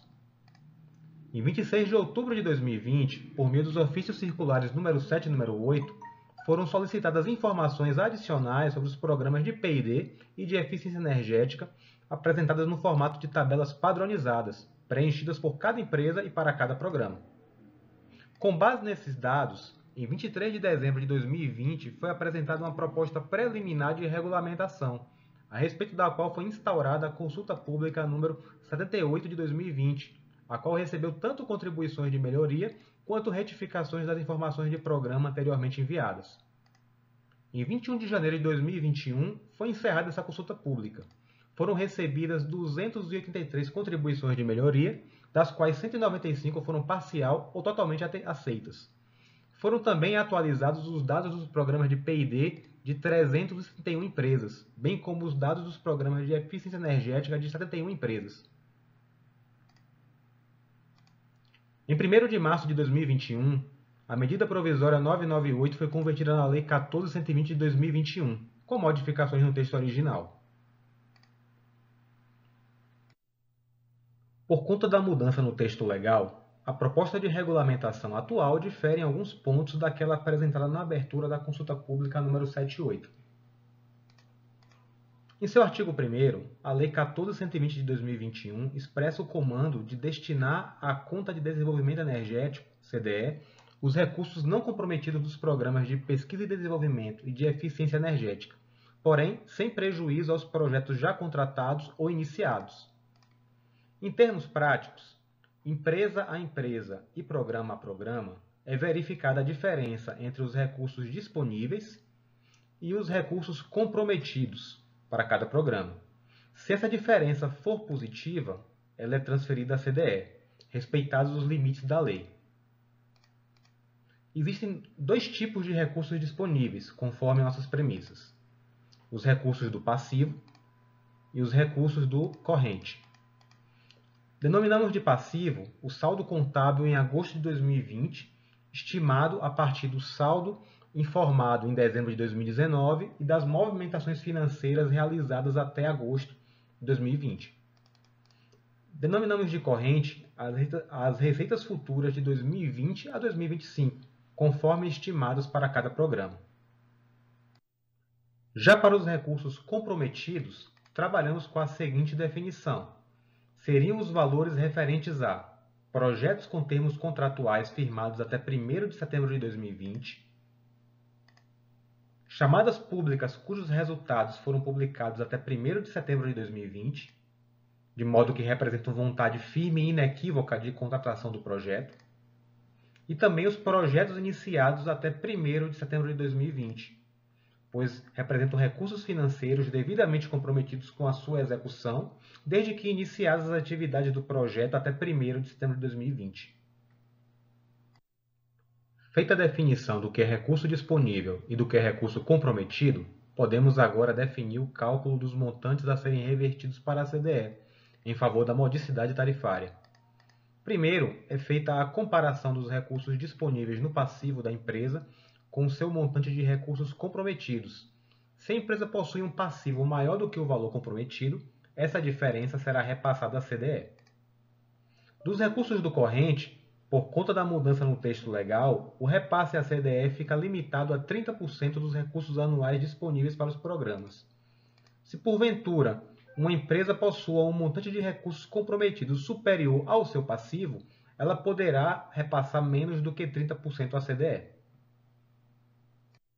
Com base nas premissas anteriormente definidas, é possível computar uma estimativa para os valores globais a serem arrecadados em favor da modicidade tarifária.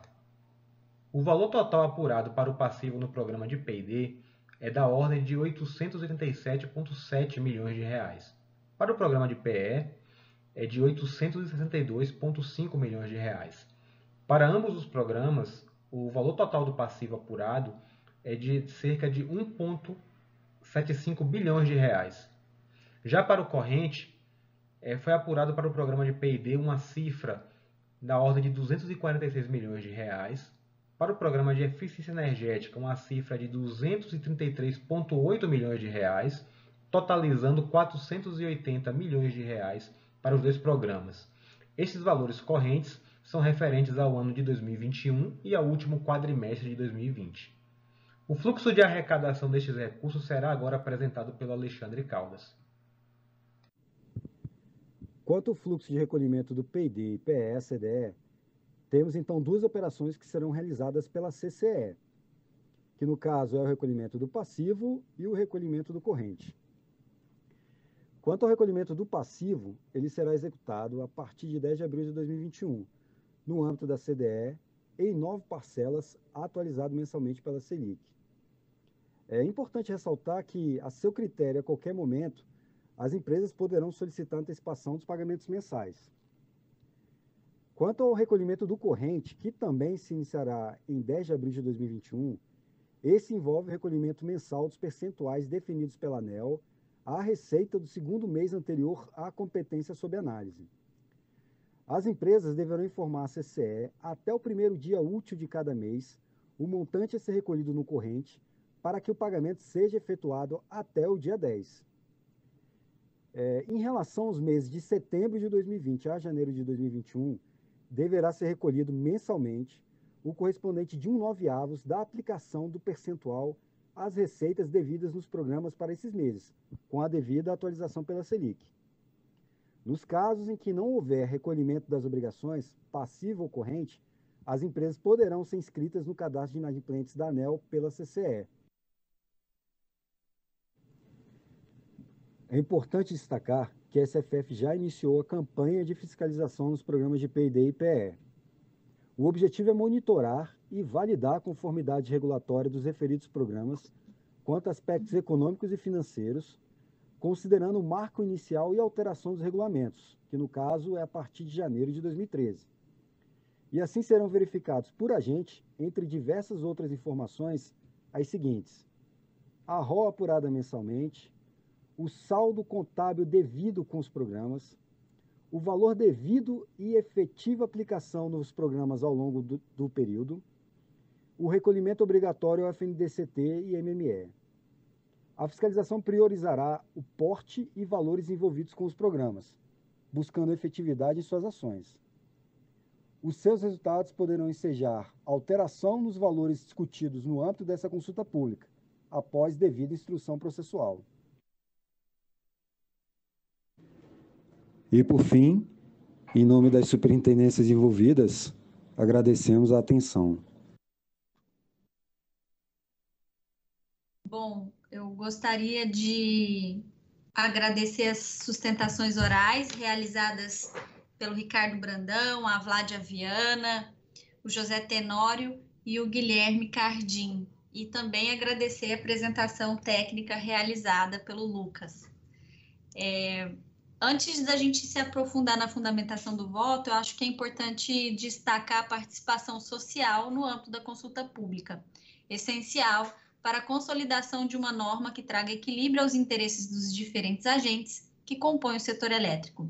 Foram recebidas 283 contribuições, as quais foram enviadas por meio do formulário eletrônico disponibilizado no portal da Consulta Pública 78, acrescida por três cartas protocoladas no sistema de documentos eletrônicos da ANEL.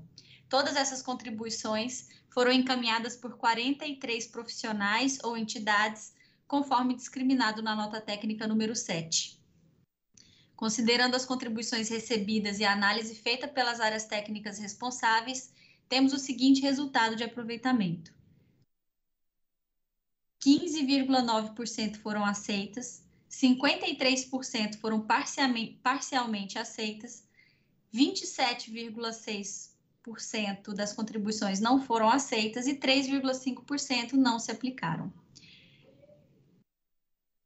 A partir da análise das contribuições pelas áreas técnicas e do posicionamento jurídico emitido pela Procuradoria Federal junto à ANEL, o presente voto traz os aspectos mais relevantes quanto à regulamentação do artigo 1 da Lei 14.120 e que sofreram alterações em relação à proposta original da medida provisória 998, apresentada no momento de abertura da consulta pública 78.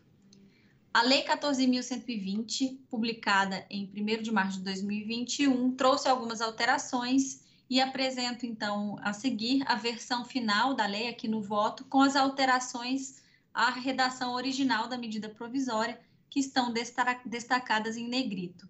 Eu vou dispensar a leitura é, do texto da medida da, da lei, né, do artigo 1 da lei, e em relação a essas alterações trazidas pela aprovação da lei, eu gostaria de destacar três aspectos que modificaram de forma significativa o encaminhamento do presente processo. O primeiro foi a inserção da expressão iniciados no parágrafo 2 do artigo 5b. O segundo, que é a alteração do limite previsto no parágrafo 1 do artigo 5b. E o terceiro, que é a inserção dos incisos 6 e 7 e do parágrafo 3 ao artigo 1 As alterações à redação dos parágrafos 1 e 2 do artigo 5b serão analisadas ao longo da presente fundamentação, especificamente nos, nos itens que abordam as alterações às premissas que norteiam o passivo e o corrente. Por sua vez, em relação à alteração da redação do artigo 1 da Lei 9991 de 2000, consolidada pela inserção dos incisos 6 e 7 e do parágrafo 3, vale frisar que essa mudança foi apresentada somente no momento da aprovação do PLV 42 pelo Senado Federal e acabou por ampliar o objeto do presente processo. Isso porque, até então, o artigo 1 da referida medida provisória abordava tão somente alterações frente aos recursos em projetos de pesquisa e desenvolvimento e eficiência energética não comprometidos até 1 de setembro de 2020 e que, portanto, devem ser destinados à modicidade tarifária. Não obstante, as alterações ao artigo 1 também consolidadas pelo artigo 1 da Lei 14.120, transcendem a destinação de recursos de P&D e eficiência energética, a CDE, e incluem a necessidade de regulamentação da utilização de excedentes de energia renovável gerada em edificações da administração pública. Assim, com vistas a atender ao rito regulatório, entendo que resta necessário, em etapa posterior à conclusão do objeto desta primeira fase da consulta pública 78, que a SRD avalie em 60 dias a necessidade de regulamentação ou aprimoramento de norma existente para tratar da utilização dos excedentes de energia renovável gerada em edificações da administração pública e, uma vez identificada a necessidade, que sua proposta seja encaminhada para a segunda fase da consulta pública para dar transparência ao processo e possibilitar a participação da sociedade. Passando então para as alterações da proposta regulatória que foi apresentada no momento da abertura da consulta pública 78, é, para analisar a proposta de fechamento desta primeira fase, entendo que é preciso discorrer sobre as alterações nas premissas adotadas para a regulamentação frente aos valores que compõem o passivo e o corrente, apresentar o resultado comparativo entre a abertura e o encerramento da consulta pública, bem como indicar o montante a ser destinado ao orçamento da CDE em 2021 compreender as alterações quanto à operacionalização dos recursos a serem repassados para a CDE até 2025 e, por fim, sinalizar que não haverá alterações na forma de como se dará a fiscalização a ser realizada pela SFF. Tendo em vista as alterações trazidas pelo texto e mantidas pela Lei 14.120, as áreas técnicas constataram a necessidade de revisar, em relação à proposta apresentada na abertura de consulta pública, a definição e a abrangência das premissas que compõem o universo do passivo e do corrente, bem como os limites percentuais dos recursos estimados para o corrente e o seu repasse à CDE. Essa necessidade de revisão foi corroborada pelo posicionamento jurídico emanado pela Procuradoria Federal, em especial sobre a percepção jurídica de projetos contratados e iniciados, mantendo, porém, como marco temporal a data da publicação da medida provisória 998, isto é, 1 de setembro de 2020.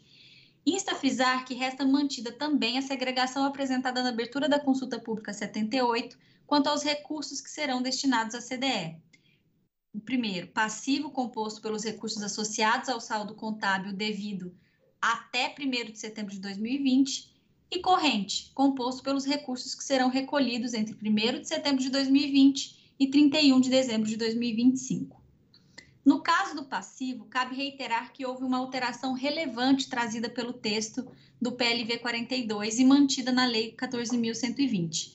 Conforme foi amplamente explanado no voto da abertura da consulta pública 78, o universo do passivo foi previsto pelo parágrafo 2 do artigo 5b da Lei 9.991 de 2000, o qual determinava que somente os recursos não comprometidos com projetos contratados até 1 de setembro de 2020 e aqueles relativos a projetos reprovados ou cuja execução não tenha sido comprovada seriam destinados à CDE em favor da modicidade tarifária.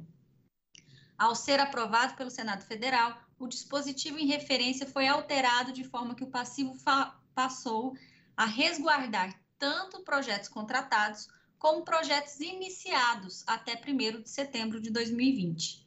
Constato que a inserção da expressão iniciados ao parágrafo 2 do artigo 5b impactou o montante dos recursos do passivo que serão destinados à CDE.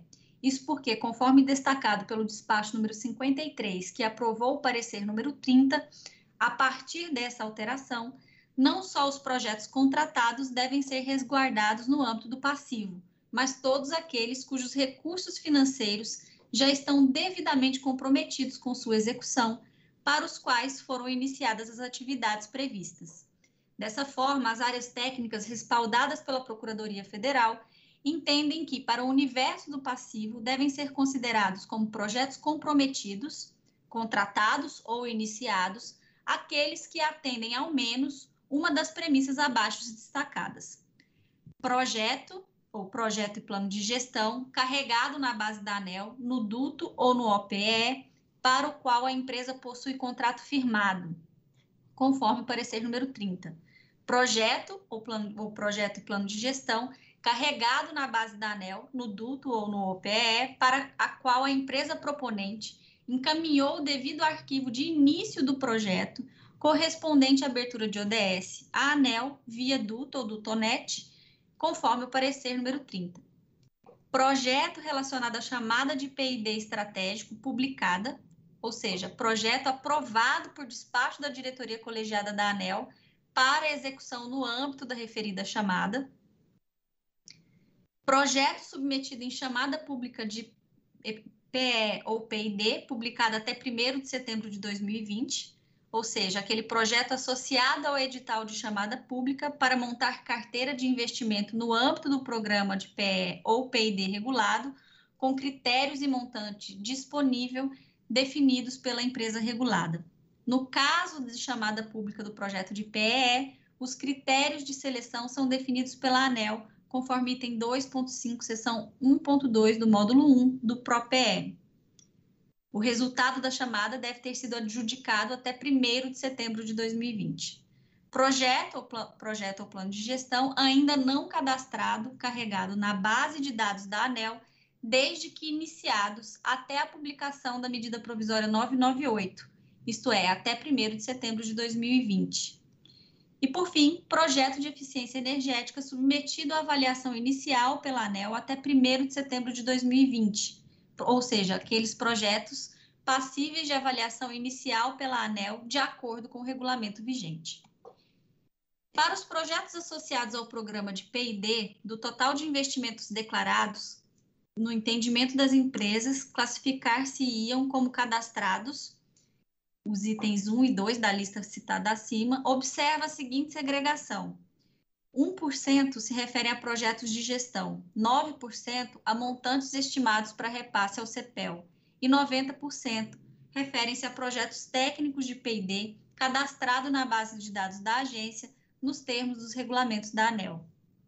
Em relação ao CEPEL, como bem pontuou o Luiz Eduardo, procurador, se a Procuradoria se posicionou quanto às obrigações estatutárias que definem as contribuições associativas a esta entidade, concluindo que estas não devem ser consideradas como comprometimento dos recursos com os programas, exceto quando o CEPEL for contratado como entidade executora de projetos de P&D regulado pela ANEL. Nessa hipótese, os projetos deverão seguir as regras estabelecidas pela Lei 14.120. Do valor total previsto de projetos cadastrados, as áreas técnicas observaram que a maior parte, cerca de 90%, possui informação que indiquem a abertura de ordem de serviço, ODS, ou ordem de imobilização, ODI. Destaco nesse ponto específico a ampliação do escopo da proposta submetida à consulta pública 78, que considerou apenas aqueles projetos técnicos que possuíam contratos firmados para sua execução. Reitero que a alteração dessa premissa decorre da própria alteração no texto legal e encontra respaldo no parecer jurídico, conforme já mencionado. Dessa forma, à luz do novo texto legal, caso não haja contrato firmado, poderão ser contratados como comprometidos, considerados como comprometidos os projetos que comprovadamente demonstram relação com as entidades executoras. Considerando as informações disponíveis, que serão utilizadas inclusive para fins de monitoramento e fiscalização dos projetos declarados como comprometidos, as áreas técnicas entendem necessário registro de início da execução de tais projetos. Assim, na ausência do termo contratual, se considerará a abertura de ODS ou ODIs específicas como etapa de início da execução do projeto, as quais devem se limitar à data de publicação da medida provisória 998. Especificamente quanto às chamadas públicas de P&D, vale destacar que o ponto de corte trazido pelas áreas técnicas foi a publicação de resultado dos editais, sendo admitidos os montantes totais estimados até 2025 para aqueles adjudicados até a edição da medida provisória 998, ou seja, até 1 de setembro de 2020. Salienta-se que a comprovação do resultado, incluindo valores e adjudicação dessas chamadas públicas até 1 de setembro de 2020, será objeto de fiscalização. Isso porque somente podem ser considerados como comprometidos os valores finais selecionados nos certames nos e nos termos dos editais. Já em relação aos projetos não cadastrados, cabe frisar que as empresas, seja ao responderem aos ofícios circulares 7 e 8 ou ao contribuírem no âmbito da consulta pública 78, declararam a existência de novos projetos que não constavam na base de dados da ANEL. Após a análise das contribuições recebidas, bem como da manifestação proferida pela Procuradoria Federal, as áreas técnicas entendem adequado admitir, no âmbito do comprometimento dos recursos, projetos que, mesmo não cadastrados, tenham comprovadamente iniciado sua execução até a publicação da MP, isto é, 1 de setembro de 2020. Cabe ressaltar, porém, que as áreas técnicas mantêm o entendimento que a atualização da base de dados é condição procedimental essencial para o êxito dos regulamentos aplicáveis. Portanto, compreende-se que resta imprescindível que tais projetos sejam adequadamente cadastrados até a data de 30 de abril de 2021, sendo sujeitos, tais como os demais projetos, à fiscalização da ANEL sobre os dados declarados. Para tanto, admitir-se-á exclusivamente a lista exaustiva que foi construída a partir das informações enviadas em resposta aos ofícios circulares 7 e 8 de 26 de outubro de 2020 e eventualmente corrigidas no âmbito da consulta pública 78, caso os projetos não declarados, não cadastrados, que tenham sido iniciados até 1 de setembro de 2020, não sejam regularizados no prazo estabelecido acima. Os valores considerados como recursos comprometidos devem ser destinados à CDE. A tabela 2 apresenta a comparação para o passivo entre os recursos administrativos admitidos como comprometidos com o programa de P&D na abertura da consulta pública 78 e após as alterações acima, acima destacadas para o período de setembro de 2020 a 2025. Embora já destacado anteriormente nesse voto, cabe ressaltar que a alteração dos recursos comprometidos com P&D para o passivo decorrem da retificação de planilhas com informações e dados atualizados dos projetos de P&D das empresas reguladas e da inclusão dos projetos considerados como contratados ou iniciados para dedução do saldo acumulado disponível, em função da alteração promovida pela Lei 14.120 e das conclusões do parecer 30. Já para os projetos associados ao Programa de Eficiência Energética regulado pela ANEL, do total de investimentos declarados que, no entendimento das empresas, iriam se classificar como cadastrados, observa-se que 1% se refere a plano de gestão e 99% se refere a projetos técnicos de PEE cadastrados na base de dados da agência, nos termos do regulamento da ANEL. Do valor total previsto de projetos já cadastrados, a maior parte, cerca de 72%, possui informação que indicam a abertura de ODS ou ODI. Quanto às chamadas públicas de PE, vale destacar que a proposta regulatória é a mesma aplicada às chamadas públicas de P&D. Assim, o ponto de corte trazido pelas áreas técnicas foi a publicação do resultado dos editais, sendo admitidos os montantes totais estimados até 2025 para aqueles adjudicados até a, medida, a edição da medida provisória 998. Salienta-se que a comprovação do resultado, incluindo valores e adjudicação dessas chamadas públicas de PEE, também serão objetos de fiscalização. Em relação à previsão de projetos não cadastrados ou não carregados na base de dados da ANEL, a proposta regulatória também é a mesma aplicada aos projetos de P&D. Dessa forma, serão admitidos os projetos que, mesmo não cadastrado, mesmo não cadastrados, tenham comprovadamente iniciado sua execução até a publicação da MP. Aqui também cabe a ressalva que tais projetos devem ser adequadamente cadastrados até a data de 30 de abril de 2021, sendo sujeitos, tais como os demais projetos, à fiscalização da ANEL sobre os dados declarados. A tabela 3 apresenta a comparação para o passivo entre recursos, os recursos admitidos como comprometidos no programa de PE no momento da abertura da consulta pública e após para, os, para o período de setembro de 2020 a dezembro de 2025. De forma consolidada, a tabela 4 apresenta a comparação para o passivo entre os recursos admitidos como comprometidos com ambos os programas, aqui já incluindo PID e PE, no momento da abertura da consulta pública e após a, o final, a, no final da consulta pública para o período de setembro de 2020 a dezembro de 2025.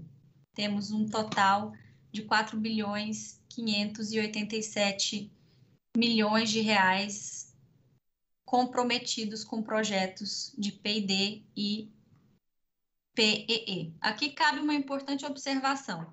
Apesar dos recursos acima demonstrados serem passíveis de comprometimento no passivo, a cobertura desses valores, de fato, carece da existência de saldo contábil disponível para execução dos programas de P&D e PE igual ou superior aos valores futuros dos projetos. Essa comparação é feita por empresa e os casos em que esses saldos são inferiores possuem tratamento específico no corrente, conforme detalhado na nota técnica número 7. Quanto ao saldo contábil disponível em atendimento ao texto legal, o saldo devido com, com os programas deverá ser aquele observado na data da publicação da medida provisória. Foram inúmeras contribuições recebidas no âmbito da consulta pública número 78 para alteração da data base do saldo considerado para as estimativas. Isso porque, para fins de consulta pública, o saldo considerado provisoriamente foi o da última informação disponível nas planilhas de movimentação financeira na data base de dezembro de 2019. Nesse sentido, como as informações de movimentação financeira de 2020 somente estarão disponíveis em 31 de março de 2021, as contribuições de algumas empresas acolhidas pela área técnica foi no sentido da estimativa do saldo até 1 de setembro de 2020, considerando a partir de, das informações declaradas os seguintes aspectos: saldo contábil em dezembro de 2019, receita realizada em 2020 e a aplicação dos percentuais correspondentes por segmento nos termos da lei, e investimentos declarados como realizados entre janeiro e agosto de 2020. De forma geral, para a definição dos montantes a serem destinados à CDE, que compõe o passivo, apurou-se uma previsão total dos projetos contratados e iniciados, conforme premissas acima relacionadas para o período de 2020 a 2025, deduzindo-a do saldo acumulado disponível até 1 de setembro de 2021. As empresas que possuem um saldo superior aos valores futuros necessários à execução de projetos contratados e iniciados destinarão a diferença observada à CDE, preservando dessa forma os valores comprometidos com, projetos contratados ou iniciados até a publicação da MP 998. Por sua vez, as empresas que possuem saldo insuficiente para o cumprimento dos valores comprometidos não terão seus recursos destinados à CDE nesse momento. Não obstante, vale reiterar que os recursos considerados comprometidos que não forem executados no período previsto deverão ser destinados à CDE após a fiscalização. De toda sorte, destaca-se que a consolidação das informações recebidas, bem como da metodologia proposta pela nota técnica número 7, baseou-se em informações declaradas pelas empresas em resposta à solicitação da ANEL. Repisa-se que eventuais diferenças observadas entre as informações extraídas da movimentação financeira da conta contábil de PID e PE das empresas e aquelas apresentadas como resposta à solicitação da ANEL, sem prejuízo de solicitações posteriores, serão objeto de fiscalização, podendo resultar em retificações dos valores a serem repassados à CDE. Em relação ao universo do corrente, referente aos recursos a serem recolhidos entre 1 de setembro de 2020 e 31 de dezembro de 2025, também se observa uma alteração na redação original do artigo 1 da medida provisória 998. Conforme foi detalhado é, anteriormente no voto da abertura da consulta pública 78, em relação ao, corrente, o mesmo resta prescrito pelo caput do artigo 5º-B e em seu parágrafo 1 o caput determina que os recursos de P&D e PE não comprometidos com projetos contratados ou iniciados deverão ser destinados à CDE em favor da modicidade tarifária entre 1 de setembro de 2020 e 31 de dezembro de 2025. Já o parágrafo 1 definia que ao menos 30% dos recursos disponíveis do corrente, ou seja, aqueles não comprometidos com projetos contratados ou iniciados, deveriam ser destinados à CDE. No entanto, a alteração consolidada pela publicação da Lei 14.120 trouxe uma mudança significativa no percentual a ser destinado à CDE, o que impacta, consequentemente, a previsão do recolhimento para esse período. Isso porque, de acordo com a, com a redação da referida lei, deve ser destinada à CDE no período de 1 de setembro de 2020 a 31 de dezembro de 2025, no máximo 30% dos recursos dos programas regulados, garantindo-se dessa forma a permanência de ao menos 70% do recurso para a manutenção dos investimentos em projetos regulados de PID e PE. Posto isso, caso se comprove, por meio de cadastro na base dos programas regulados e com possibilidade de fiscalização, investimentos superiores a 70% do recurso disponível, resultará em recolhimento da CDE inferior a 30% da obrigação legal em PE e PID. A forma de operacionalização dessa regra está inserida no submódulo 5.6 dos procedimentos de regulação tarifária, detalhada no âmbito da nota técnica número 7 e ao anexo da resolução normativa que visa aprovar essa regra. Por fim, tendo em vista a inserção da expressão iniciados ao parágrafo 2 do artigo 5º-B da Lei 14.120, os, pro, os projetos a serem considerados para o universo do corrente são, essencialmente, aqueles que atendem aos mesmos critérios do universo que compõe o passivo. Assim, para as empresas cujo saldo da conta contábil do programa regulado na data base de agosto de 2020 não foi suficiente para execução dos desembolsos futuros dos projetos de PID e PE, considera-se o valor remanescente dos projetos considerados comprometidos. Por sua vez, para as empresas que não possuem saldo contábil, considera-se o valor estimado dos projetos como comprometidos. Abaixo, a gente faz aqui no voto a mesma comparação da abertura da consulta pública 78 com o fechamento da consulta pública em termos de valores. Né? E das tabelas acima, a gente verifica uma redução em ambos os programas, né, dos projetos admitidos como comprometidos, que seriam considerados no corrente, em virtude essencialmente da transferência desses projetos e, seu, e seus valores para o comprometimento do passivo. Então, há de se ressaltar, entretanto, que, embora essa alteração tenha se considerado como uma redução dos valores que seriam destinados à modicidade tarifária no universo do passivo, isso não significa o acréscimo na mesma proporção daqueles montantes que serão destinados à modicidade tarifária no corrente. As razões para isso são duas: a limitação do repasse a 30% dos valores totais devidos aos programas de P&D e, eficiência energética, nos termos do, do parágrafo 1 do artigo 5º-B da Lei 9.991, e o pagamento do corrente, observadas as projeções anuais de investimento ao longo do período 2020 e 2025, enquanto no passivo, o valor total dos recursos comprometidos com projetos contratados ou iniciados até 1 de setembro de 2020 são diretamente deduzidos do saldo contábil de agosto de 2020. Além disso, conforme a nota técnica 496, a projeção de desembolso desses projetos foi distribuída entre 2020 e 2025, conforme declaração das empresas. Uma premissa adotada foi a anualização em cinco anos da previsão de desembolsos futuros em projetos iniciados e contratados. Quanto a esse ponto específico, foram recebidas inúmeras contribuições para que não fosse considerado o critério de anualização dos investimentos, a fim de determinar o repasse à CDE dos valores que compõem o corrente. A partir dessa análise das contribuições, as áreas técnicas entendem que, de fato, a anualização em cinco anos pode exceder o prazo médio da execução dos programas, dificultando a gestão dos fluxos de desembolso ao longo de todo esse período. No entanto, ainda cientes de que a, pro, que a projeção para os anos de 2020 e 2021 são muito expressivas, ainda mais se considerando o passado recente de aplicação dos programas, e além disso, que grande parte dos investimentos projetados foi transferido para o comprometimento do passivo, as áreas compreendem que é possível manter a anualização para o prazo médio desses programas, sendo adotado três anos e seis meses para o PID e dois anos para o PE.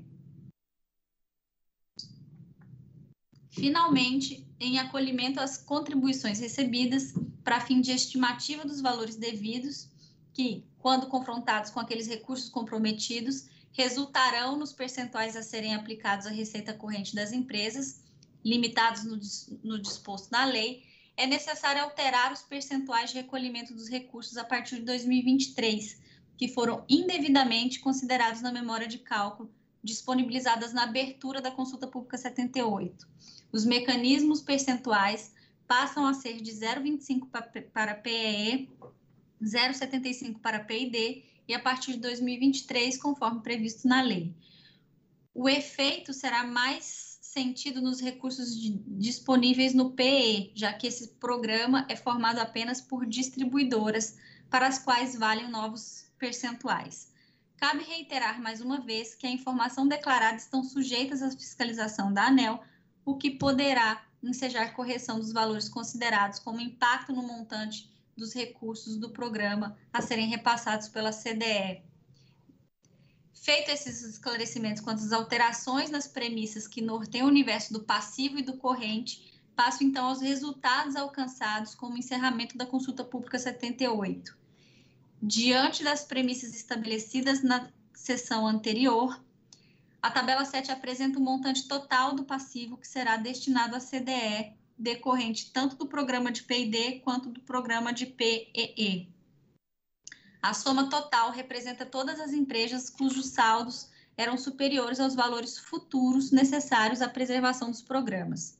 As empresas cujos saldos foram inferiores à necessidade de execução dos programas ou já possuíam saldos negativos tiveram a diferença apurada alocada aos recursos do corrente. A tabela 7 apresenta ainda a comparação dos montantes observados entre a consulta pública 78 e a versão final, após a análise das contribuições pelas áreas técnicas, já considerando a alteração legal no, no texto.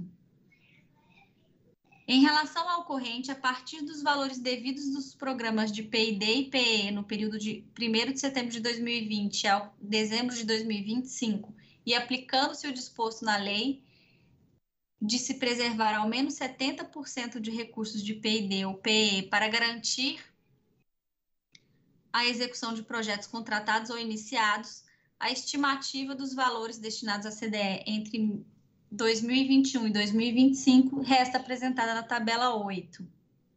Então, temos para o passivo 1 bilhão 750 e para o corrente 2 bilhões 143 ao longo de 2021 e 2025.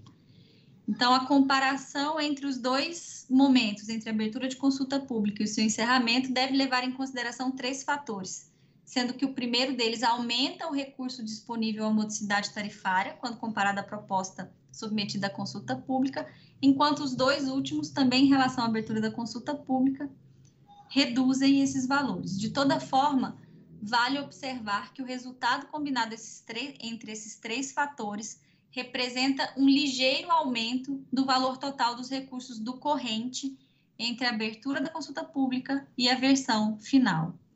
Finalmente, eu gostaria de destacar que todos os resultados do encerramento da consulta pública 78 se, se apresentam como uma estimativa dos valores a serem recolhidos no universo do corrente para fins de destinação na CDE. Isso porque o repasse para o universo específico do corrente pode sofrer variações, já que na prática o recolhimento se dará pela aplicação de uma fração de 0 a 30% sobre a receita efetivamente realizada e os correspondentes percentuais que decorrem da Lei 9.991 por cada segmento.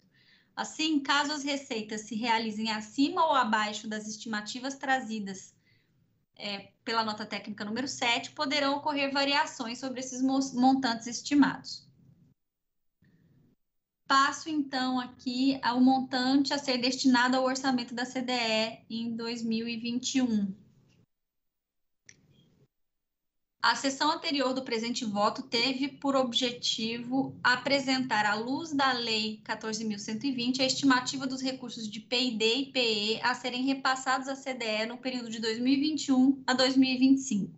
No entanto, em virtude da proximidade da decisão da diretoria da ANEL quanto à definição do orçamento e das cotas anuais da CDE para 2021, tema que foi abordado no âmbito da consulta pública 72 e que está sob relatoria do diretor Efraim Pereira da Cruz e cuja fase de contribuições se encerrou em janeiro de 2021, torna-se necessário indicar, a partir da metodologia proposta na nota técnica número 7, os montantes que serão destinados ao encargo setorial no orçamento do presente ano.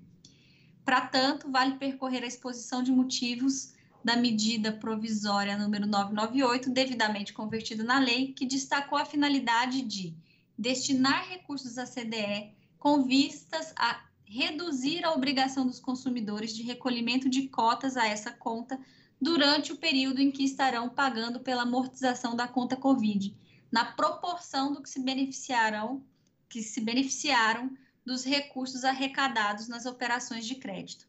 Para tanto, propõe-se como principal instrumento a destinação nesse período de parcela dos recursos de investimento em pesquisa e desenvolvimento e eficiência energética do setor elétrico não aplicada em projetos para compor fonte de receita da CDE. Eu gostaria de frisar que a exposição de motivos da MP também estabeleceu que a destinação de tais recursos à CDE deve ocorrer sem prejudicar os investimentos em andamento ou novos investimentos, preservando assim a destinação de até 70% desses montantes a esses projetos e que o restante deverá ser destinado à CDE até 31 de dezembro de 2025. Compreendo que a Lei 14.120, decorrente da conversão da, da MP, tem como finalidade alcançar dois objetivos específicos, que é o de promover a modicidade tarifária e, ao mesmo tempo, preservar os projetos de P&D e PE. Entendo que as alterações consolidadas pela referida lei quanto à redação original da MP asseguravam a preservação dos projetos de PID e PE, uma vez que houve a inclusão da expressão iniciados ao parágrafo 2 do artigo 5b, bem como a alteração do limite do corrente previsto no parágrafo 1 do artigo 5b. Ademais, vale reiterar que a interpretação da Procuradoria Federal emanada no parecer número 30 incluiu no rol de projetos contratados as chamadas públicas cujos resultados foram adjudicados até a publicação da medida provisória 998. Isso posto, resta discussão quanto ao outro objetivo da Lei 14.000, que é de promover a modicidade tarifária. Tal discussão recai exclusivamente sobre a destinação dos recursos não comprometidos com projetos de P&D e PE, a CDE, tal como previsto na política pública. Em relação ao passivo, foram inúmeras as contribuições que propuseram a destinação gradual de tais recursos à CDE entre 2021 e 2025, baseadas essencialmente no argumento de que a devolução de um, em um curto período poderia afetar a capacidade de pagamento das empresas. Por outro lado, há contribuição focada na modicidade tarifária, que pleiteia o pagamento de 100% do passivo já em 2021. Dado que a diretoria da ANEL, tanto na abertura da consulta pública número 72, como na consulta pública 78, decidiu pela destinação de 70% do passivo à CDE em 2021, as áreas técnicas entendem que tal percentual de repasse poderia ser mantido, sem óbices na definição de percentual distinto. Entretanto, com a manutenção do, do percentual do repasse em 70% a ser recolhido em 2021, Observo, em relação à proposta que foi submetida no momento da abertura pública, da, da consulta pública 78, uma redução de 37% no valor considerado para esse universo, que seria destinado à CDE em 2021. Em contrapartida, eventual consideração do repasse de 100% do passivo em 2021 resultaria num valor do passivo de 1,7 bilhões de reais a ser destinado à CDE em um único ano, no ano de 2021. Isso acrescido do valor do corrente. Ou seja, mesmo com repasse de 100% do, do, do passivo em 2021, eu constato uma redução de 11% em relação ao valor considerado para esse universo no momento da abertura da consulta pública 78.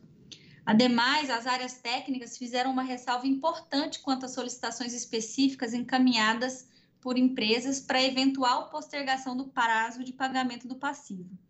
Em suma, pleiteia-se que sejam avaliadas, à luz dos casos concretos, propostas alternativas de devolução, de forma que os efeitos da regulamentação não afetem o equilíbrio econômico-financeiro das empresas reguladas. Quanto a esse pleito, eu destaco que eventuais alterações na devolução dos recursos da CDE, valores e prazos de pagamento, eles poderão ser avaliados frente a casos concretos e no âmbito de processos específicos de fiscalização de PID e PE a serem instaurados pela SFF e encaminhados posteriormente à deliberação da diretoria colegiada.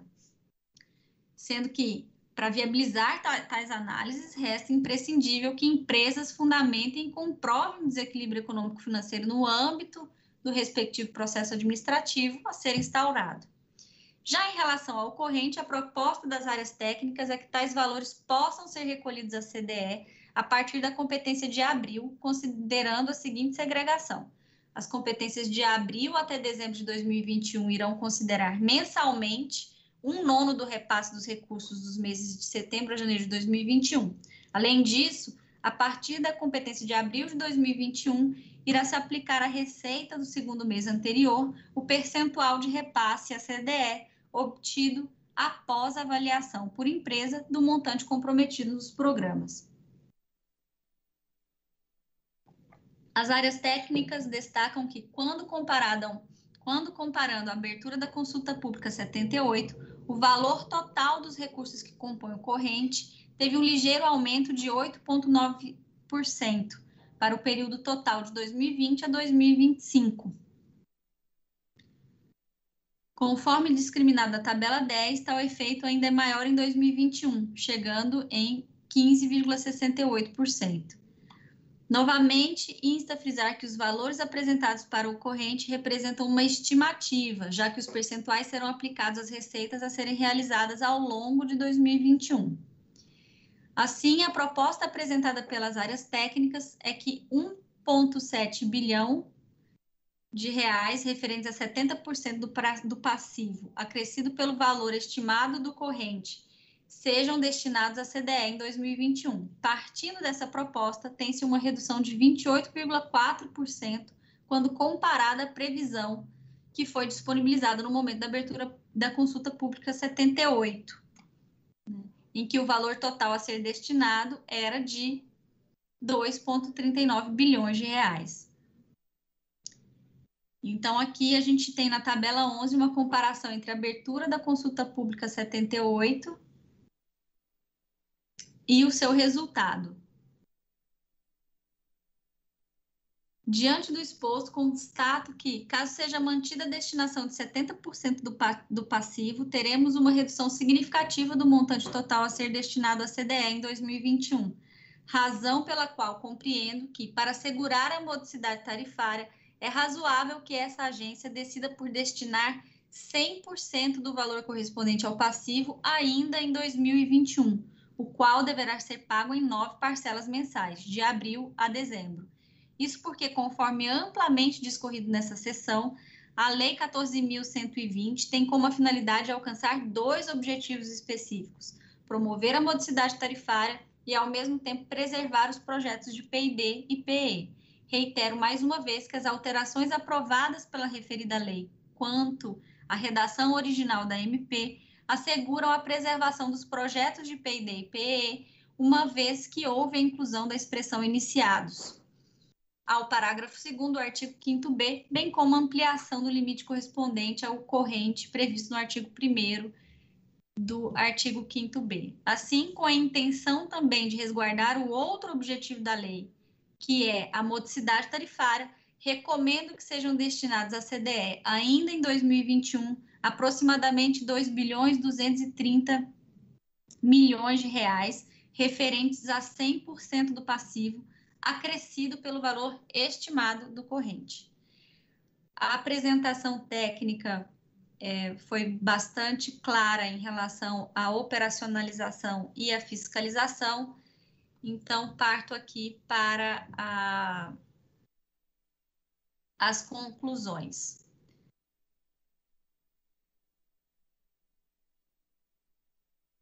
Tendo em vista as contribuições recebidas nessa primeira fase da consulta pública 78, bem como a manifestação das áreas técnicas no âmbito da nota técnica 7 da Procuradoria da ANEL, por meio do parecer 30, recomendo que seja publicada a resolução normativa conforme a minuta anexa para regulamentar o artigo 1 decorrente da conversão da MP 998, especificamente no que diz respeito aos recursos de projetos de pesquisa e desenvolvimento e eficiência energética não comprometidos que serão destinados à modicidade tarifária. Reitero ainda que as alterações à redação dos parágrafos 1 e 2 do artigo 5b motivaram necessidade de uma revisão frente à definição e abrangência das premissas que compõem o universo do passivo e do corrente, bem como quanto aos limites percentuais dos recursos estimados para o corrente e o seu repasse à CDE. Em relação ao passivo, a proposta regulatória nesse fechamento de consulta pública parte da premissa que os projetos contratados e iniciados devem ser considerados como comprometidos, reduzindo-se dessa forma a previsão necessária para a execução de tais projetos dos saldos devidos com o programa até a publicação da medida provisória. Diante do exposto, as áreas técnicas concluíram que os recursos do passivo serão que serão destinados à CDE compõem um montante de 1 bilhão 750 milhões de reais, no que diz respeito ao corrente, os recursos de PIB e PE não comprometidos com projetos contratados ou iniciados deverão ser destinados à CDE em favor da modicidade tarifária entre 1 de dezembro e 31 é, de dezembro de 2025. É, passo aqui, então,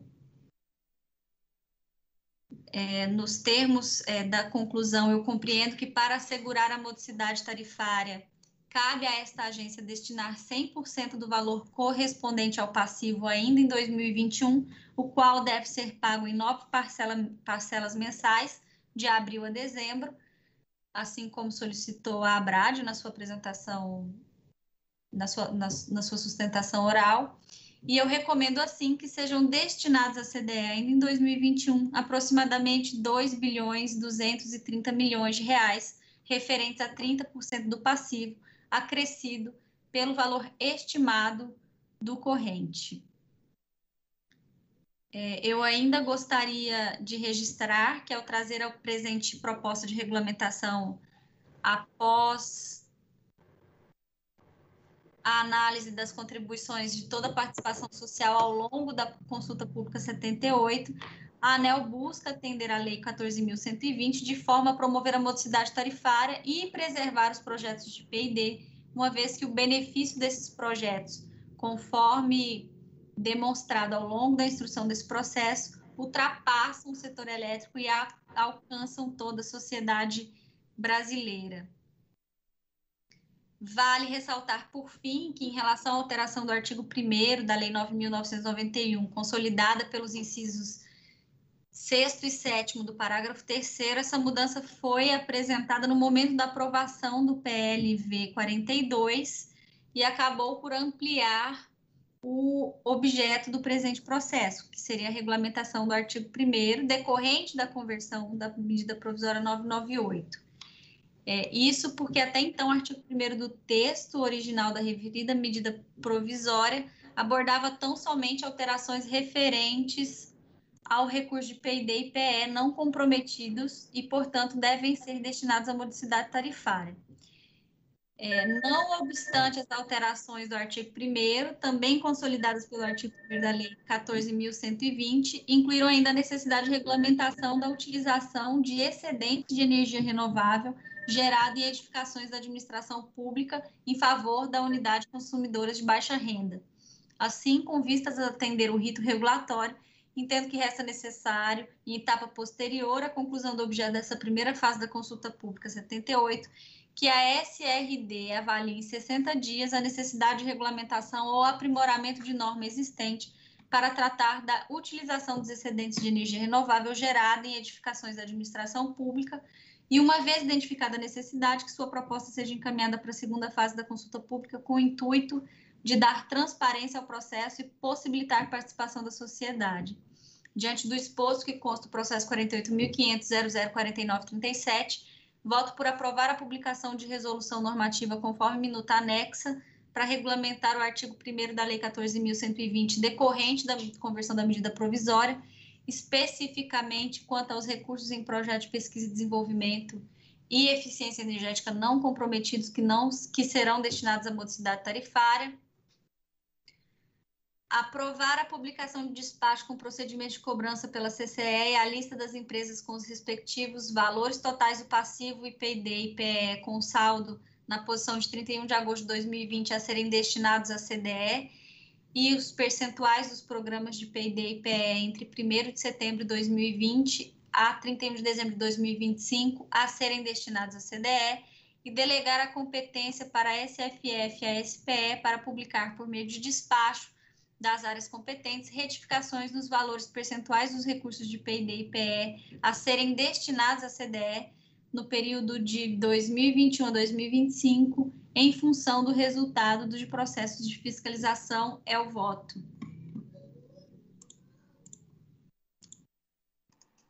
Em discussão a matéria.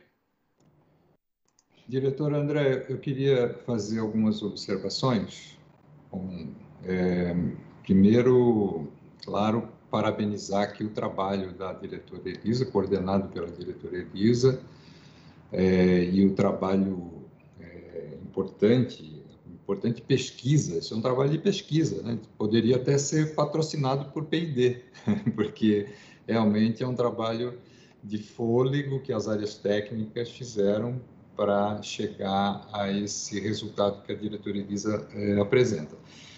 Bom, eu queria, eh, até por conta das, da, daquilo que foi colocado na, na, sustentação oral e aquilo que foi discutido ao longo do tempo, né, desde que foi publicada a medida provisória, eu acho que é, é importante nós fazermos aqui algumas observações. Primeiro, o objetivo da medida provisória. Né? Ele foi apresentar uma proposta de utilização, e aqui eu quero enfatizar a palavra temporária, então foi uma proposta de utilização temporária de recursos dos programas de PID e eficiência energética, que estão previstos na, na Lei 991, 9991, para reduzir os impactos, aquele que, aquilo que se discutia lá no início da pandemia, né, reduzir os impactos provocados no setor elétrico pela pandemia Covid-19.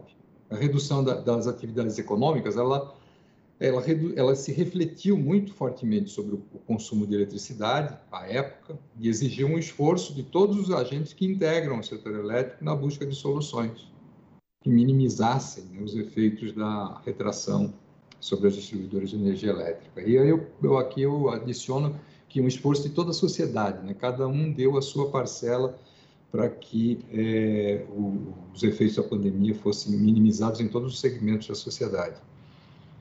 E é, um, também um, um fato é que ao longo dos últimos anos, uma parte dos recursos, muito bem destacado pela diretora Elisa, uma parte dos recursos dos programas de pesquisa e desenvolvimento e eficiência, ele não foi aplicado pelas empresas de geração, transmissão e distribuição, por todas as empresas.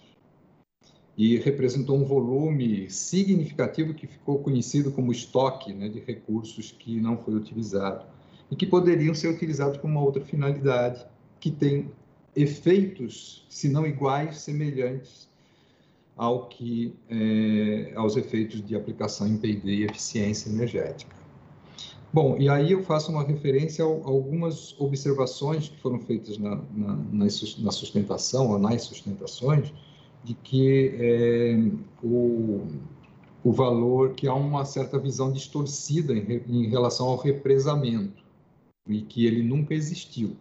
Bom, em 2016, a própria ANEL disciplinou, por meio da Resolução 754, de 13 de dezembro de 2016, que o saldo resultante dos recursos não aplicados deveria ser corrigido anualmente pela Selic e estabeleceu o horizonte de 48 meses, a partir de 1 de janeiro de 2017, para sua regularização. Então, vejam só, em 2016, a ANEL reconheceu que havia um recurso que, tava, que não tinha sido aplicado, e esse recurso é o que está sendo discutido agora em relação à sua transferência para é, amenizar aí os efeitos né, da pandemia.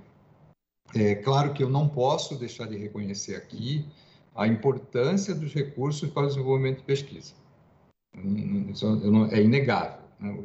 Os resultados que são relevantes, como apontados pela, pela SPE, pela superintendência responsável pelo, por esse segmento, e o uso racional de energia elétrica, da mesma forma, com a eficiência energética. Né? É, mas a destinação, ela, dessa forma como está sendo proposto, com, os, com o estoque, na minha visão, e aí eu defendo aquilo que foi colocado na medida provisória, ela não se, não, não, não no nosso entendimento, não há uma, uma, um impacto significativo, até porque ao longo de, se, se eu não estiver enganado aqui, de 2006 até 2016, quando foi publicada a 754, é, uma parte considerável desses recursos não foram aplicados, então eu acho que não, o, o, impacto sobre o programa de pesquisa e desenvolvimento ele não não sofre, é, não sofre, não vai sofrer solução de continuidade. E foi muito muito bem destacado pela diretora Elisa quando coloca que lendo inclusive a, a, a nota que, encaminha a medida provisória, colocando que, em hipótese alguma, pode haver comprometimento dos programas de pesquisa desenvolvimento e eficiência.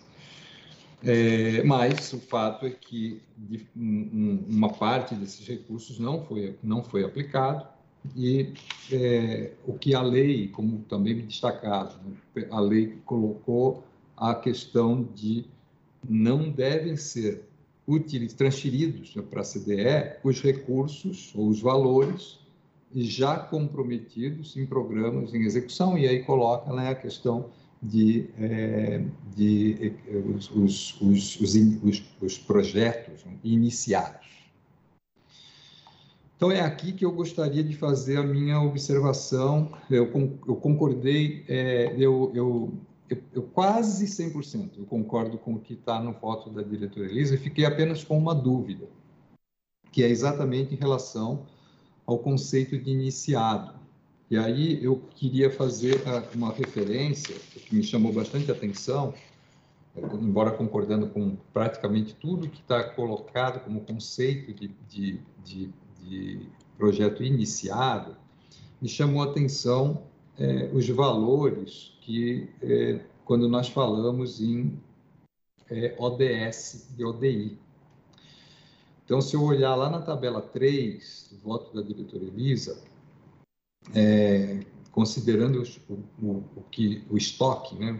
vou aqui chamar de estoque, é, em eficiência energética, e mais, na tabela 4, o estoque em é, em pesquisa e desenvolvimento, a gente está falando de algo em torno de um, milhão, um bilhão, mais de um bilhão de reais. Né? Se a gente somar aqui eficiência energética e, pelo que eu entendi, o pesquisa e desenvolvimento. Na verdade, bem mais de um bilhão, né? Isso só considerando o ODS.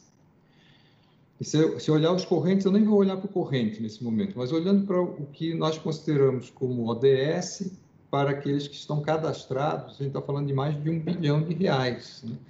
Então, esse conceito de o ODS ser considerado um projeto iniciado me parece um tanto quanto frágil. É, então, é isso que eu gostaria de, de colocar aqui em discussão no colegiado. Né? Até que ponto nós podemos considerar que um empreendimento que foi é, cadastrado lá na contabilidade das empresas como ODS, ele pode ser considerado, pode é, significar ou pode caracterizar um projeto iniciado, porque, perdão, como nós estamos falando de recursos de é, valores elevados, né, montantes elevados, um bilhão de reais representaria quase 50% daquele valor que a diretoria Elisa muito bem, e eu, eu concordo, já antecipo que nesse ponto eu não tenho, não tenho nenhuma dúvida, esses 2 bilhões e 2,2 bilhões aproximadamente, né? esse 1 bilhão em ODS ele representaria quase 50% do valor que é, muito bem apontado pela diretora Elisa. Então, esse é um ponto que eu tenho, fiquei com dúvida. Como caracterizar o DS como projeto iniciado? Nessa é a minha observação inicial.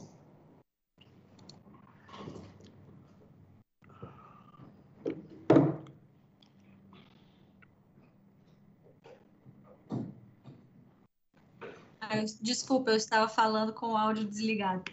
Bom, diretor Elvio, obrigada pelas considerações. Acho que essa foi uma discussão muito ampla que nós tivemos, é, tanto no âmbito de reuniões técnicas que fizemos com os diretores, e foi, foram os pontos que mais discutimos internamente.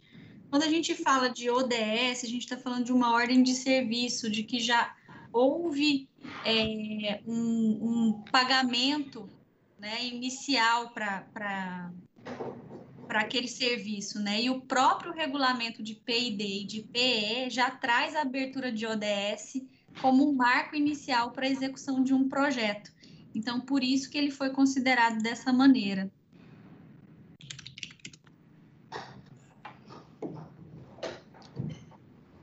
É, fazer um comentário a doutora Elisa, eu é, é, até a gente já teve na, do outro lado da ponta, né, porque as ODS e as ODIs, elas são matérias contábeis. É, não necessariamente nós tivemos aí um pagamento ou necessariamente uma alocação de custo, tanto para investimento quanto para serviço. Né? Então, abre um flanco de interpretação. Eu acho que eu entendi o ponderamento do Dr. Elvio nesse tocante. Como são dois mecanismos contábeis, né? quando a gente vai abrir qualquer tipo de, de, de, de projeto nas empresas, a gente abre um ODS, um ODI, uma para serviço, outra para investimento, até por uma questão de classificação contábil, mas não necessariamente pressupõe um contrato e pressupõe que já tenha uma despesa. Porque muitas vezes da, as empresas, elas alocam as suas próprias áreas de P&D como homem-horas ou como carro-hora, os próprios dela, né? Ela pega o próprio dela ali porque, a priori, de certa forma, é aceito. Né? É igual o Luz para Todos. O Luz para Todos, a gente também fazia isso. O Luz para Todos, a gente pegava a nossa área de Luz para Todos nas distribuidoras, né? E, de certa forma, a gente, nas ODS e, e também nos OD, nas ODIs, a gente lançava o nosso homem contratado da Eletrobras alocando no Luz para Todos, como se, por exemplo, o Elvio, duas horas do dia dele, ele se dedicasse a um projeto X de P&D aqui da ANEL, era como se a gente alocasse aquele custo do Elvio dentro do projeto. Então, assim, eu, eu, eu, eu entendo a, a, a, compreensão, tanto jurídica quanto a compreensão do raciocínio, mas era só para a gente completar esse racional aí do tocante ao ODS e às ODIs. É, esse, esse, como eu tinha mencionado, foi um ponto muito, muito discutido, né? Porque isso já está, esse mar, a ODS já é um marco, né? Para a execução de um projeto, como já está disposto nos próprios manuais de PID e PE. E, de fato, a abertura da ODS ela não está associada necessariamente a um desembolso, mas é, ela deverá estar ancorada na realização de atividades associadas ao projeto. E, e, e essa prestação de serviço, né, que pode ser própria ou por terceiro, ela está em curso. Então, essa premissa ela se deu sobre essa interpretação de um comprometimento de gastos e não necessariamente de uma execução financeira.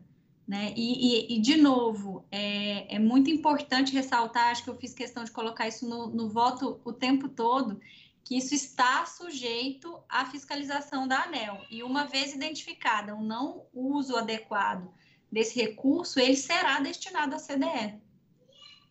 É, deixa eu fazer uma, uma, observação aqui, bem rápido, é, diretora Elisa. O, houve um probleminha na rede, e aí o, doutor Efraim já voltou, porque teve que ligar aí o, o talvez o. Eu meu voltei pelo celular. No meu caso foi o notebook, porque saiu, caiu a rede aqui momentaneamente. Mas apenas só. É, minha... Vocês ouviram a minha explicação aqui, depois que o diretor Efraim falou? Eu estava. Elisa, eu caí. Tá, então eu vou deixar o diretor Sandoval falar e daí eu faço a explicação novamente. Tá. Não, é basicamente que eu vou. André, tá... Elvio está fora também, né? Seria bom aguardá-lo, que foi a pergunta ah, dele. É, vamos, vamos aguardar ele, vamos segurar que foi um ele que, que inaugurou aí a, o debate sobre o tema. Segurar um segundinho que eu vou ali na sala dele ver como é que ele está se restabelecendo.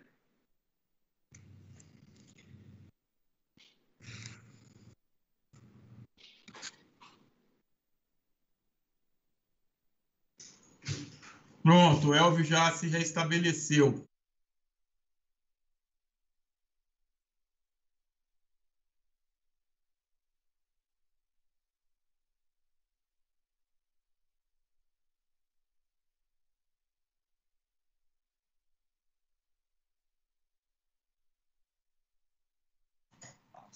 É N-1 setor elétrico. Bom, diretor Sandoval, se, você, se o senhor quiser colocar suas considerações, depois eu repito a explicação que eu fiz aqui após a fala do, do diretor Efraim. Eu ah. agradeceria, diretora Elisa, porque eu perdi uma boa parte aí da sua explicação. Tá, é, não, na realidade, o que, o, o que eu vou falar é, é um complemento um pouco o que o diretor Efraim colocou. Né? Na realidade, quando nós iniciamos, iniciávamos, quando trabalhava no segmento de distribuição, uma, uma obra de investimentos ou um projeto e que haveria a, a necessidade, de acordo com o manual, a criação de contas, ODS, ordem de serviço, ou ODI, ordem de investimento, ali não necessariamente quando você cria a ordem, a ODS, você inicia a inicia a, a obra propriamente dita, passando aí, fazendo analogia com uma obra. É, mas ali, a partir do momento que ela foi criada, todos os custos são lançados dentro daquela, daquela conta. Pra... fez, Sandoval, se me permite, doutora Lisa, a senhora fez o Sandoval lembrar do contador exigindo para ele a classificação de cada hora homem dele. Exatamente, e, e principalmente que não que não é, demorasse muito com isso, porque a cada ano você tem que é, incorporar aqueles ativos na, no, nos ativos na, da, da, empresa para fins de remuneração, iniciar depreciação e, toda, e tudo mais. Né? Então, assim, respondendo efetivamente, ter a ODS é, criada assegura que o projeto foi iniciado? Não. De outra forma, teríamos que ter a ODS e ainda buscar alguma evidência é, física, o que dificulta um pouco, considerando aí a grande quantidade de, de, de, empresas, enfim. Então, é um comentário que eu faço. E agora, aproveitando aí, eu também tenho um, um, um outro ponto. É, não, mas aí eu vou, vou para a gente não confundir, eu passo depois. Esses seriam os meus comentários a respeito desse aspecto. Bom, é, então voltando aqui, como é que foi essa discussão? A gente, a gente aprofundou bastante essa discussão nas áreas técnicas, é, e como eu, eu tinha mencionado, não sei se todos ouviram, é que a abertura da ODS ela traz como marco inicial a execução de um projeto. E isso está disposto é, nos manuais de P&D e de PE, né? Então, de fato, a abertura de uma, de um, da ODS ela não está associada necessariamente a um desembolso. No entanto, ela deverá estar ancorada na realização de atividades associadas ao projeto. Né? Essa prestação de serviço ela está em curso. Então, a premissa, ela, ela ocorreu a partir da interpretação de um comprometimento de gastos e não necessariamente de uma execução financeira. E, e lembrando que, que a, a, definição da ODS ela está no manual de contabilidade, né? E que é, esses valores serão fis, amplamente fiscalizados. Então, a fiscalização vai, vai ocorrer e esses recursos que da, de ODS que não forem comprometidos de alguma forma, que forem que não que, que a que a declaração disso não for não for verificada na fiscalização, esses valores deverão ir para a CDE, para a CDE. Então a gente deu todo esse tratamento, né? É, e aí aqui no regula, na regulamentação de PID, ó, a empresa proponente deve cadastrar na base de dados o início da execução de um projeto, a qual deve corresponder a data de abertura de sua respectiva ordem de serviço, que é a ODS. E o prazo de execução do projeto correspondente ao prazo decorrido entre as datas de abertura e de fechamento de ODS. Então, a gente se amparou nessa parte do regulamento para poder considerar o ODS como comprometido nesses quesitos. E, de novo, sujeito à fiscalização. Eu tenho um entendimento, viu, diretora Elisa, assim, de que assim, a ODS é uma, uma espécie de provisionamento. Né? Então, o que o, o, a empresa precisa demonstrar é que ela terá os recursos para executar aquele projeto, mas não é necessariamente um, a caracterização de um projeto iniciado.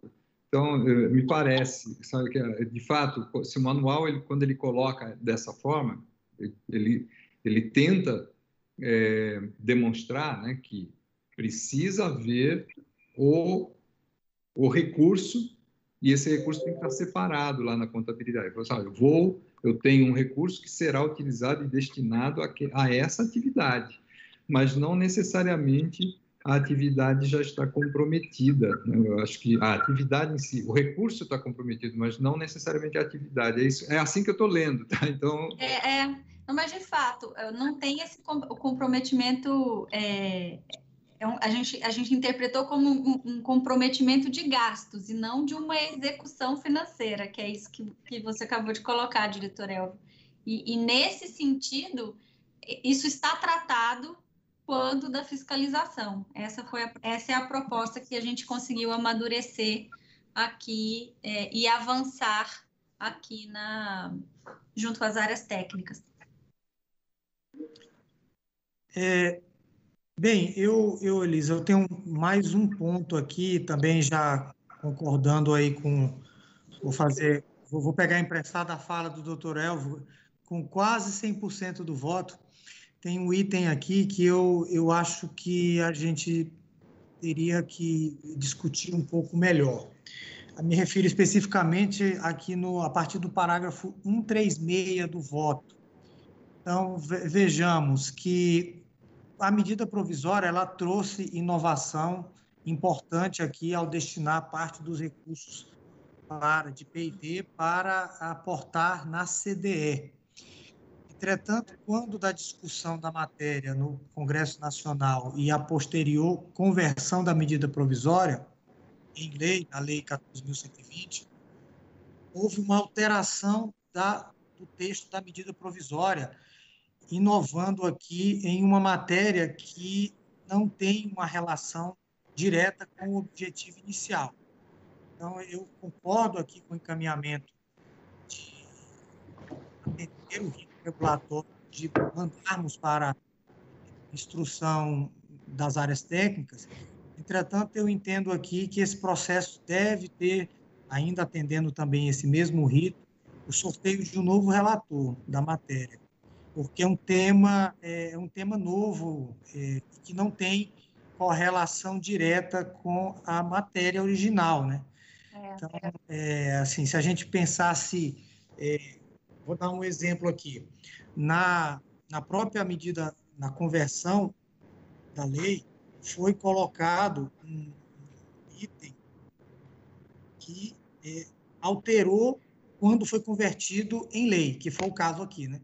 Então, nesse caso, eu entendo que, ah, novamente, considerando que a medida provisória, nesse aspecto específico, ela diverge do que foi convertido em lei, essa matéria, eu concordo que ela tenha que ser estudada e regulamentada posteriormente, mas eu, eu advogaria aqui o caso do processo ter uma outra distribuição.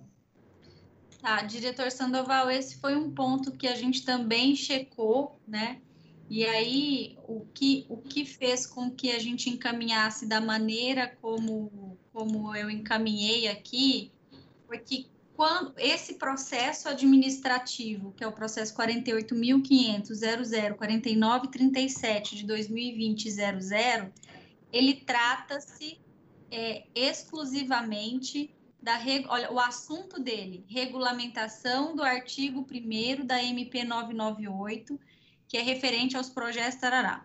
Então, a medida 998, ela alterou isso no seu artigo 1 Então, isso foi alterado de fato, um ponto que foi trazido aí na, já na, na altera, no finalzinho ali do, nos 45 do segundo tempo, né? A gente teve essa, essa emenda passou, e ela consta do artigo 1 que é o assunto do processo administrativo que consta sobre minha relatoria.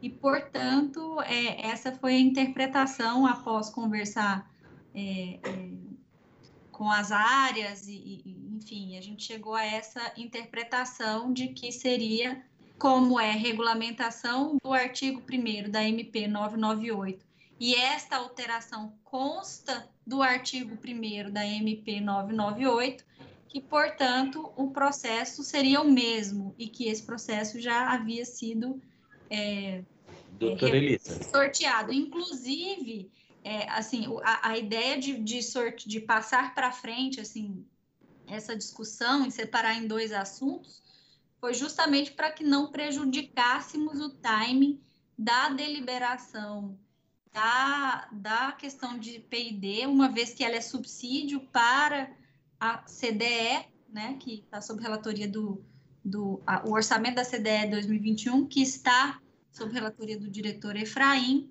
mas no limite, esses dois assuntos poder, que constam do artigo 1 da MP 998 poderiam ser deliberados em conjunto, né? já que o sorteio que veio para a minha relatoria foi da regulamentação do artigo 1 como um todo. E assim foi feita a segregação da MP dentro da agência sobre os assuntos que estavam na, na, na medida provisória.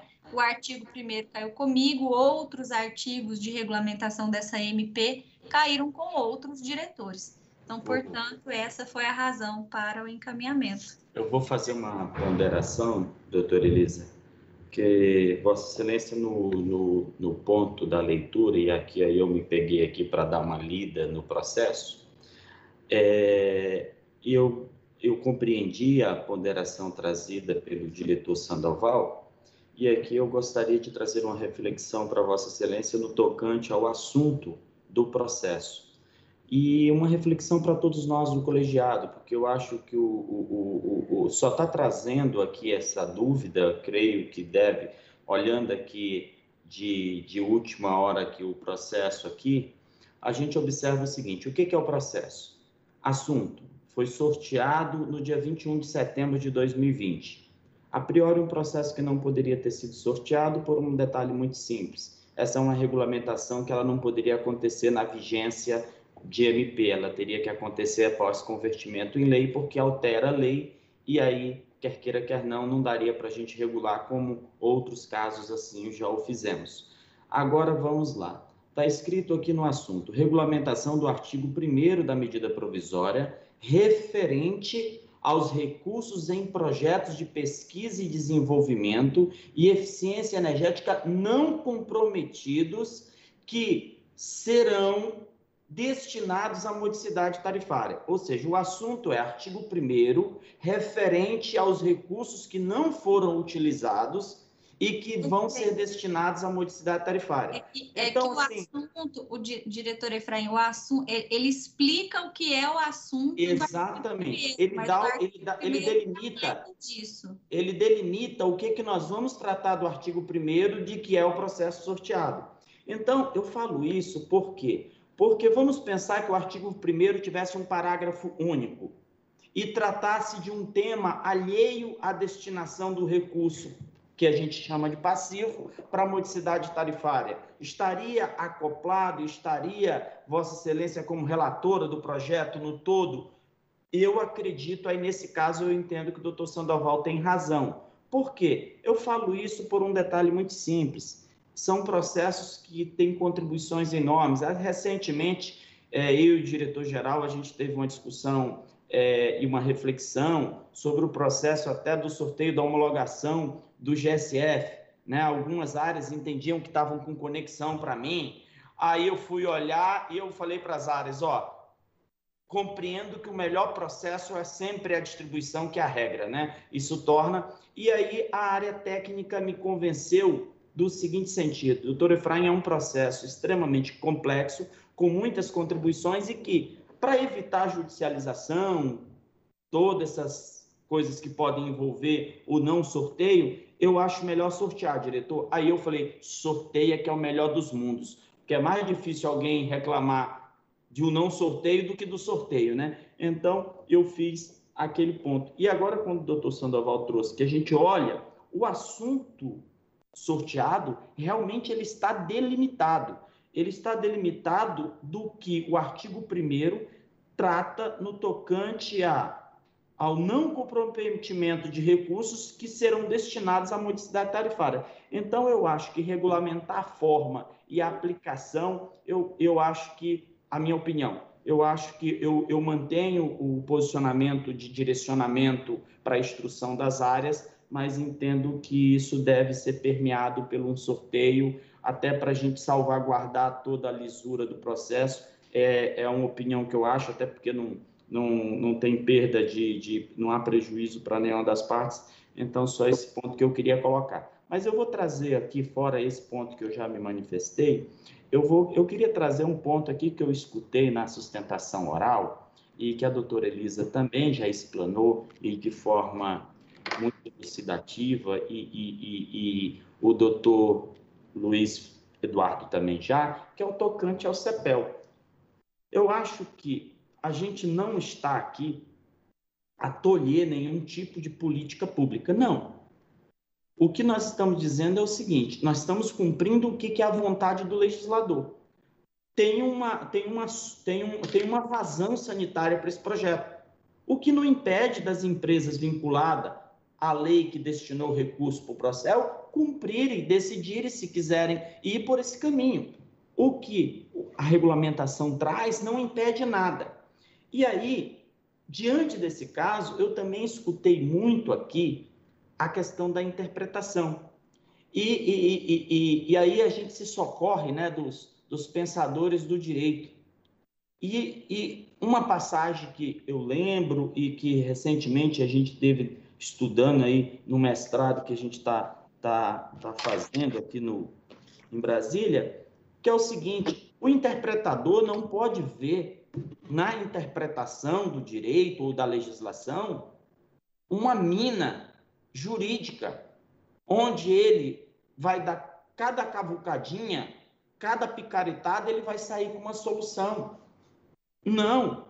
A gente tem que ver a vontade do legislador. A vontade do legislador, e aí em que pese eu e a doutora Elisa termos o mesmo pensamento, eu vou divergir com relação à, à reflexão.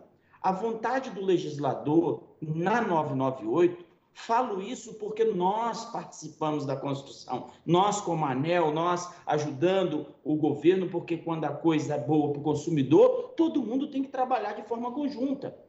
Né? E, e aqui a gente já sempre louvou a, a governança que o ministro Bento nos, nos, nos proporciona, e aqui eu digo, nós participamos e nós sabemos que a vontade do legislador não está no tocante a preservar programa, não está no tocante a aprimorar o programa. Não!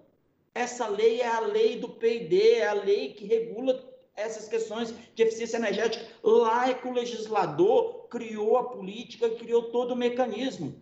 A 998 e a medida provisória que foi convertida, ela tem a vontade do legislador é única é pegar o recurso não alocado, o recurso não dispendido e utilizar para algo que, nas falas de, do Dr. Elvio, ele bem explicita. Não tem a mesma finalidade, mas tem benefícios semelhantes, que é a questão tarifária. Então, dito de outra forma, a vontade única do legislador foi de ter um amortecimento tarifário, ter um alívio, uma atenuação nas tarifas, por causa do momento que nós estamos vivenciando, assim como nós fizemos com os fundos, enfim, com outras modalidades que a gente já também foi lá buscar. Então, eu diria que eu escutei na sustentação oral, em alguns momentos, ah, aqui você foi restritivo, aqui tem que ser uma interpretação mais alargada.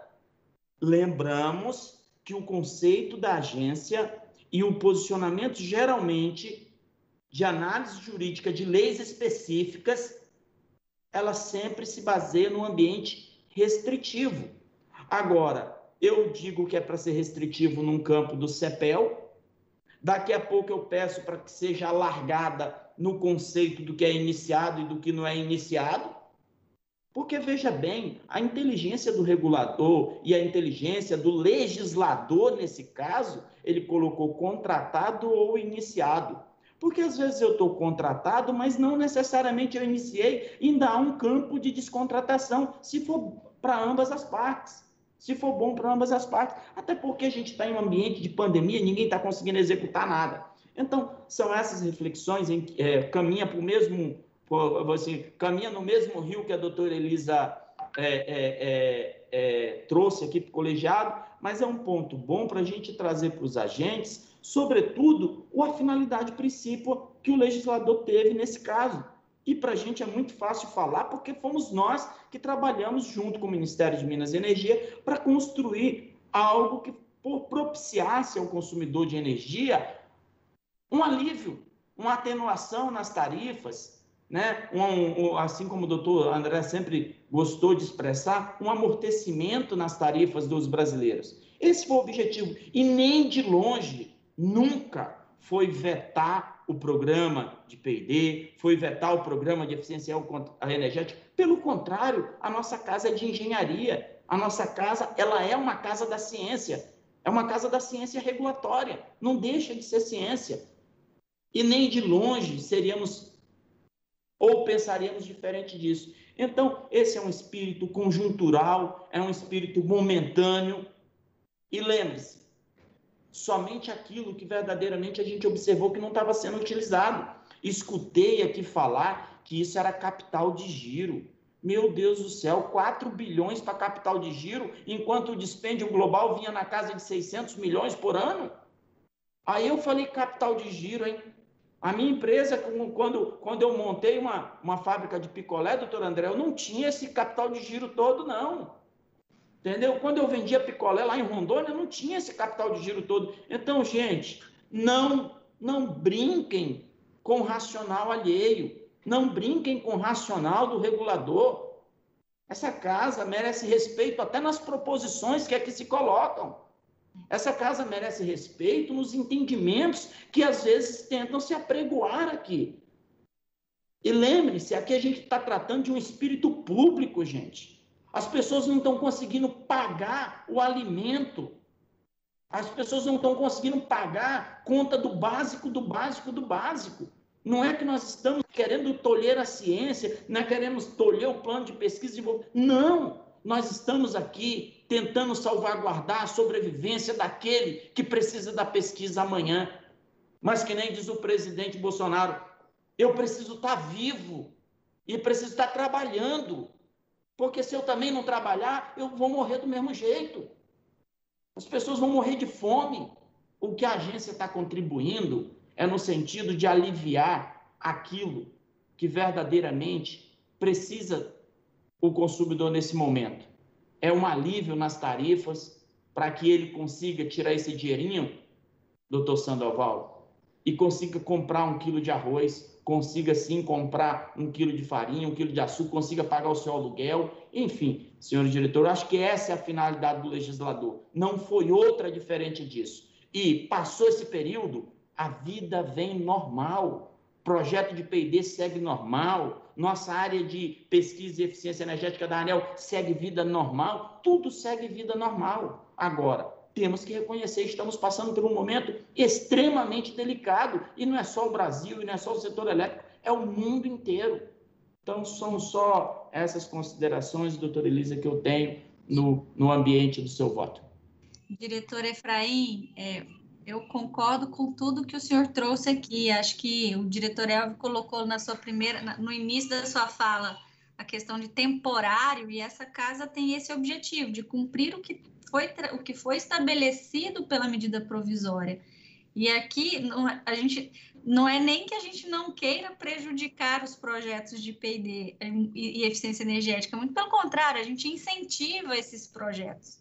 Né? A gente sabe dos benefícios essa é uma regulamentação que trouxe um desafio muito grande para a relatoria, né? Como o diretor Elvio colocou, foi praticamente um projeto de pesquisa, né? Chegar na, em, algum, em algum tipo de resultado que a gente sabe que não necessariamente vai chegar, vai, vai, vai estar 100% adequado, sempre existem pontos de melhoria e propostas para que diferentes, né, para que a gente avalie e considerando todas essas argumentações que os senhores trouxeram, eu vou retirar o processo de, de pauta, voltar para a prancheta para a gente reavaliar.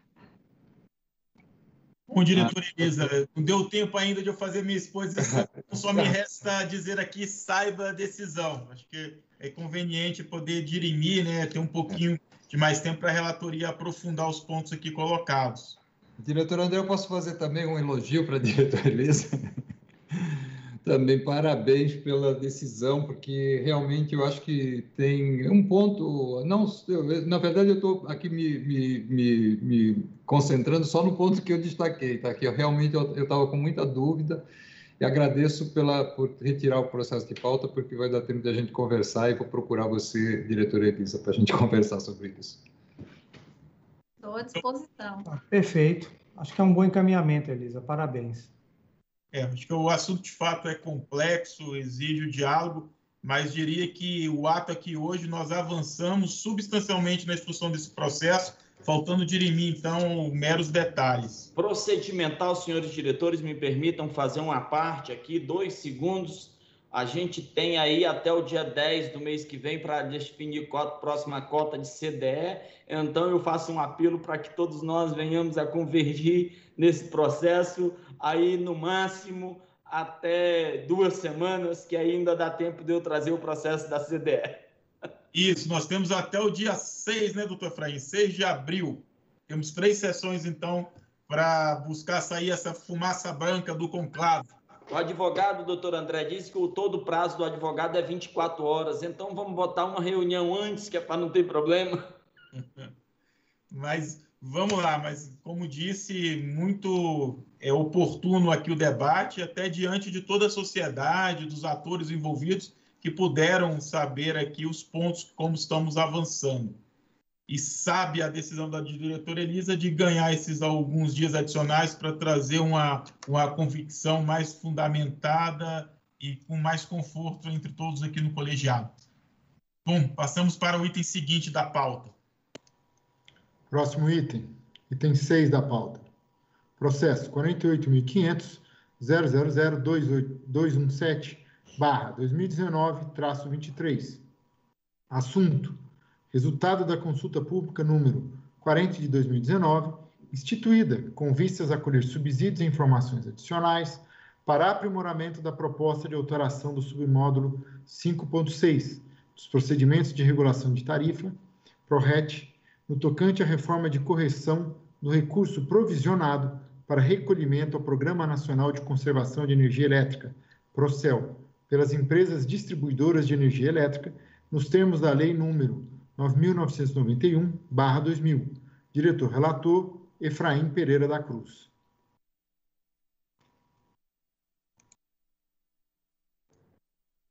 Senhores diretores, peço apenas um minuto.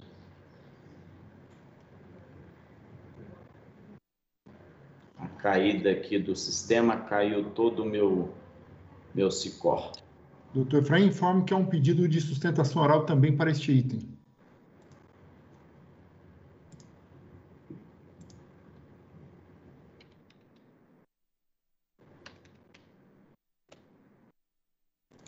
Efraim, retifico, não tem para este item não, é para o próximo item. Desculpe.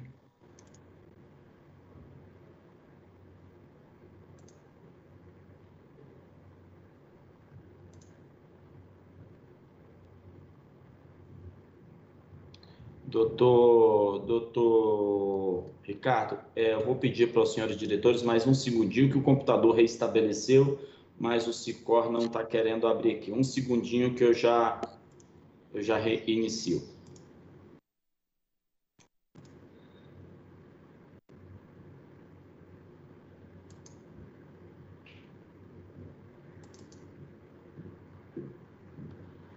Senhores diretores, processo 48.500.217.2019-23. Aqui trata-se do resultado da consulta pública número 40, senhores diretores.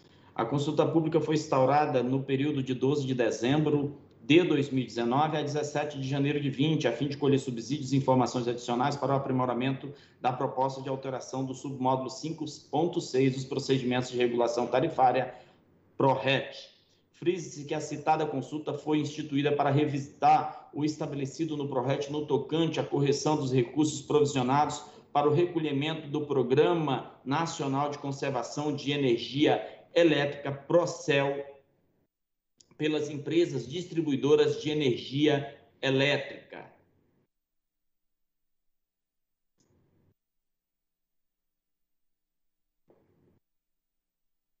Só um segundinho. Os recursos destinados a esse programa, coordenado pelo MME e executado pela empresa Centrais Elétricas Brasileiras, SA Eletrobras, com o intuito de promover o uso eficiente da energia elétrica e combater o seu desperdício, provém daqueles destinados à eficiência energética, conforme definido pela Lei 13.280 de 2016, que alterou a Lei 9.991 de 2000. Diante desse contexto legal, em 2016, foi, constitu... foi constituído o submódulo 5.6 do PRORET, alterado em 2018, nos termos da Resolução 830, com inserção da rotina de atualização monetária dos valores destinados ao Procel, desde o momento do seu provisionamento até o efetivo recolhimento. Transcreve-se a seguir, aqui não me permita não, não fazer a leitura, mas aqui a regra onde traz o aprimoramento em que a atualização é por via do IGPM. A Superintendência de Pesquisa, Desenvolvimento e Eficiência Energética, SPE, após deliberação a respeito do recolhimento de recursos ao Procel em 2018, recebeu questionamento de diversos agentes setoriais a respeito da forma de correção dos recursos provisionados desde desde a Lei 13.280-16 até a 830, Resolução Normativa da ANEL, em 2018. Naquela oportunidade, após a devida instrução processual, contando inclusive com o posicionamento da Procuradoria Federal junto à ANEL, constante do parecer número 78 de 2019, a SPE emitiu a nota técnica número 109 do mesmo ano. Assim, constitui-se consulta pública hora em discussão, cujas contribuições foram analisadas mediante a nota técnica 115 emitida pela SPE. É o relatório, senhores diretores.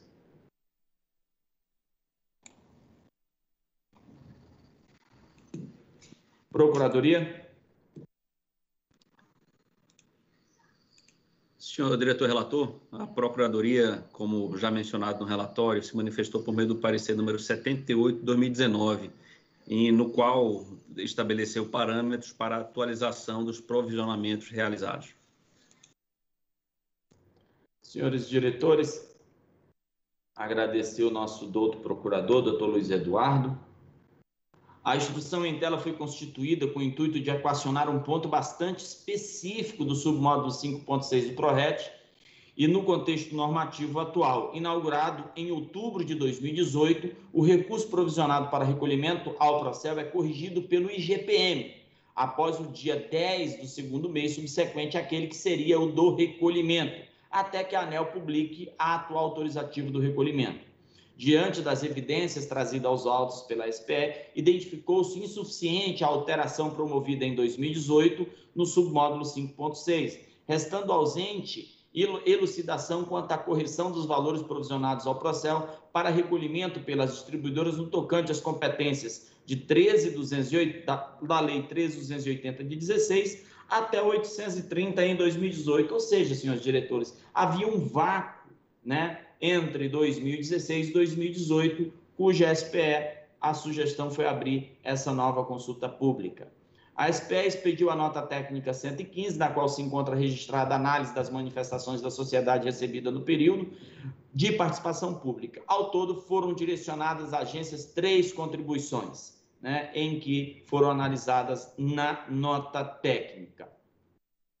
A SPE, por sua vez, senhores diretores, sugere na nota técnica que a aplicação seja a do IGPM, haja vista todo o procedimento da 830, né? E o que, naturalmente, também teve é, contribuições internas da nossa casa.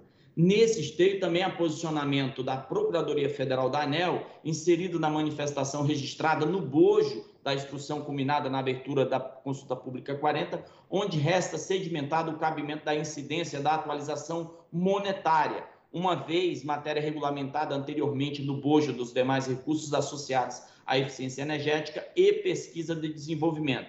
Complementarmente, peço liberdade para transcrever o trecho conclusivo da competente análise jurídica promovida pela Procuradoria. Aqui eu vou ler a parte que traz aqui o enxerto que nós adotamos como algo que, se, que é extremamente necessário para a compreensão do encaminhamento do voto.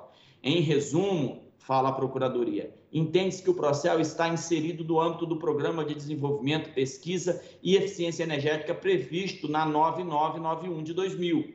A Lei 13280 teve o condão de direcionar parcela dos valores que já eram provisionados pelas distribuidoras ao Procel a alteração legislativa nada mais fez do que inserir mais uma hipótese de destinação dos recursos arrecadados com a finalidade de realização da pesquisa e desenvolvimento e em eficiência energética, mantendo-se como base de cálculo a receita operacional líquida das empresas. Esses recursos, conforme atos regulatórios pretéritos da ANEL, já vinham sendo corrigidos pela taxa Selic, não há como se admitir que a simples alteração da destinação dos recursos no percentual de 20% ao Procel acarrete por si só a desnecessidade de que seus provisionamentos sofram atualização. Por essa razão, senhores diretores, a Procuradoria entende pelo, entende, entende pelo posicionamento de que deva ser atualizado esses valores no mecanismo adotado pela Selic.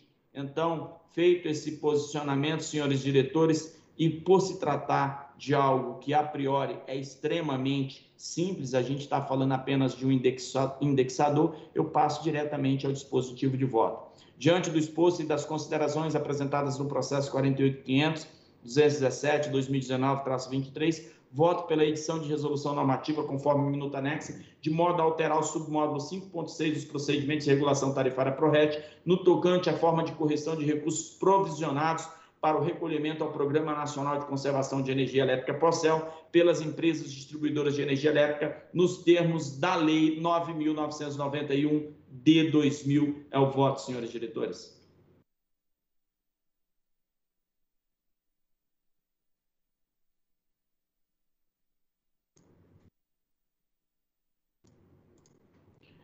Em discussão?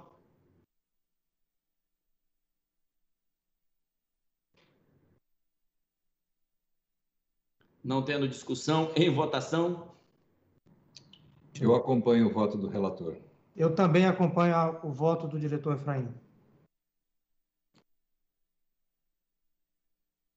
A diretoria da ANEL, eu, eu já, já votei, né? E a, a doutora Elisa, pelo jeito, está ausente. A diretoria ANEL, por unanimidade, aprova, de acordo com as considerações apresentadas no processo número 48.500-2017-2019-23, a resolução normativa conforme minuta anexa, de modo a alterar o submódulo 5.6 dos procedimentos de regulação tarifária PRORET, no tocante à forma de correção do recurso provisionado para o recolhimento ao Programa Nacional de Conservação de Energia Elétrica PROCEL pelas empresas distribuidoras de energia elétrica nos termos da Lei 9.991 de 2000. Secretário, nosso ilustre secretário-geral, próximo item da pauta. Item 7 Processo 48.500.002697, barra 2015-33. Assunto: Recurso administrativo interposto pela Copel Geração e Transmissão S.A., Copel GT, em face do despacho número 2608, barra 2015, emitido pela Superintendência de Concessões, Permissões e Autorizações de Transmissão e Distribuição, SCT, que determinou a execução da garantia de fiel cumprimento do contrato de concessão número 10 de 2010, em razão do atraso nas obras. Diretor relator, Sandoval de Araújo Feitosa Neto, e há um pedido de sustentação oral para este item. Muito obrigado, doutor Ricardo. Bem, é, vamos à leitura do voto. A Superintendência de Concessões, Permissões e Autorizações de Transmissão, a SCT, no uso de suas atribuições regimentais, decidiu, por meio do despacho 2608, só um momentinho, por favor.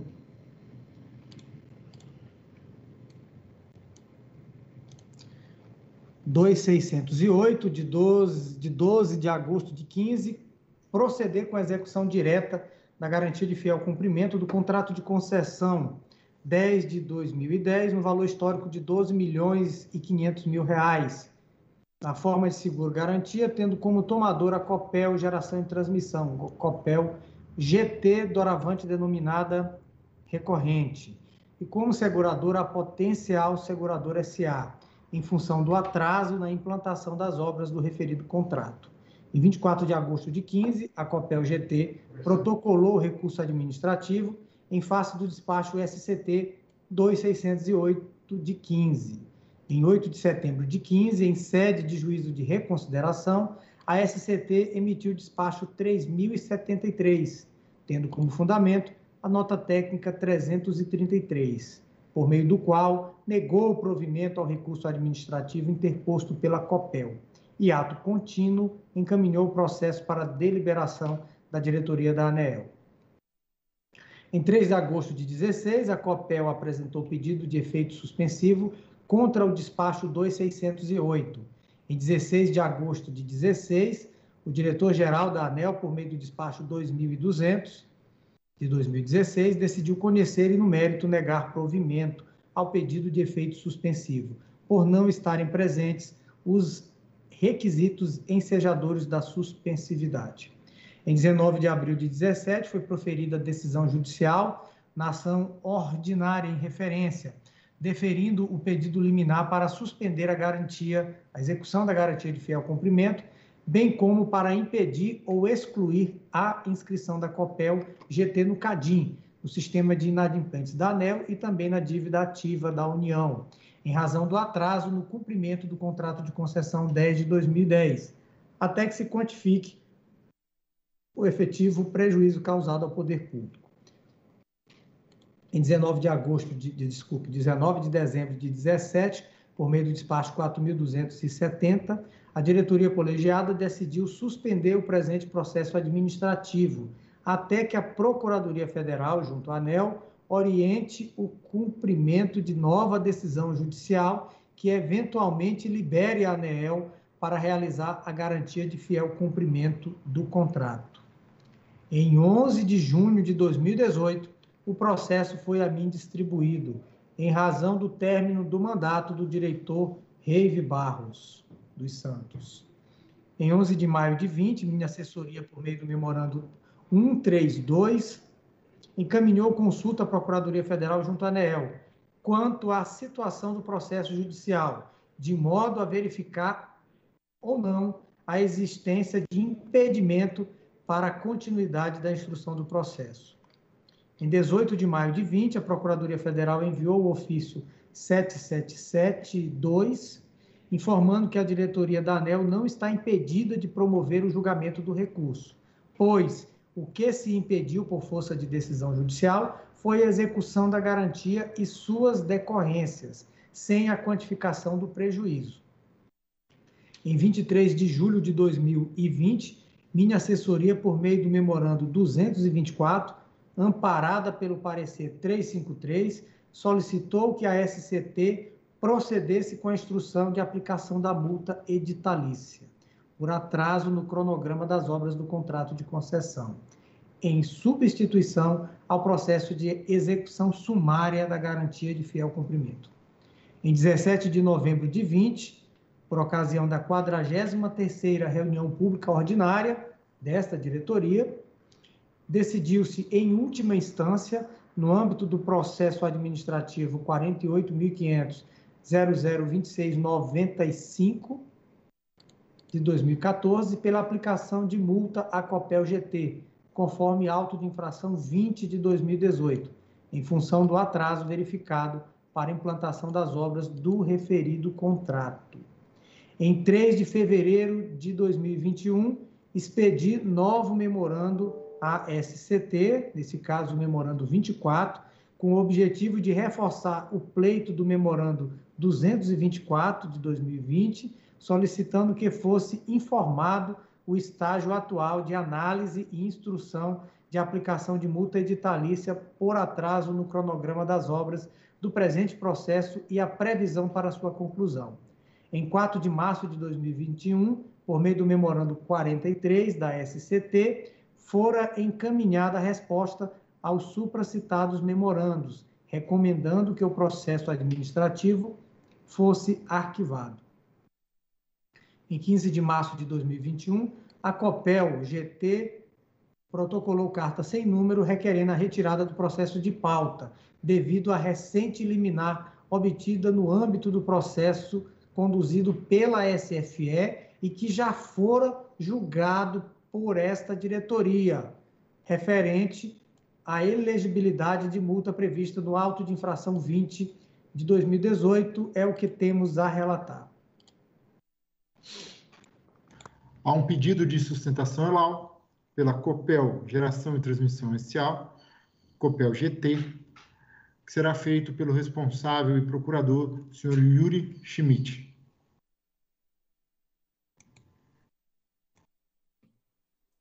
Bom dia, senhores diretores, secretário, procurador-geral, demais membros da ANEL aqui presentes e agentes regulados.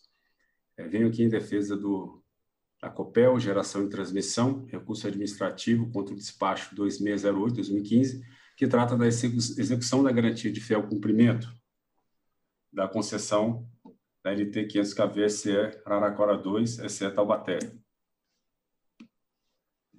É, o despacho 2608, de 12 de 8 de 2016, determinou a execução da garantia de fiel cumprimento pelo não cumprimento do prazo para entrada em operação comercial, sem avaliar as excludentes de responsabilidade e o dano efetivo.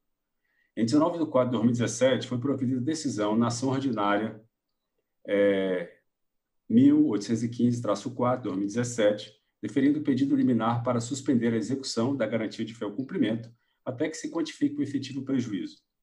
Segundo o parecer número 353 de 2019 da PGF AGU, ANEL, é, foi opinado pela aplicação da penalidade de multa contratual em caso de descumprimento do cronograma de implantação do empreendimento, Após a aplicação da multa pela diretoria, com análise prévia da defesa, caberá recurso ao qual, se não for provido, e se gerar notificação para que a empresa pague o valor da multa.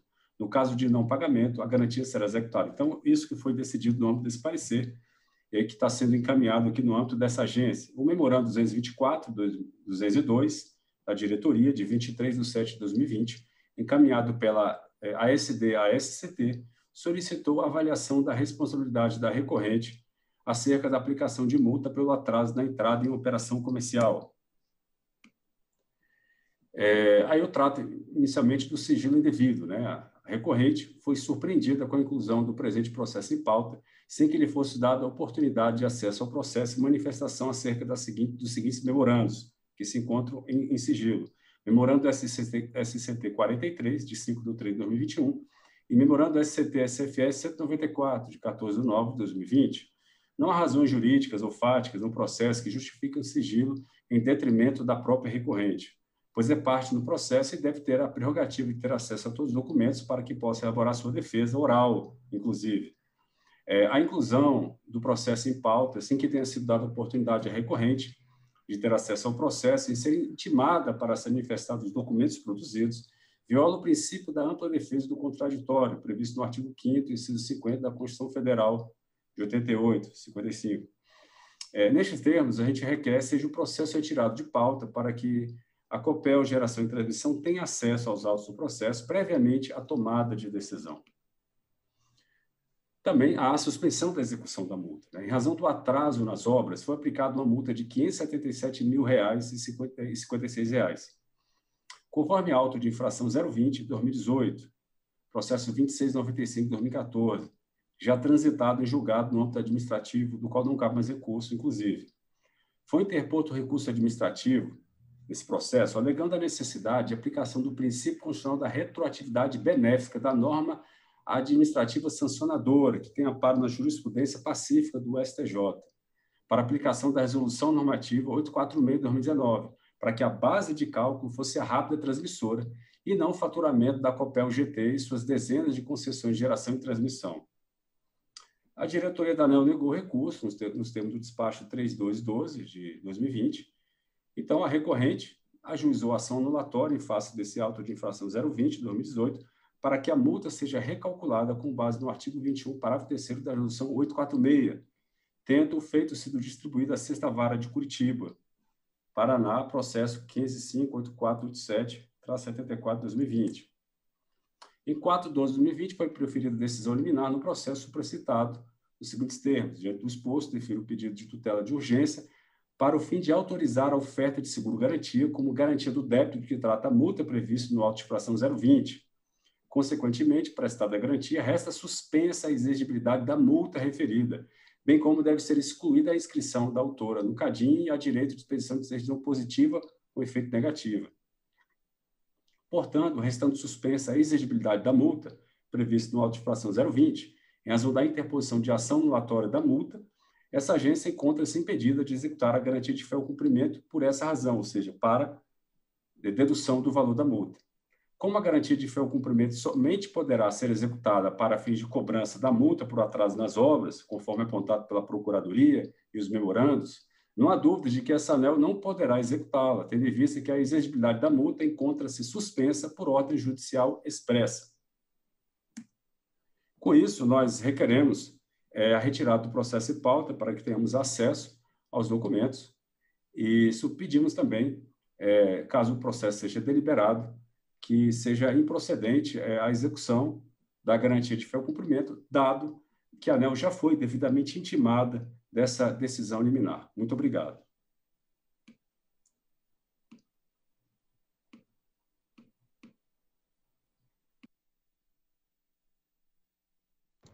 Procuradoria. Bem, senhor diretor é, relator, muito obrigado, Yuri, pela sustentação oral. Nesse caso específico, a Procuradoria não emitiu parecer, porém tivemos interlocução com a assessoria do relator e eu queria chamar a atenção para dois pontos. É, o primeiro ponto é que não fomos intimados da decisão que o, que o advogado Yuri mencionou, que teria sido proferida no dia 15 de março de 2021, ou seja, ontem. Não temos conhecimento dessa decisão. É, sobre um, um, ponto que foi trazido, já quanto ao mérito do, da ação judicial, que Yuri busca retratar aqui na sua sustentação oral, de que haveria uma retro, que a jurisprudência do STJ possuiria uma jurisprudência pacífica a favor da retroatividade benéfica em matéria de regulação, isso não é verdade. A verdade é que existe uma jurisprudência majoritária a favor da irretroatividade benéfica em matéria de processo administrativo punitivo. Inclusive, a Procuradoria da ANEEL se vê vinculada a um parecer aprovado pela Procuradoria-Geral Federal do ano de 2015, que uniformizou esse entendimento no âmbito da Advocacia Geral da União. Quanto ao mais, o diretor eh, relator com certeza está encaminhando o, os pontos que foram é, tratados quando do assessoramento. Bem, gostaria de cumprimentar o representante da recorrente, doutor Yuri. Também gostaria aqui de cumprimentar o doutor Luiz Eduardo pelas valorosas contribuições e, e, e análises feitas no presente processo, que rechaçam de forma muito clara as argumentações trazidas pelo doutor Yuri no ponto, eu gostaria de passar algumas delas antes de fazer a leitura do voto. Inicialmente, como assentou o nosso procurador, A jurisprudência é exatamente no contrário. Em processos punitivos, vale, aplica-se a regra que estava vigente à época. Isso é matéria assentada, pacificada e que não há nenhuma jurisprudência no contrário dentro do colegiado da ANEL. Então, é, vejo até com bastante surpresa esse argumento retornar nas deliberações da agência. Também, como o doutor Luiz Eduardo colocou, a ANEL não foi intimada, então não temos nem conhecimento do que foi, é, da decisão que foi citada pelo doutor Yuri. Um outro ponto também é que é, quando não há uma decisão objetiva no sentido de paralisar processos no âmbito administrativo por uma decisão judicial, ainda que seja em definitivo ou de mérito, as instâncias são independentes. A ANEL não precisa paralisar processos porque há uma ação correndo na justiça. Isso é independente. Não precisamos fazer isso. E, por fim, com relação a uma eventual nulidade do processo, porque um memorando ou dois, eventualmente citado, estejam é, é, em sigilo, eu não, não é prática nossa e seguramente foi o, o documento em questão foi citado exatamente no relatório do voto, que é uma recomendação para arquivamento do processo. Então, é completamente é, desarrazoado alegar e invocar nulidade do presente processo. Feito essas considerações, eu passo direto à leitura da fundamentação do voto. O presente processo apresenta análise do recurso administrativo interposto pela recorrente em face do despacho 2608 de 2015, que decidiu pela execução direta da garantia de fiel cumprimento referente ao contrato de concessão 10 em decorrência do descumprimento do prazo contratual para a entrada em operação comercial das instalações. Encaminho decisão pelas razões que passaria a demonstrar, no sentido de declarar, por exaurimento da finalidade, a perda de objeto do recurso administrativo interposto pela COPEL GT, com a consequente inexecução de forma direta da garantia de fiel cumprimento do contrato de concessão em referência. Destaco que o referido recurso ele foi ele fora protocolado tempestivamente, interposto por empresa que detém legitimidade e interesse processual, razão pela qual deve ser conhecido. Senhores diretores, a obra que nós estamos aqui a tratar, objeto do contrato 10 de 2010, é refere-se à construção, manutenção e operação da linha de transmissão em 500 kV, Araraquara 2, Taubaté e demais instalações associadas, conforme consta aqui na página na página 5 do voto, um diagrama eletrogeográfico desse empreendimento. As obras têm, têm como objetivo permitir o escoamento da energia proveniente da interligação em corrente contínua das usinas de Santo Antônio e Geral, no Rio Madeira, casada no estado de Rondônia, com a região sudeste do Brasil.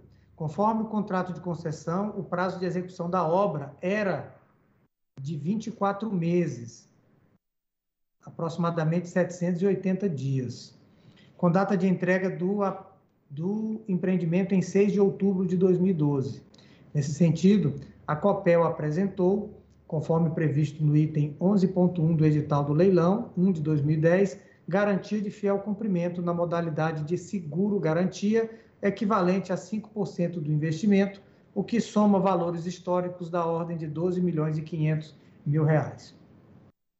Entretanto, fruto do acompanhamento e gestão dos contratos de concessão em andamento, realizados pela SCT e SFE, foi identificado de forma inequívoca o descumprimento do prazo contratual para a entrada em operação comercial da, das obras. A título informativo, esse empreendimento só entrou em operação em 27 de julho de 2018. Lembrando que a data de entrega era 6 de outubro de 2012. Esse empreendimento teve absurdos 5,8 anos de atraso. Isso posto, deu-se início às providências cabíveis em relação à execução da garantia de fiel cumprimento de forma sumária, por meio da abertura de processo administrativo em 15 de julho de 15, aproximadamente três anos da data do fim da obra prevista em contrato, pela execução direta da garantia de fiel cumprimento, realizada, materializada na pólice de seguro em referência no valor histórico já citado. Em seu recurso administrativo, a COPEL GT argumentou, em suma, que não deve ser procedida a execução direta da garantia de fiel cumprimento, pois não ficou caracterizado o atraso injustificado apontado pela SCT, uma vez que os pedidos de alteração do cronograma, baseados nas dificuldades enfrentadas nos processos de licenciamento, questões judiciais e de ordem fundiária, não tinham sido apreciados pela ANEEL e que, no entendimento da recorrente, poderiam ensejar a caracterização de excludente de responsabilidade pelos atrasos. Em sede de juízo de reconsideração, a SCT entendeu que as alegações trazidas não apresentaram nenhum fato novo que pudesse descaracterizar a procedência da execução direta da garantia de fiel cumprimento, materializando sua decisão mediante despacho 3073. Conforme citado na parte do relatório deste voto, a COPEL GT conseguiu liminar na Justiça para suspender a execução da garantia de fiel cumprimento, determinada no âmbito deste processo, bem como para impedir ou excluir a inscrição do impetrante no CADIM, no sistema de inadimplentes da ANEL e na dívida ativa em razão do atraso do cumprimento do contrato de concessão, até que se quantifique o efetivo prejuízo causado ao poder público. Antes de prosseguir, é importante ressaltar que a inadimplência da concessionária implica em consequências negativas ao poder público. Se o descumprimento contratual fosse aceito, não haveria razão, não haveria aso para existirem garantias e cronogramas, tendo em vista que as obras poderiam ser finalizadas a livre juízo de cada concessionária. Isentá-la de culpa nessas circunstâncias, sem justificativas plausíveis, incentivaria a reincidência do descumprimento de obrigações por parte desta concessionária e de outras, prejudicando gravosamente os interesses dos consumidores e colocando em risco o abastecimento elétrico energético do país ou seja, instauraria-se o caos. Contudo, diante da notória dificuldade provocada pela frequente judicialização das execuções sumárias de garantia relacionadas à questão da quantificação do prejuízo, inclusive envolvendo diversos outros processos de concessionárias de transmissão, inclusive este e devidamente amparado pelo competente parecer de número 353, entendi como razoável e prudente alterar o procedimento de execução da garantia sumária da garantia para aplicação de multa editalícia. O caso da Copel GT se amolda integralmente ao teor do parecer em questão. A Procuradoria Federal, em seu parecer, sustenta, em suma, que a execução da garantia de fiel cumprimento não deveria ser sumária, pois os dispositivos normais, ativos e legais, neste caso, asseguram que a garantia de fiel cumprimento poderia vir a ser executada no caso de eventual inadimplemento da concessionária de uma penalidade de multa, a chamada multa editalícia ou contratual. Destaco que esse procedimento é recente, mas não inédito, sendo uma providência cabível para aprimorar a efetividade do processo e o recebimento pelo poder público dos valores devidos pela concessionária em função de sua comprovada e inegável inadimplência, pois, ao converter o presente processo em aplicação de multa, com possível execução da garantia em caso do não pagamento, deixa-se de executar diretamente a garantia com base na indenização de prejuízo, o que esvazia eventual argumento relativo à necessidade de quantificação de erro. Quanto ao caso em questão, o item 13 do edital de leilão 1 de 2010 prevê que o descumprimento das condições editalícias ou contratuais asseguram a aplicação da multa e das demais penalidades previstas na Lei 866 de 93.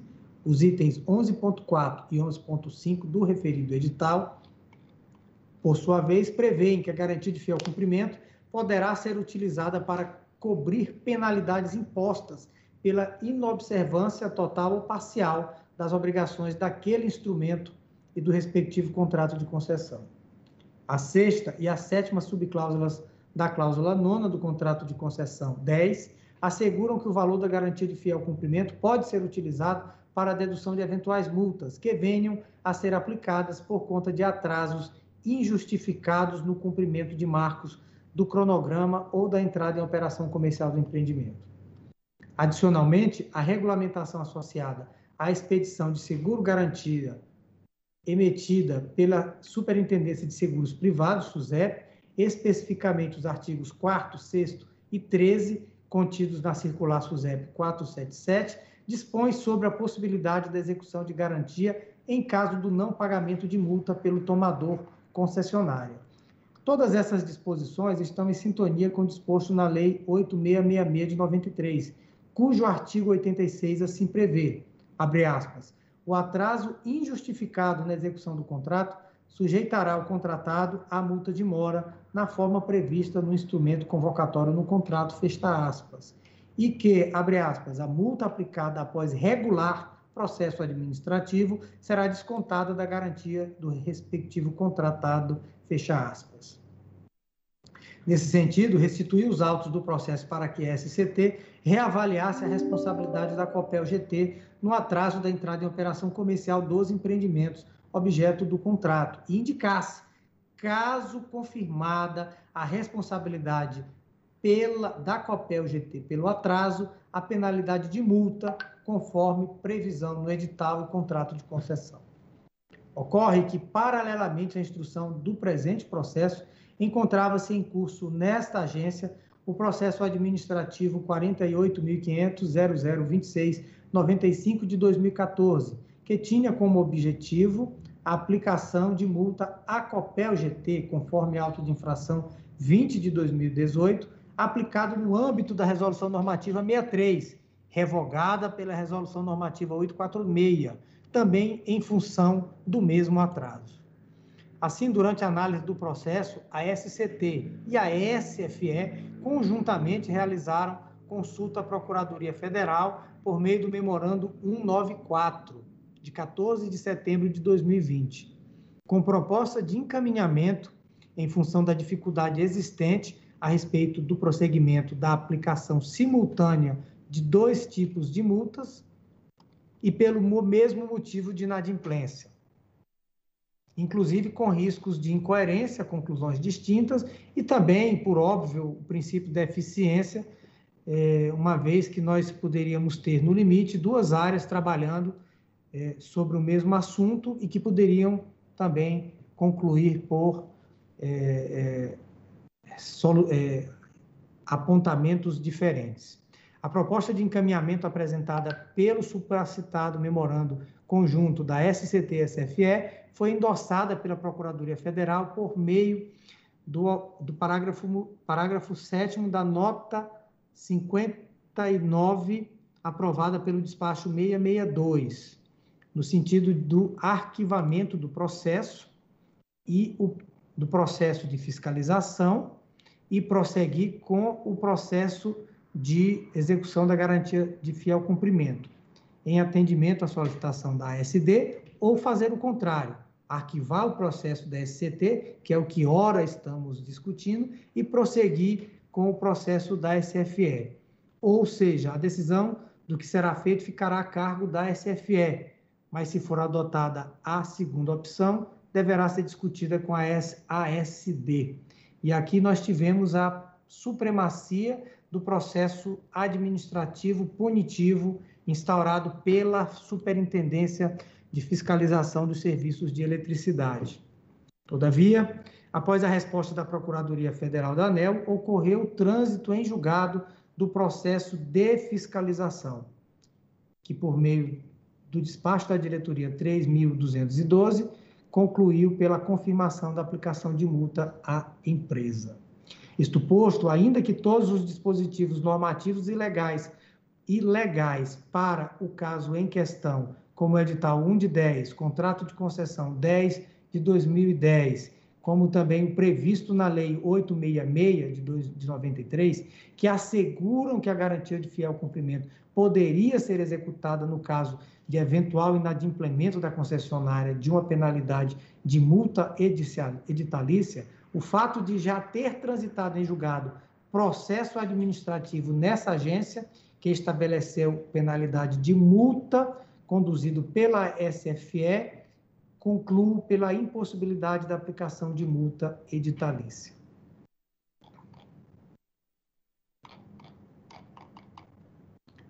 Todavia, vale mencionar que, salvo casos pretéritos, a situação ora analisada não deve ocorrer mais pois a diretoria dessa agência editou a portaria 6.307, de 24 de março de 2020, delegando à própria SFE a competência de aplicar as penalidades de advertência e multa pela inexecução total ou parcial dos contratos de concessão de transmissão previstas na Lei 866 de 93 e previstas nos editais dos leilões de transmissão.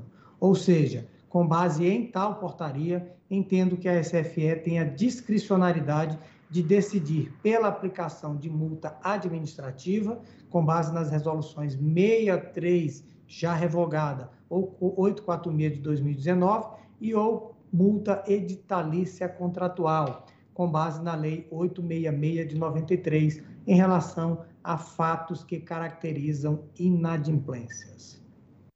Não obstante, com base no exposto do próprio parecer 53 de 2019 da Procuradoria Federal, foi sinalizado a possibilidade da coexistência da multa editalícia e contratual, fundamentada nos artigos 86 e 87 da Lei 866 de 93 e da administrativa, com base na Lei 9427 de 96 e da Resolução Normativa 846 de 2019, entendo que a primeira, que desde que a primeira fosse referente à fase anterior à entrada em operação comercial do empreendimento, fase de obras, e esta última relativa ao momento posterior à entrada em operação comercial, o que evitaria a duplicidade de penalidade pelo mesmo fato gerador.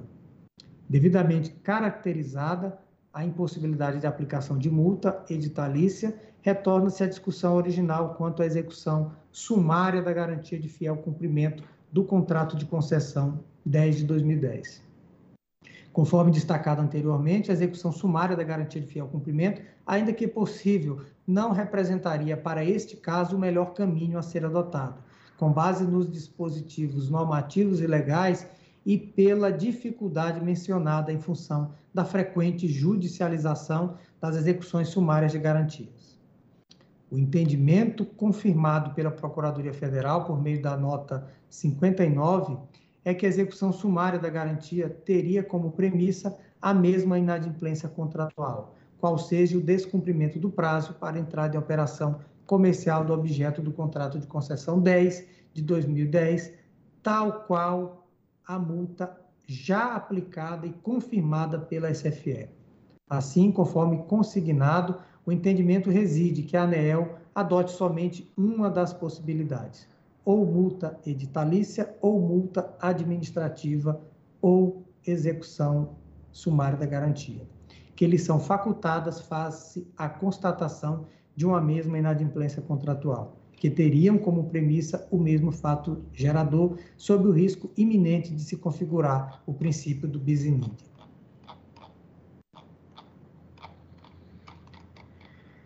Portanto, eh, senhores diretores, entendo que, com o que for exposto até o momento no presente voto, e o que nós temos em, em discussão aqui é: temos o atraso que ocorreu, essa obra é uma obra bastante antiga, esse processo é de 2018, como eu já citei, a distribuição era do, originária do diretor Reive havia um entendimento de um impedimento judicial para que o processo desse continuidade em algum momento foi esclarecido que isso não restava mais tal impedimento.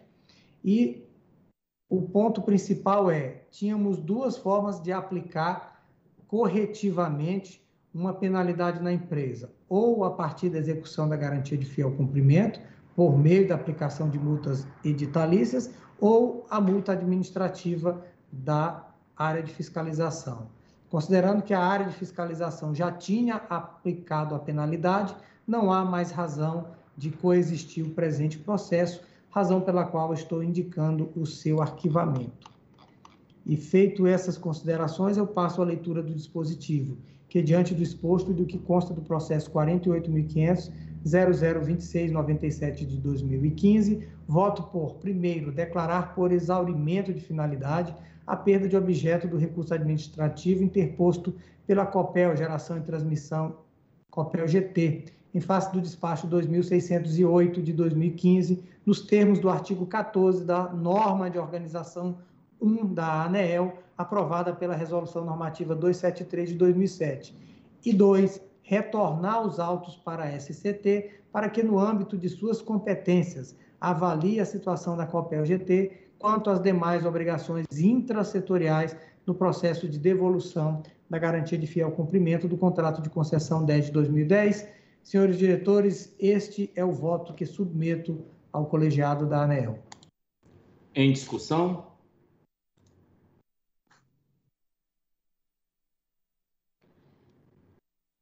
Não havendo discussão, em votação? Eu acompanho o voto do relator. Também voto com o relator. Eu também voto com o relator e declaro que a diretoria, por unanimidade, decidiu declarar por exaurimento da finalidade a perda de objeto do recurso administrativo interposto pela Copel Geração e Transmissão SA Copel GT, em face do despacho 2608-2015, emitido pela Superintendência de Concessões, Permissões e Autorizações de Transmissão e Distribuição SCT, nos termos do artigo 14 da norma de organização da ANEL número 1, aprovada pela Resolução Normativa 273 de 2007, e retornar os autos para a SCT para que, no âmbito das suas competências, avalie a situação da Copel GT quanto às demais obrigações intrasetoriais no processo de devolução da garantia de fiel cumprimento do contrato de concessão número 10 de 2010. Nosso ilustre secretário-geral, doutor Ricardo. Próximo item. Boa tarde. Antes de passar ao próximo item, gostaria de informar que o item 8 e o item 17 foram retirados de pauta. Então, o próximo item será o item 9, doutor Efraim. Doutor Ricardo, só mais um ponto, por favor. Eu também queria solicitar a retirada de pauta do item 5. Então, retirado também de pauta o item 5. Próximos itens serão do diretor Elvio, começando pelo item 9. Processo 48.500.003205-2017-99. Assunto: anuência ao termo de parcelamento de débitos com o Fundo Setorial da Conta de Desenvolvimento Energético CDE, a ser celebrado entre a Câmara de Comercialização de Energia Elétrica CCE e a Celesc Distribuição SA. Diretor relator, Elvio Neves Guerra, Obrigado, Ricardo.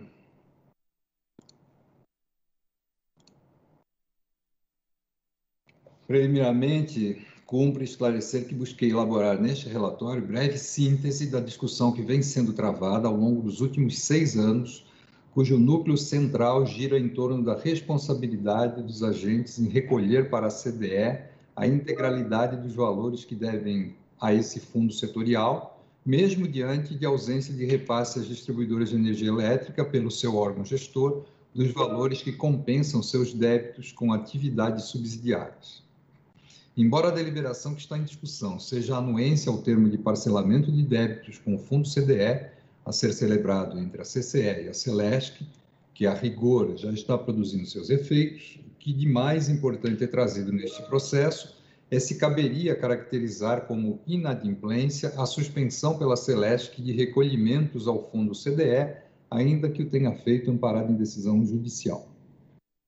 Assim, tudo se inicia em 24 de fevereiro de 2015, quando a Celesc reclamou administrativamente, não estar recebendo da gestora da CDE, à época, a Eletrobras, os valores aos quais teria direito e sim dispôs contra a obrigatoriedade de manter o recolhimento dos valores sob sua responsabilidade para o fundo setorial.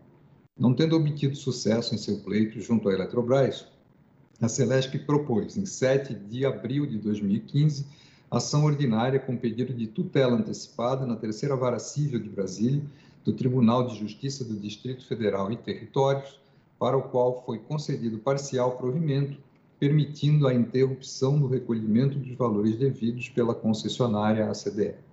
De posse da decisão cautelar, a Celeste interrompeu o recolhimento dos valores devidos à CDE, fato que perdurou até julho, junho de 2017, quando foi retomado o recolhimento em decorrência de acordo celebrado com a Câmara, com a CCE, a qual foi designada gestora dos fundos setoriais da CCC e da CDE, em substituição à Eletrobras, nos termos da Lei 13.360, de 17 de novembro de 2016.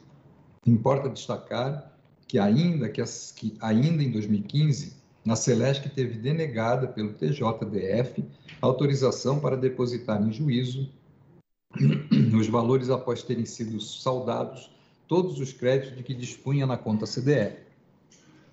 Decisão que fez com que o valor devido atingisse o montante de 1 bilhão 166 mil 319 é, milhão, 166 milhões 319 mil 714 reais em setembro de 17.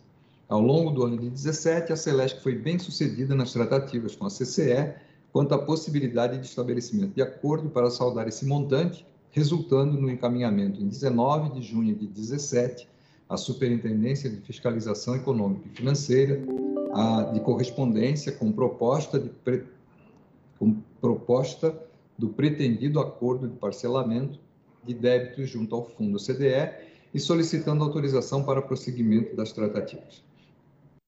Em 13 de julho de 17, a CCE encaminhou correspondência destacando os pontos de controvérsia entre a CCE e a Celeste indicando que ambas entendiam que o acordo poderia ser celebrado com o pagamento da parte incontroversa. Em 25 de setembro de 2017, a CCE informou que a Celeste havia dado início, em julho de 2017, aos pagamentos dos valores não controversos devidos à CDE, amortizando a dívida existente e encaminhando nova minuta de termo de parcelamento. Em 29 de setembro de 2017, por meio da nota técnica 166, a SFF analisou o termo de parcelamento. Em 4 de julho de 18, o processo foi encaminhado à Procuradoria Federal junto à ANEL com vistas a obter subsídios ao voto do então diretor relator, tendo sido emitido em 11 de setembro de 18 o parecer número 3, 353 e posteriormente o parecer 560 é, de, de 18 de dezembro de 18. O parecer número 127 de, 2000, de 22 de abril de 2020 e o parecer 309 de 30 de setembro de 2020. Portanto, aqui é, várias manifestações da Procuradoria. Em 3 de março de 2020, a Celesc e a CCE encaminharam para a anuência da ANEL nova proposta de solução administrativa para o parcelamento das obrigações junto ao fundo CDE, com a dispensa do pagamento de multa. Em 3 de junho de 2020, a SFF encaminhou memorando ao então diretor relator recomendando a aprovação do acordo com a sua adequação ao regramento vigente. Em 16 de novembro de 2020, na 45ª sessão de sorteio público ordinário, o processo foi distribuído à minha relatoria e em 10 de março de 2021, por meio de e-mail, a Celeste encaminhou informações complementares. É o relatório. Temos sustentação oral, doutor Ricardo. Não, senhor diretor Efraim, não temos. Procuradoria.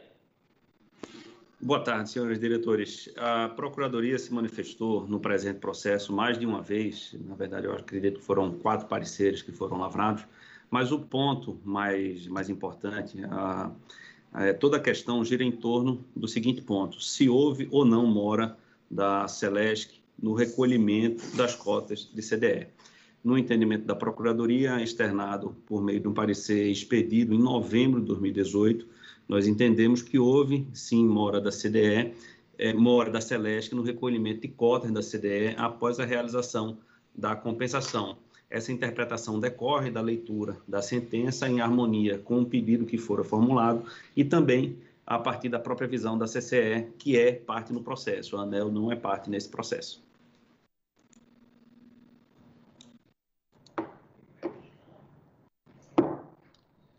Trata-se da anuência ao termo de parcelamento de débitos com o fundo CDE a ser celebrado entre a CCE e a Celesc. O débito objeto do referido parcelamento teve sua origem na liminar obtida pela Celesc em abril de 2015, no curso do processo judicial no qual a distribuidora buscou a satisfação de valores não pagos pela Eletrobras, então gestora da CDE.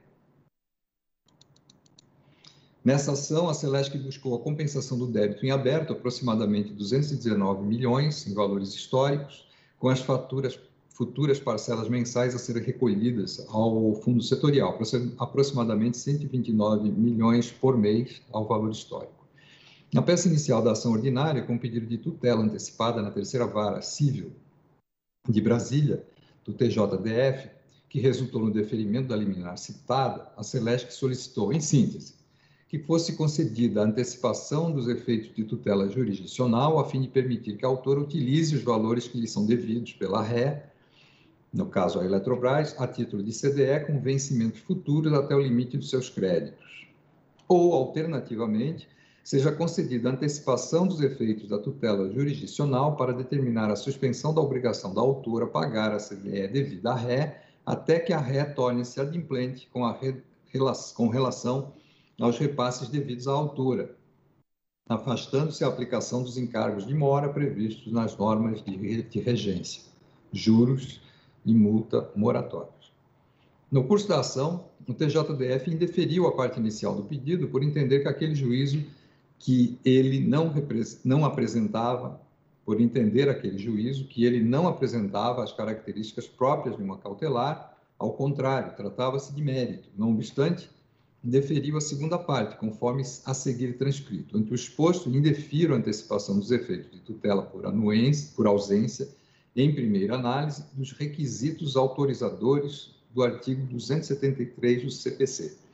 Quanto ao pedido subsidiário, este possui natureza de medida cautelar incidental, nos termos do mesmo artigo do CPC. Diversamente do pleito antecipatório, vislumbro suficientes os argumentos expedidos para sua concessão a expressiva monta do valor cobrado, bem como a pendência de repasses por conta da requerida, ao, me, ao menos neste momento, podem causar dano irreparável à parte autora, se os valores devidos pela ré não vêm sendo repassados, o eventual pagamento pela autora poderá inviabilizar o próprio provimento do de mérito final, causando dano considerável.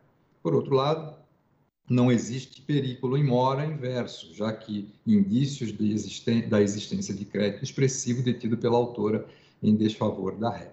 Ante o exposto, defiro excepcionalmente a medida cautelar incidental para suspender a exigibilidade da próxima parcela devida da CDE pela parte autora, 10 de abril de 2015, e as subsequentes, até o exercício do contraditório e ulterior deliberação deste juízo. Após a contestação, poderão ser reanalisadas tanto a tutela antecipada indeferida quanto a medida cautelar concedida nesta ocasião.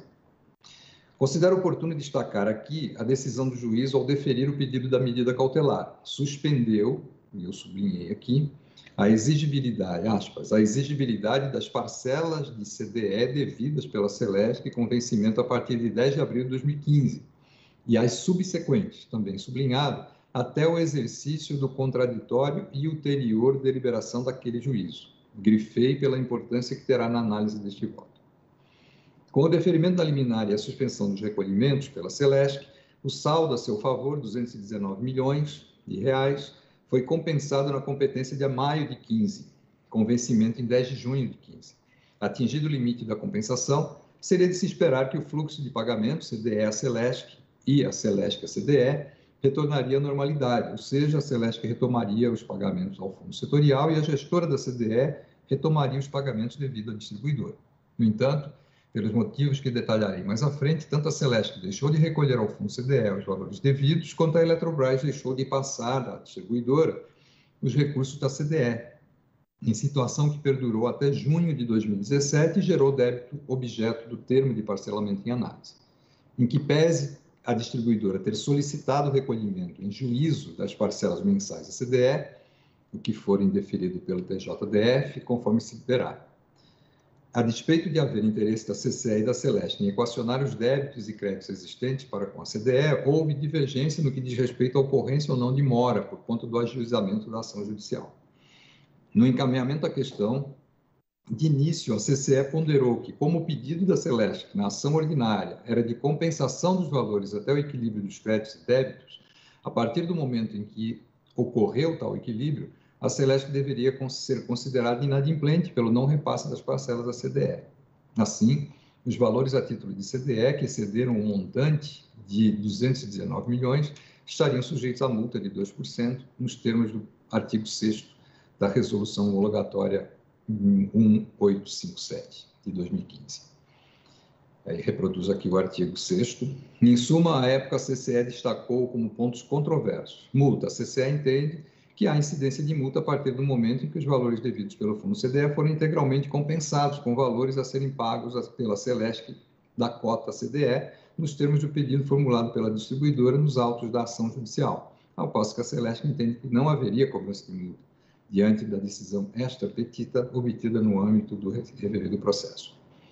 Atualizados, atual, quanto à atualização dos valores, a posição da CCE é de que a compensação seria no limite dos débitos ao Fundo CDE e, assim, equilibrados os valores, não haveria mais que se falar em saldo de compensação. A Celeste, por sua vez, entende que a compensação prosseguiria por todo o período abarcado pelo acordo, havendo a atualização do saldo a pagar.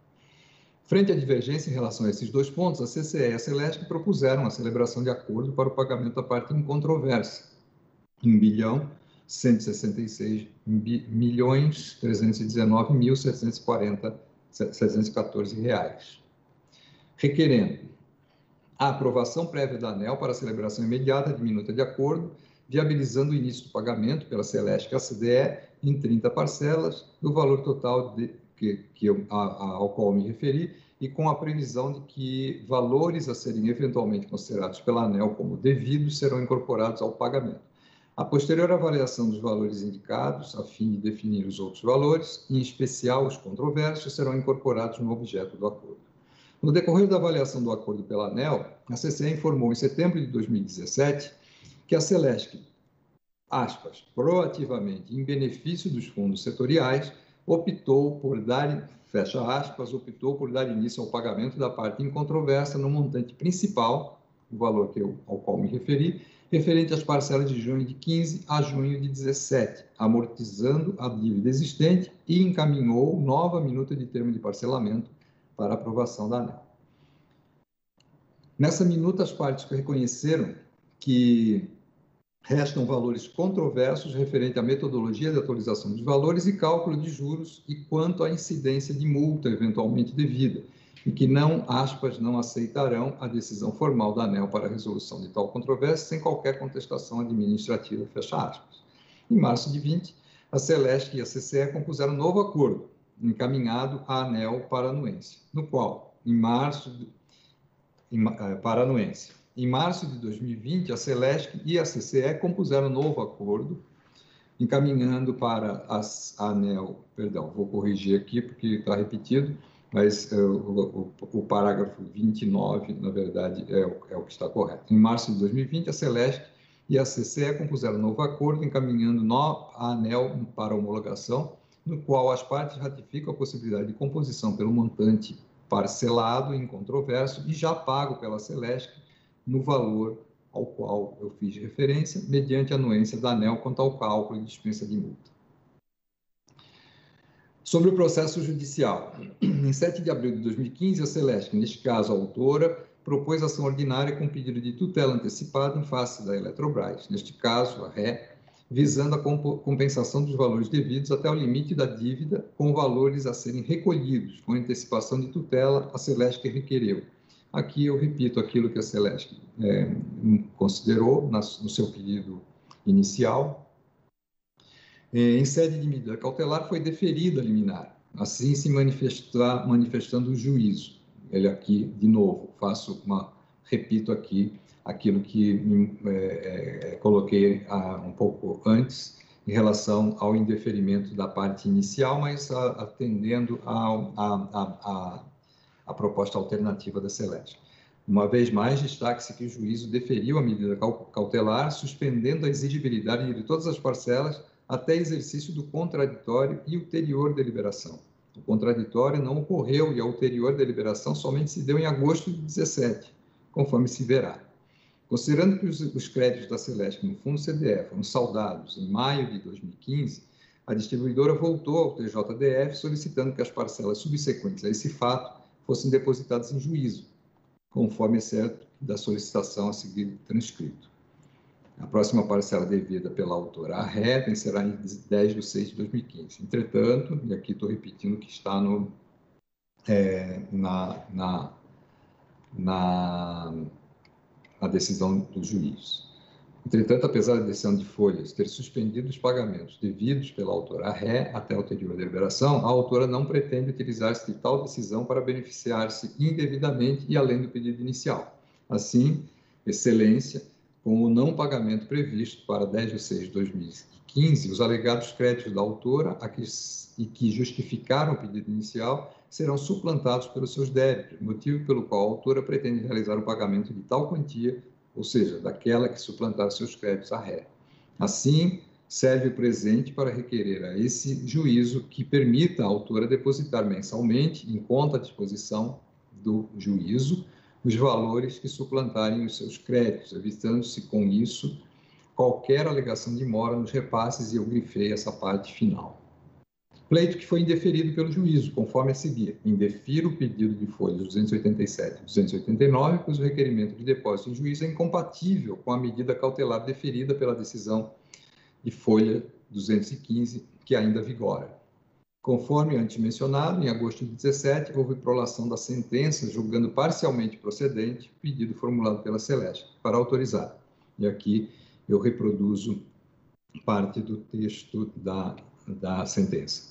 Julgo parcialmente procedente o pedido, de, o pedido formulado por Celeste Distribuição S.A. para autorizar as autoras a compensarem os créditos e débitos devidos à CDE nos termos apresentados na peça inicial, considerando a, a atualização monetária pelo INPC desde a inadimplência e juros de mora de 1% e multa de 2%, declarando-se a extinção dos débitos até o limite da compensação sem que se possa ser aplicada qualquer penalidade à autora ou promovida a cobrança, tampouco caracterização da mora, e aqui eu sublinhei para destacar, ou inscrição em cadastro de proteção ao crédito. Como se vê, a sentença autorizou a compensação dos créditos e débitos vinculados à CDE, por óbvio, a inadimplência citada refere-se à ausência de repasses de recursos da CDE à Celeste pela gestora do fundo setorial, uma vez ter, ter o juízo admitido a compensação dos créditos e débitos. E foi além, extinguiu os débitos até o limite da compensação autorizada, pelo que concluo que não foram extintos os demais débitos incorridos a partir de então, que deverão ser, portanto, recolhidos pela Celeste ao fundo CDE, não obstante teria impedido que fossem caracterizados como mora ou inscritos em cadastros de proteção ao crédito. Quanto à parte controversa, né, ou seja, aplicação de multa e atualização dos valores em encontro de contas, passo a discorrer. A controvérsia na celebração do acordo de parcelamento está na interpretação que a Celeste incidiu em mora a partir do momento em que houve a compensação do crédito que tinha a receber com o que devia à CDE, quando não retomou o recolhimento do valor devido ao fundo CDE em junho de 15. Por, por conseguinte, a partir dessa competência, o valor devido pela CDE Celeste até maio de 2015 é deduzido mensalmente do montante devido pela distribuidora ao fundo e sobre o saldo resultante, saldo da compensação, é aplicada a atualização pelo IPCA deixa de existir para a Celeste a compensação entre o crédito que tem a receber e o que deve à CDE. O valor que a Celeste tem a receber da CDE referente ao subsídio tarifário e baixa renda passa a ser corrigido pelo IPCE, IPCA, até a data de efetivação do parcelamento, em consonância com o artigo 7 da Resolução Homologatória 1857 de 2015. sobre o valor total não recolhido pela CDE, Celesc ao fundo CDE, em conjunto com o saldo remanescente da compensação, correspondente a pouco mais de 36 milhões, passa a incidir multa de 2% e juros de mora de 1% ao mês, pro rata tempore, em conformidade com o artigo 6 da resolução citada. Assim, o valor do débito da Celeste a ser parcelado é aquele calculado na forma do item anterior, deduzido o saldo a receber, atualizado pelo IPCA. No seu, por seu turno, a, Celeste, a interpretação da Celeste é de que não incorreu em mora e que a compensação permaneceu, ainda que de forma tácita, mesmo após o saldo da compensação ficar positivo para a CDE, uma vez que a Eletrobras continuou não repassando os recursos devido à distribuidora. Em consequência, nessa interpretação, a partir da competência de junho de 15, 1. Um, o valor devido pela CDE Celeste até maio de 15 é deduzido mensalmente do montante devido pela distribuidora ao fundo e sobre o saldo resultante, o saldo de compensação, é aplicada a atualização monetária. 2. Permanece para a Celeste a compensação entre o crédito que tem a receber e o que deve à CDE até a competência de junho de 17, última incluída no termo de parcelamento. Assim, não há atualização monetária no valor para no, no valor que a Celeste tem a receber da CDE, o qual deve ser abatido, compensado, mensalmente do valor a pagar para efeito de incidência de juros de imóvel, juros de 1% ao mês. Não há, três, não há incidência da, da multa de 2%, visto que não incorreu em mora. O argumento da Celeste é que sempre objetivou compensar os valores devidos à CDE com os créditos que deveria receber do fundo, e que mesmo após a decisão liminar, peticionou em juízo requerendo o depósito das parcelas excedentes à compensação, com o intuito de afastar a mora, que foi impossibilitado diante do indeferimento do pedido de depósito. Na Celeste alega ainda que o juízo suspendeu até decisão de mérito todas as parcelas devidas pela Celeste, o que não poderia implicar em inadimplência da interessada. Em contrapartida, no curso do processo, a Celeste indica, ainda que a Eletrobras ainda que a Eletrobras continuou não realizando os pagamentos a ela. A proposta de acordo entre a CCE e a Celeste e as questões sobre inadimplência da distribuidora foram objeto de diversas análises da Procuradoria Federal junto à ANEL, como bem relatou o Procurador-Geral Luiz Eduardo. Em sua primeira análise de acordo, da, do acordo, em setembro de 18, a Procuradoria opinou, por meio do parecer 353, por não considerar a Celeste inadimplente, tendo em vista que a liminar deferida suspendeu a exigibilidade das parcelas devidas à CDE. Dois, considerando que a Celeste não deve ser considerada como inadimplente, não cabe penalização por mora. Três, os créditos devidos pelo fundo CDE à Celeste devem ser atualizados pelo INPC, além de juros moratórios e multa de 2% nos termos da sentença proferida nos autos do processo judicial. A sentença de quatro, a sentença judicial não caracteriza óbice a celebração de acordo extrajudicial, sendo as partes livres para, trans, transacion, para, para transações, ainda que diferente do que foi decidido pelo Poder Judiciário. Os termos do parecer da Procuradoria suscitaram a apresentação de uma nova proposta de acordo pela Celeste. Na análise desse novo acordo, a SFF formulou novos quesitos APF com vistas a esclarecer se a vedação da aplicação de penalidade restringe-se aos débitos extintos pela compensação ou atinge os débitos que ultrapassaram o limite da compensação. Dois, atingido o limite da compensação, extingue-se o confronto entre débitos e créditos. E três, não havendo confronto entre, entre débitos e créditos, a determinação da sentença de incidência da atualização monetária pelo IPC, IPC, INPC, juros de mora é, de 1% e multa de 2% em favor da Celeste sobre o saldo inadimplido pela CDE deve ser aplicada somente sobre os débitos do fundo que fazem parte do confronto entre débitos e créditos até a data da extinção da dívida da Celeste. Em resposta, em dezembro de 18, a Procuradoria manifestou-se por meio do parecer 560, alterando seu entendimento inicial e opinando que a decisão proferida no âmbito do processo judicial, determinando a suspensão da exigibilidade, limite seu valor da compensação, posto que foi esse o pedido da empresa autora e nessa linha foi a petição que requereu a consignação em juízo. Ultrapassado esse valor teto, o que se verificou na competência de maio de 15, a Celeste deve, ter, deve ser tida como inadimplente, sujeitando-se aos encargos moratórios compatíveis com sua inação. Em nova consulta à Procuradoria, a SFF questionou se há possibilidade da ANEL flexibilizar os créditos de atualização das parcelas de acordo e de incidência de multa de 2% sobre as cotas não pagas pela Celeste, a fim de acatar o acordo pretendido, considerando, um, a boa-fé da Celeste, que, mesmo suportada por decisão judicial, espontaneamente buscou a regularização junto ao gestor do fundo dos valores que, que devia e os que tinha a receber, Dois, mesmo sem anuência da ANEL ao acordo proposto, já efetuou o pagamento do valor incontroverso, totalizando um montante de mais de um bilhão de reais. Em resposta no parecer 127, terceiro parecer, a Procuradoria opinou pela impossibilidade de flexibilização das normas que tratam da atualização monetária em razão da natureza indisponível dos créditos da CDE, recomendando que a multa de mora deve ser calculada a partir do primeiro dia subsequente ao do vencimento do prazo previsto para o pagamento do débito e a base de cálculo dos encargos moratórios é o valor, aspas, é o valor, abre aspas, é o valor original do débito, assim considerado e o que é apurado na ocorrência do fato gerador da respectiva obrigação, fecha aspas. Com base nesse parecer, a SFF recomendou a aprovação do acordo com a sua adequação ao regulamento vigente, sendo que o saldo devedor do parcelamento deveria ser recalculado com vistas à inclusão de multa de 2% e mudança da taxa de remuneração de 100% para 111% da Selic. E o saldo devedor poderia ser parcelado em até 12 meses, nos termos do submódulo 5.2 do PRORET.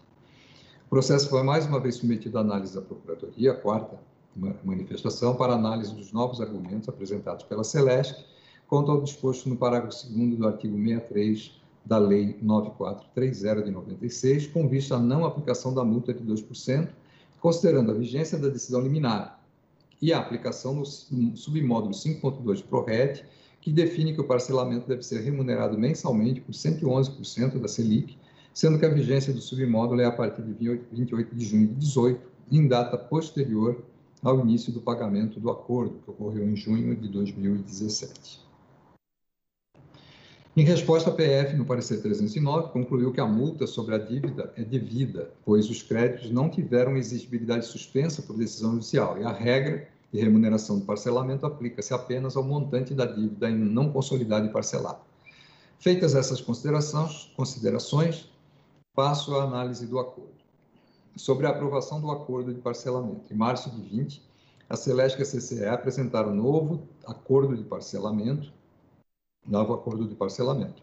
As partes ratificaram a possibilidade de compensação pelo montante parcelado incontroverso e pago pela Celeste, valor de 1 bilhão 166 milhões, mediante anuência da ANEL quanto ao cálculo e dispensa da multa, considerando as previsões regulatórias vigentes, sopesados os fatores associados aos desdobramentos da ação judicial e o risco processual de honorários de sucumbência para o Fundo CDE.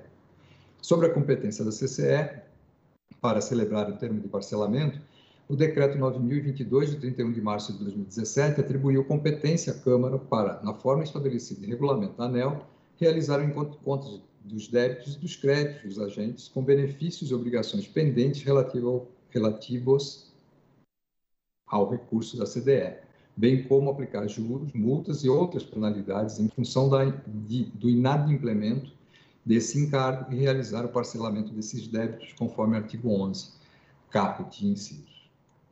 A Resolução Normativa 800, de 19 de dezembro de 2017, que regulamentou o Decreto 9022 e aprovou o submódulo 5.2 do PRORET, atribuiu competência para a CCE realizar o parcelamento de débitos relativos às cotas mensais da CDE em atraso.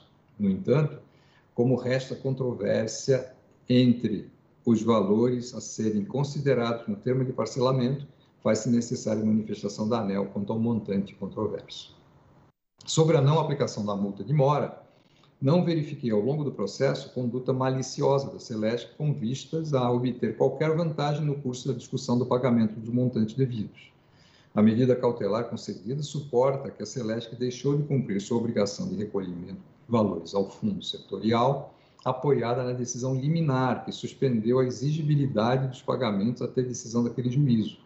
Assim, entendo que a Celeste adotou uma conduta lícita e cabível na, na moldura da medida cautelar que lhe foi concedida e considerava válida, tendo demonstrado ao longo do processo que não quis produzir um resultado de, man, de manifesta inadimplência ao fundo, mas sim buscar compensação pelos valores não recebidos. Neste ponto, enfatizo que todo este imbróglio teve início quando a Eletrobras deixou de repassar os valores que suportariam o pagamento dos subsídios pela distribuidora, mesmo enquanto a Celesc mantinha os recolhimentos ao fundo CDE, situação que levou a Celesc a recorrer ao judiciário. Celesc suportou a inadimplência da Eletrobras desde setembro de 14, tendo recorrido ao juízo em abril de 15, apontando em sua petição inicial as dificuldades financeiras para manter os recolhimentos mensais a título de CDE tendo inclusive recorrido a financiamentos bancários. A Celeste agiu corretamente ao se indispor a inadimplência da Eletrobras e tem demonstrado, ao longo desse processo, comportamento diligente, quando buscou em juízo o depósito das parcelas devidas e ainda quando celebrou acordo para pagamento da parte em controvérsia, tendo inclusive já quitado o débito de mais de um bilhão de reais. Dessa forma, não é cabível a aplicação de multa, seja pela, pela boa-fé demonstrada, seja principalmente pela decisão do TJDF, que decidiu tornar inexigível os pagamentos até ulterior decisão. A aplicação da multa de mora pelo recolhimento tardio dos recursos da CTE exige, na minha perspectiva, mais que a mera atividade omissiva, sendo indispensável que tenha ocorrido também a intenção deliberada de não recolher os montantes devidos. Um aspecto crucial é se durante o lapso temporal em que a medida liminar esteve em vigência, houve mora da Celeste. Na opinião da Procuradoria Federal, a decisão do juiz deve ser interpretada de forma restritiva. Segundo os pareceristas, o juiz suspendeu a exigibilidade das obrigações da Celesc com a CDE dentro dos limites da petição inicial, tendo se exaurido em maio de 2015, quando débitos e créditos se compensaram. E, portanto, a determinação judicial não alcança obrigações que a extrapolem. Nesse quesito, permito-me divergir da opinião da Procuradoria. No meu ponto de vista, a decisão da cautelar foi clara ao definir a suspensão da próxima parcela devida e as subsequentes. Portanto, pelo tempo que perdurou os efeitos a liminar, a Celeste viu-se impossibilitada de consignar em juízo os valores que suplantassem os créditos existentes com o fundo CDE. E tal interpretação é reforçada pela decisão interlocutória que indeferiu o depósito em juízo pela, por incompatibilidade com a cautelar deferida Logo, a partir do momento que houve a suspensão da exigibilidade das parcelas devidas à CDE, não se pode falar em condição de inadimplência. De fato, a meu ver, e com o devido respeito às, inter, interpretações, às interpretações divergentes de nossa Procuradoria, a decisão do juiz ao deferir a medida cautelar suspendendo a exigibilidade de todas as parcelas até exercício do contraditório e ulterior deliberação. Tornar inexigível não poderia ter outra interpretação que não a de permitir que a Celeste não procedesse ao recolhimento dessas parcelas ao fundo setorial. Logo, não há que se falar em inadimplência da distribuidora por ela ter cumprido uma decisão judicial. Mas essa decisão poderia ser reformada quando da ulterior deliberação se deu em 7 de agosto de 2017. Vejamos a sentença. Julgo, e aqui repito o que transcrevi anteriormente, julgo parcialmente procedente o pedido formulado por Celeste, distribuidora, para autorizar as autoras a compensarem os créditos e débitos vinculados à CDE nos termos apresentados na peça inicial, considerando a atualização monetária pelo INPC, desde a inadimplência e juros de mora de 1% e multa de 2%, declarando-se a extinção dos débitos até o limite da compensação, sem que se possa ser aplicada qualquer penalidade à autora ou promovida cobrança, tampouco caracterização da mora ou inscrição em cadastro de proteção ao crédito. Eu adicionei que está grifado. Nela, conforme antes considerado, extinguiu-se os débitos até o limite da compensação autorizada, não extinguindo os demais débitos incorridos a partir de então, que deverão ser, portanto, recolhidos pelas Celestas ao Fundo CDE, porém, impedindo que fossem caracterizados como mora ou inscritos em cadastros de proteção ao crédito.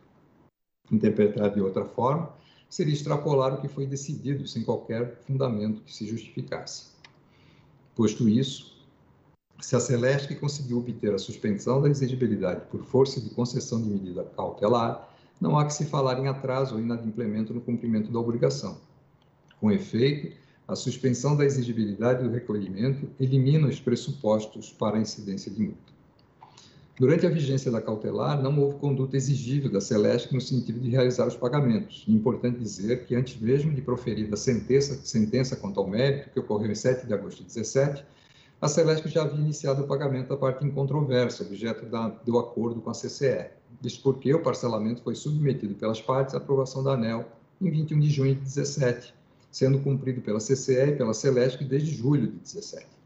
Ou seja, quando a Celesc iniciou o pagamento da primeira parcela do montante devido, a liminar permanecia válida e a sentença de mérito sequer tinha sido proferida no processo judicial. Logo, ainda que a sentença tivesse o juízo na, na sentença tivesse o juízo revisto a inexigibilidade contida na cautelar para os valores subsequentes à compensação dos créditos e débitos, o que não foi feito, que não foi o caso, é, careceria de sentido caracterizar inadimplência valores que começaram a ser quitados por força do, de acordo entre a Celeste e a CCE durante a vigência da cautelar e, portanto, da inexigibilidade. Assim, até o, fim, o início do pagamento da parte incontroversa, a exigibilidade do recolhimento da CDE estava suspensa por força de medida cautelar, logo a Celeste não esteve em mora, razão pela qual não se justifica a imputação de multa. Procurar o judiciário com o intuito de conseguir uma decisão para afastar o dever de recolher o encargo não caracteriza nenhum tipo de infração. Frise-se que estamos tratando de não aplicação de multa e não dos juros moratórios. Porque, na minuta do acordo encaminhada pela Celeste, pela CCE, e Celesc, consta que a distribuidora já recolheu a parte em controvérsia, cujo cálculo considerou a incidência de juros de 1% ao mês a partir de 10 de 6 de 2015. E a Celesc assim o fez, de forma a devolver para a conta CDE o principal acrescido da justa remuneração do tempo compreendido entre a data da concessão da cautelar e a data da celebração do acordo com a CCE. Relembrando, como antes mencionado neste voto, que a distribuidora buscou recolher os valores devidos logo após a compensação dos créditos que detinha no fundo setorial, que foi denegado pelo juízo. Nada mais justo que a Celeste que seja tenha procedido ao pagamento desses juros. Sobre a possibilidade de realizar o encontro de contas dos débitos e créditos com os benefícios e obrigações vencidas, nos termos do, artigo, do item 94 do submódulo 5.2 do PRORET, em consonância com o que dispõe o inciso 4 do artigo 11 do Decreto 9.022, de 31 de março de 2017, entendo cabível por se tratar de débitos e créditos de mesma natureza, sendo o encontro dessas dívidas fundado no princípio da economicidade e sem prejuízos a terceiros. Destaca-se que esse encontro de contas, que considerou os pagamentos e recolhimentos não realizados a cada mês, ainda que em datas diferentes, já está refletida, refletido na minuta de acordo apresentada pela Celeste e CCE em março de 20. Sobre o encontro de contas, importa destacar que não se está priorizando a distribuição dos recursos, beneficiando a distribuidora em detrimento de outros beneficiários do fundo. Isso porque o referido encontro de contas já aconteceu tacitamente quando a Eletrobras deixou de repassar à Celeste o montante devido pelo Fundo CDE, ainda durante a vigência da liminar, que suspendia os repasses daquela distribuidora. Além disso, trata-se de recursos já recolhidos e pagos todos a todos os outros beneficiários, sem que se, sem que se implique em prejuízo a terceiros. Nessarte, sopesados todos os, todas as manifestações da Procuradoria e das partes, e analisando os termos da versão do acordo de março de 2020, verifiquei que esse termo de parcelamento endereça adequadamente os seguintes assuntos. 1. Um, até a competência de maio de 15, considerar que os débitos e créditos vinculados à conta CDE foram devidamente compensados com a atualização pelo IPCA do saldo do subsídio não distribuído à Celeste, restando um crédito a favor do fundo CDE, sobre o qual devem incidir os juros de mora de 1% ao mês, pro rata tempore, sem aplicação de multa de mora. 2, a partir da competência de maio de 15, sobre o valor não recolhido pela Celeste a título de cotas da CDE, devem incidir juros de mora de 1% ao mês, pro rata tempore, sem aplicação de multa de mora. Nos termos do item 94 do submódulo 5.2 PRORET, deve ser realizado o encontro de contas eh, dos débitos e créditos da Celesc, com benefícios e obrigações vencidas mês a mês. Logo, encaminho decisão no sentido de homologá-lo nos termos apresentados. Finalmente, a homologação do acordo deverá pôr fim às discussões sobre o tema, devendo as partes desistir dos recursos na esfera judicial, viabilizando o pedido de extinção da ação ordinária em questão. Diante do exposto, e do que consta dos autos do processo 48.500.003.205.2017.99, voto por aprovar o acordo de parcelamento de débitos com o Fundo Setorial da CDE, a ser firmado entre a CCE e a Celeste Distribuição, nos termos apresentados na minuta encaminhada pelas partes em março de 2020. É o voto, senhores diretores. Em discussão? Eu, eu, tenho só uma pergunta aqui, doutor Elvio. É, esse, aco esse acordo está condicionado a, a, que as empresas retirem as ações na justiça, é isso? Ou não? Sim, na verdade, então, eu, o que eu coloquei no voto é que elas devem retirar as ações na justiça. Até porque não teria muito cabimento né, a ação na justiça permanecer, porque o que elas pedem é exatamente o que está sendo colocado no acordo. Tá, e aí esse acordo, ele, é, é, a ANEL é parte nessa ação na justiça? Não. Não. Não. É, é apenas entre as partes. Exatamente. A ré é, era a Eletrobras inicialmente, quando a conta, e aí depois a conta passou para a CCE. Então, é, então as partes são a Celesc e a, a Eletrobras inicialmente, quando começou toda a, a, a, a criação do crédito na, na conta. isso aqui, tá? isso aqui, doutor Sandoval, ele tem início naquela crise de recursos da CCC, onde a CCC não estava fazendo os repasses, onde a CDE, vamos usar a palavra CDE que é mais adequada, a CDE não estava fazendo os repasses às distribuidoras, portanto, algumas distribuidoras do país entraram né, é, para terem as suas compensações, né, o que tinham a pagar com o que tinham a receber. E acabou tendo um desdobramento. Eu lembro a época que eu, eu, eu, eu, eu cheguei a, a, a ver muitos movimentos no tocante a essas compensações, foi uma questão estrutural do próprio, do próprio do próprio governo que à época subsidiava a CDE com recursos do Tesouro né? E que na verdade isso não acabou não ocorrendo aí em um dado momento. Eu lembro que a gente tinha uma dificuldade muito grande. Eu lembro que falávamos muito com o doutor Armando Casado, que era a área financeira do Grupo Eletrobras lá, que faziam esses pagamentos, né? E, e a gente tinha, cansei a época quando eu era Grupo Eletrobras, a, a família pobre do Grupo Eletrobras, que eu era da base da distribuidora, né? O primo pobre do Grupo Eletrobras. Cansei de falar com Arno Augustinho, que era o secretário do Tesouro, que mandava o dinheiro para poder ser repassado. Enfim, uma série de confusão na época e é que acabou sendo desdobrado nesse ponto aqui. O que eu, o que eu tenho a, a colocar aqui, de certa forma, é, é uma coisa que nós escutamos no ambiente da CDE né, onde nós contratamos aquele peer review, em que nós, ali, os diretores, naquele momento que nós fizemos ali a nossa reunião com o time, né, com o sênior da, da, da, da OCDE, que veio para as nossas avaliações, nós escutamos ali, em vários momentos, o regulador e que o colegiado, ele não necessariamente ele está vinculado as nossas áreas técnicas, muito menos ao ambiente é, de, de, de é, colocações jurídicas pela Procuradoria ou mesmo pelas notas técnicas, porque de forma muito categórica, o que, que nós estamos aqui a, a afirmar? O colegiado ele tem a sensibilidade, ele tem a natureza de enxergar o momento e veja bem o que o Dr. Elvio traz aqui para o colegiado neste momento. Né?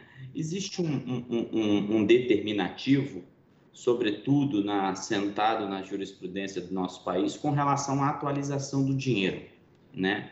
que é a parte que, a meu ver, é uma parte que não se, não se retira do processo. Eu lembro que quando a gente vai olhar processos de revisitação e renegociação de PIS, COFINS que o governo federal faz, quando os estados fazem aquelas renegociações também de dívidas. É, é, é, é, o, o, o, o termo correto é o refis, né? É. Tudo eles atuam em juros, né? E atuam nas multas. A atualização do dinheiro, ela não pode, é, é, é assentado do Tribunal de Contas e por outros órgãos também da Justiça no sentido da atualização do dinheiro. O que eu vejo que o doutor Elvio está preservando.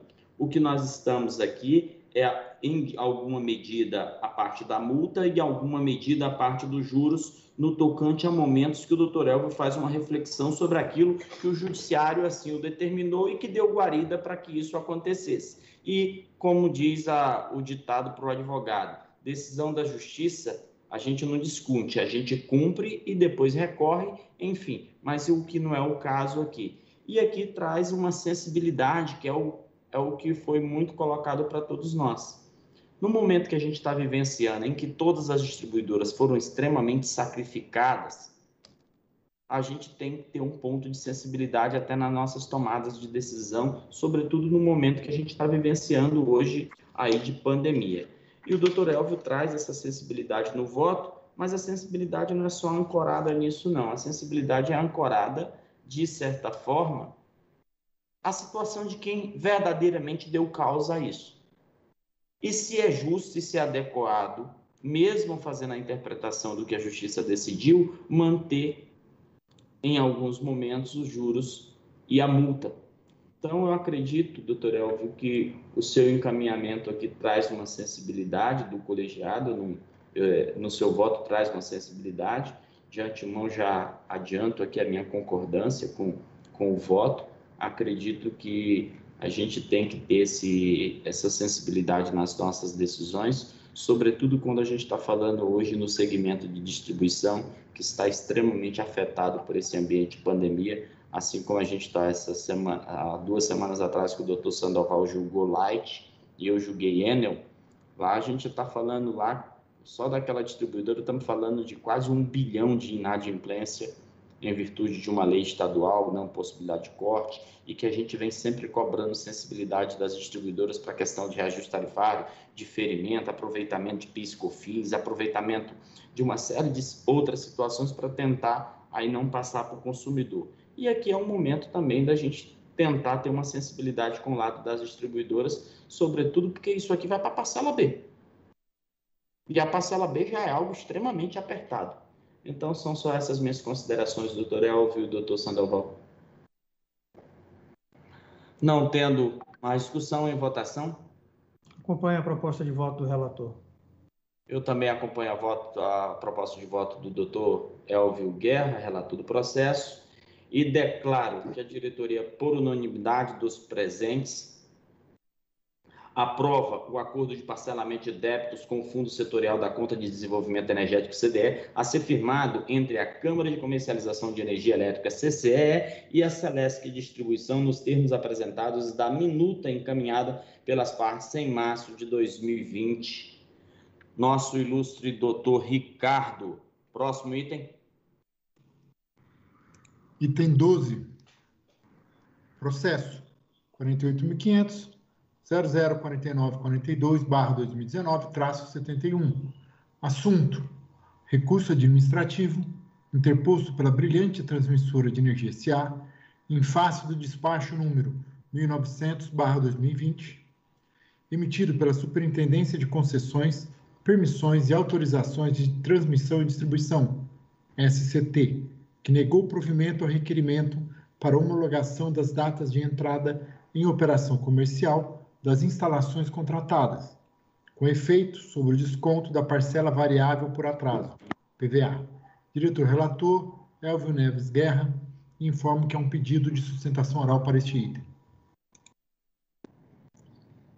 Obrigado, é, Ricardo. Eu vou pedir aqui uma, uma, uma, uma autorização e uma havendo a concordância de todos eh, os diretores, esse processo ele foi destacado do bloco É, então, o bloco, o, o, voto estava disponível é, desde a semana passada. Eu vou é, dispensar aqui a leitura do relatório, fazer apenas uma, do, algumas breves considerações aqui em relação a esse processo, é, como é, há uma, uma, sustentação oral, então vou fazer só um, uma, uma, uma, relembrada aqui do que, que se trata. A brilhante transmissora de energia, ela, ela foi vencedora do, de um dos lotes no leilão de transmissão de 2018, com é, instalações que são compostas por, por, linha de transmissão de 230, a linha de transmissão Chapadão, Imbiruçu, Cidrolândia e Anastácio, e uma subestação em Cidrolândia, subestação de Cidrolândia. É, Rio, a verdade, 230 é Cidrolândia, Rio, Rio Brilhante e Vinhema. É, e ela tem um contrato de concessão que foi celebrado em, em abril de 2009 e tinha prazo de 18 meses para entrada em operação comercial. Deveria entrar, portanto, em 27 de outubro de 2010. Ela solicitou a postergação da data de início da operação dessas instalações é, e o atraso ela alega que teve uma demora na emissão de ADUP pela ANEL e uma alteração da localização da subestação Chapadão. De fato, a subestação Chapadão, todos vão lembrar que ela, ela, ela, ela, ela sofreu uma alteração de localização. É, a, a SCT ela indeferiu a solicitação de, de postergação da data de entrada em operação comercial, isso em 2016, e o ONS, por conta disso, ele pro, promoveu a contabilização e o desconto da parcela variável por atraso, a PVA. Em abril de 2016, ela, a BTE, a, a Brilhante, ela requereu efeito suspensivo para a aplicação da parcela variável no juízo, ela foi em, em, no judiciário, é, contra a ANEL e o ONS, e uma decisão liminar de 2017 suspendeu os efeitos da cobrança da PVA. A Procuradoria entrou com agravo do instrumento, e a, em, em, em 16, que só foi é, julgado em 19, é, e julgou improcedente o pedido da, da Brilhante e suspendeu os efeitos da decisão liminar. O processo encontra-se em grau de recurso no tribunal. É, ela, a BTE, entendendo não haver é, justificativa, melhor, a, a, a SCT, por entender que não havia justificativa plausível para a homologação das novas datas de entrada em operação, ela emitiu o despacho 1900 de 2020, um despacho que foi publicado em 2020, conhecendo o requerimento interposto pela BTE para homologação das novas datas, mas no mérito negou provimento. Manteve as efetivas datas de entrada em operação comercial, aquela já de 2010. É, e com, por, com, considerando essa decisão da, da SCT, ela entrou com um pedido de reconsideração que é o que está em discussão é, nesse processo. Eu faço essa, essas breves observações, sem é, dispensando aqui a leitura do relatório. Sustentação oral do representante da empresa, a senhora Valéria de Souza Rosa.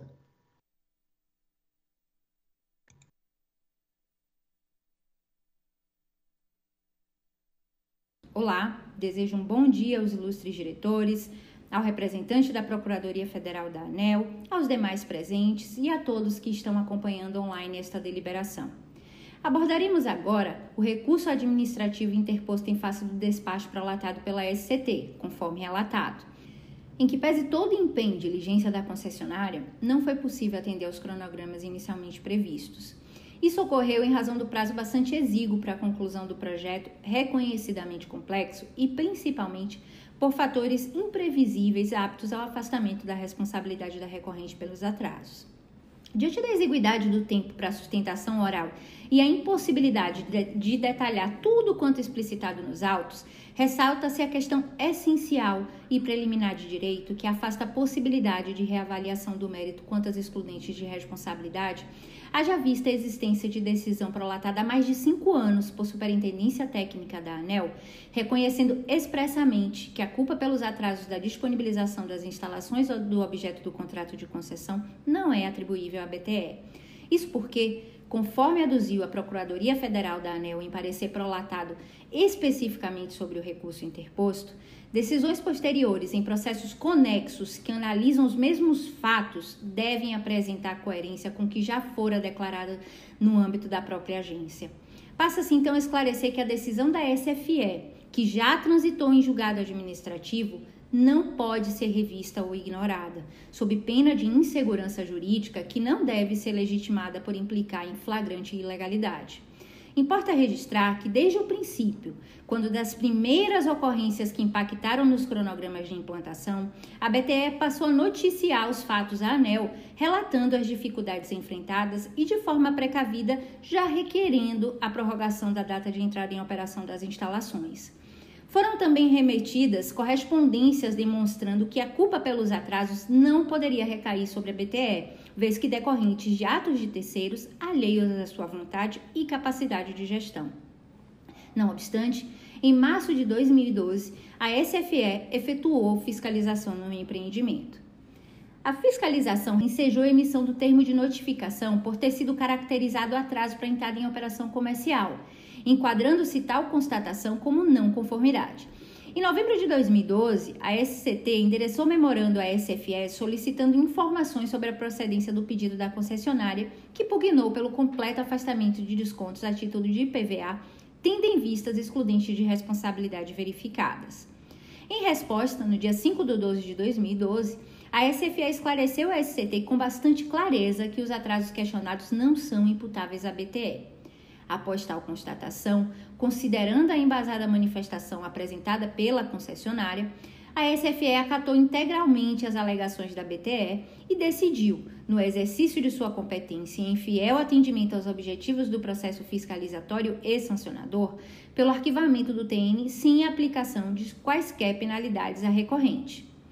Diante dessa decisão, a concessionária reiterou à SCT o pedido de homologação das datas em que as instalações entraram efetivamente em operação e, por consequência, o completo afastamento das parcelas variáveis por atraso.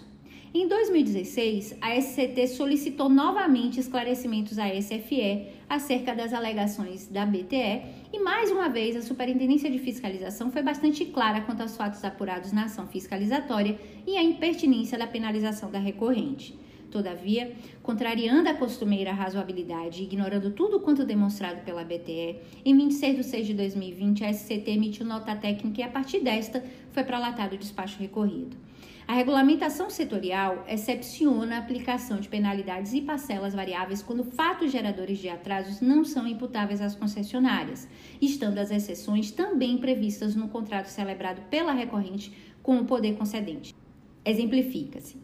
Eventuais atrasos durante o período de construção das instalações de transmissão por ocorrências não imputáveis a transmissoras, decorrentes de embargos administrativos ou judiciais quanto ao uso da faixa de servidão da linha de transmissão que comprometam os prazos de execução, desde que devidamente justificados e aceitos pela fiscalização da ANEL, aqui um parêntese, exatamente o que ocorreu, poderão ensejar a revisão dos cronogramas de construção.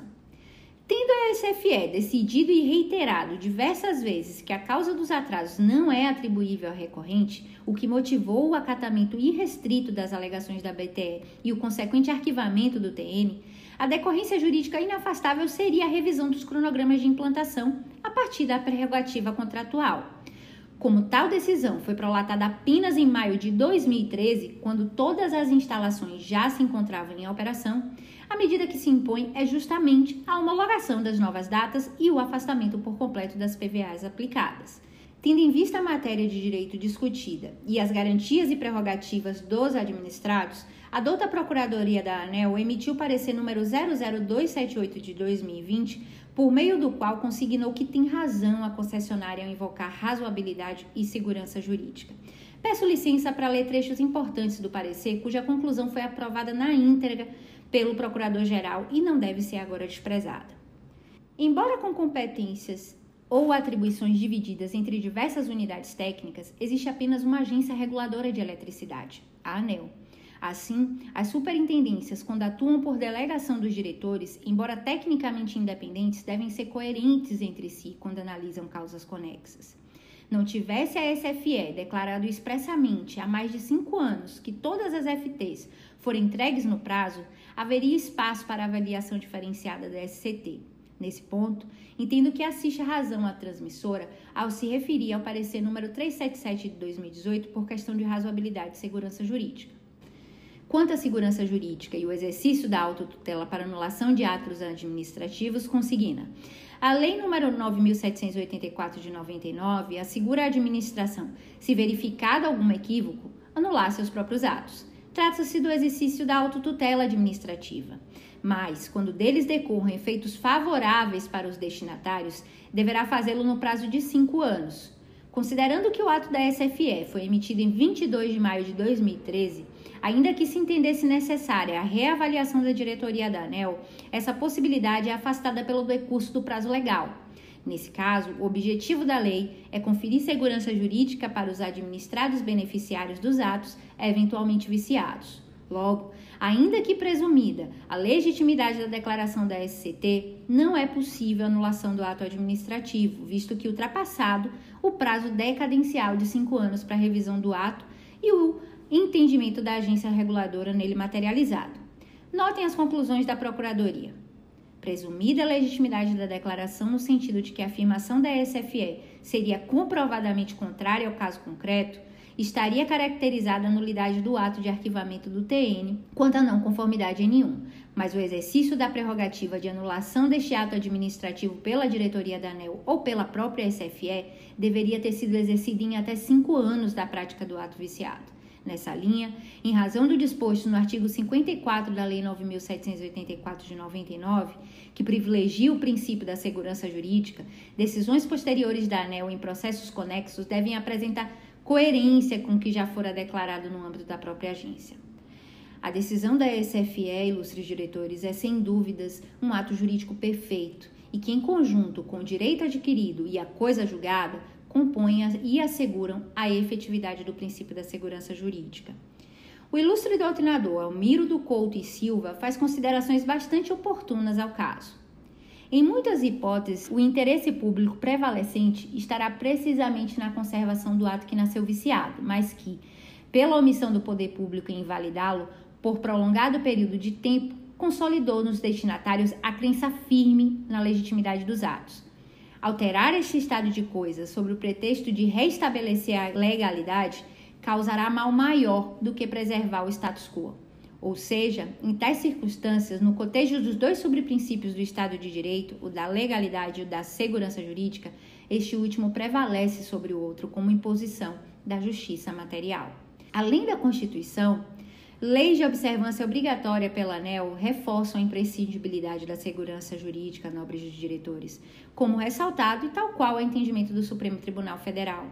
Assim, considerando tudo quanto exposto, a recorrente requer que seja conhecido o recurso e, afinal, julgado totalmente procedente de forma a anular o despacho número 1900 de 2020 e, por consequência, que seja determinada a homologação das datas de efetiva entrada em operação comercial das instalações e a não aplicação de descontos a título de PVA em razão das prerrogativas da concessionária previstas no contrato de concessão e do que preconiza o ordenamento jurídico afeta ao caso. Agradeço imensamente pela atenção de todos, desejando-lhes uma excelente reunião deliberativa. Procuradoria. Muito obrigada, Valéria, pela sustentação oral. A Procuradoria se manifestou no caso concreto por meio do parecer número 278-2020, que eu já verifiquei, já está bem retratado, com muita competência no voto do ilustre relator. Bem, eu, eu quero agradecer também a, a, a sustentação feita pela Valéria, representante da empresa, e quero ressaltar aqui a, a, importância da sustentação oral, né? como que algumas vezes a sustentação oral ela traz elementos que eventualmente não foram considerados no voto ou foram tratados de uma forma divergente por, por não ter não, o relator não ter percebido. É algo que foi destacado na, na sustentação e aqui é, e esse é o caso. A, a, a, representante da empresa trouxe alguns elementos que eu quero aprofundar no voto e eu vou retirar de pauta. Agradecemos o doutor Elvio. É, nosso ilustre secretário-geral, próximo item. Doutor Efraim, próximo item, item 15, o último item do dia. Pô, a reunião está tão boa, não tem mais uns três, não?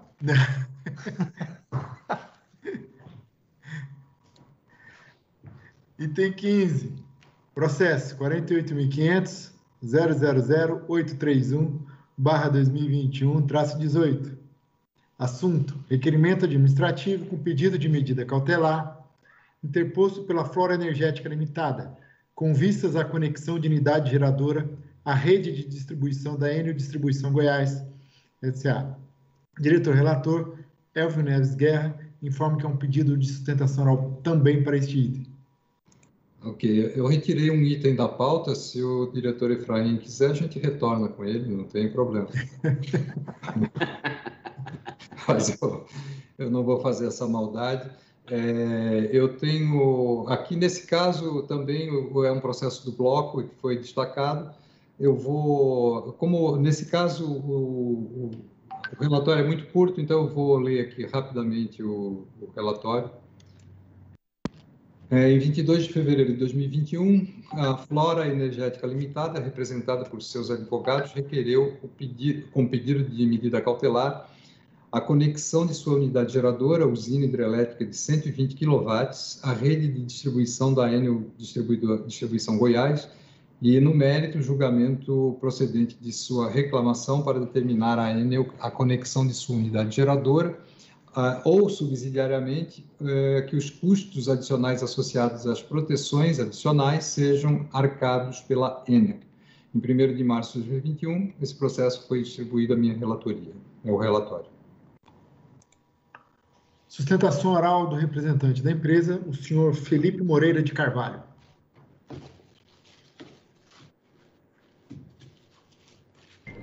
Senhores diretores, bom dia.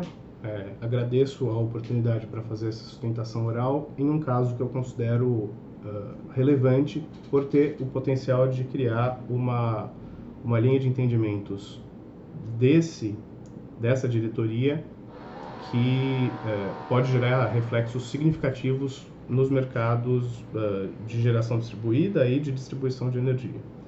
É, a respeito do caso concreto, acho que não é, não é necessário uh, me alongar a respeito do relato, já que o relatório já terá sido apresentado, mas uh, o ponto em discussão é se a concessionária de, de distribuição pode ou não formular exigências a título de eh, condições de segurança que ela considere necessárias em casos concretos, que eh, contrariem o que está explicitamente previsto na norma técnica de acesso editada pela, pelas concessionárias. E, subsidiariamente, a quem incumbem esses custos. Né? Eh, antes de passar esses pontos, uma no, nota muito breve a respeito aqui do, do, do caso concreto eu queria deixar bem claro que é, as exigências que foram formuladas em relação à flora energética não estão respaldadas em qualquer análise específica das condições daquela geração, daquela conexão. Elas foram formuladas genericamente, baseadas no nosso entendimento em uma leitura inicialmente equivocada é, por parte da concessionária. Isso foi então levado adiante. Meses depois surge é, começam a surgir justificativas técnicas um pouco mais específicas, mas que ainda assim não estão voltadas às condições de conexão propriamente ditas, é, passam só pela, é, pela avaliação aí genérica que, em uma, uma linha de, de, de entendimentos poderia ser aplicada a qualquer nova conexão.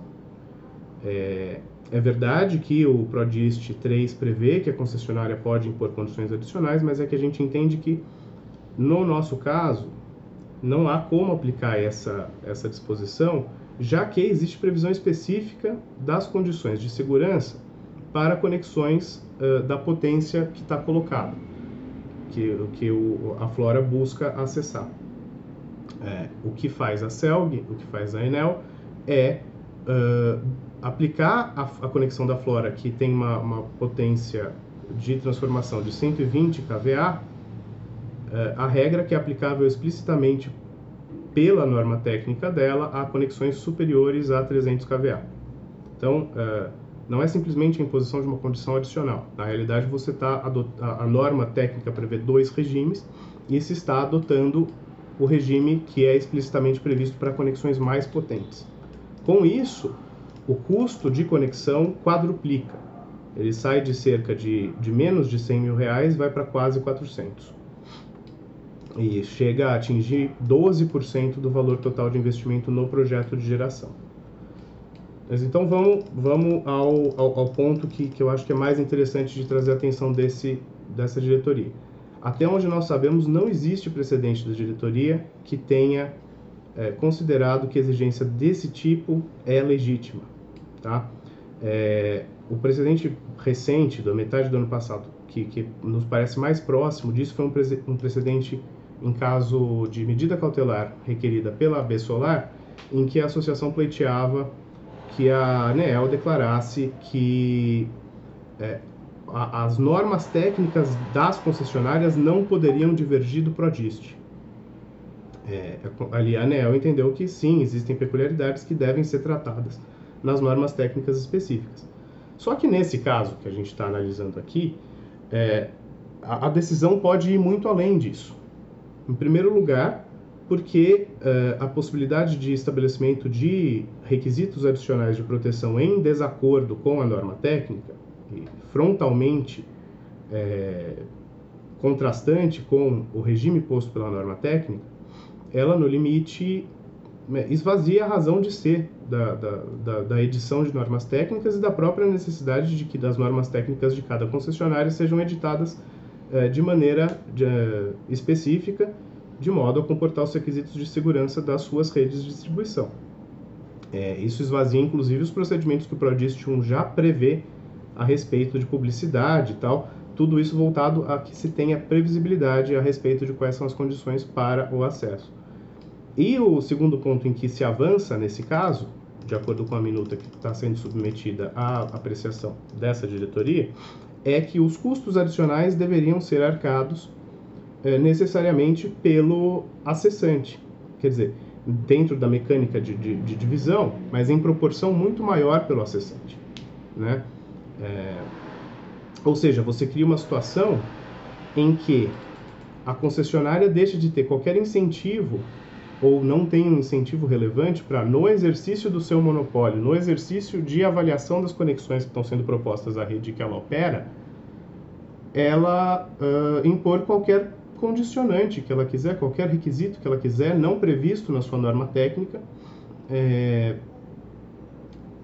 e, e, e, e, com a potencialidade de que isso seja usado não só para proteção de rede, mas para defesa de interesses comerciais, no limite, inclusive com a, a instituição de uma política, é, uma política não formalizada em norma técnica, né? é, mas de eventual uh, desfavorecimento de qualquer conexão de GD.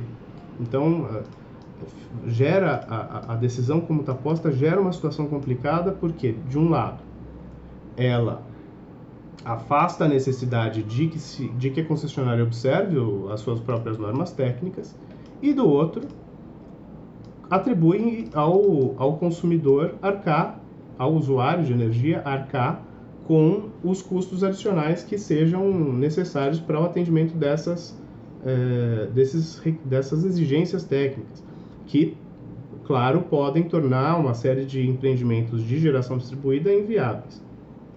É, da perspectiva do direito, essa situação é conhecida como a cláusula potestativa.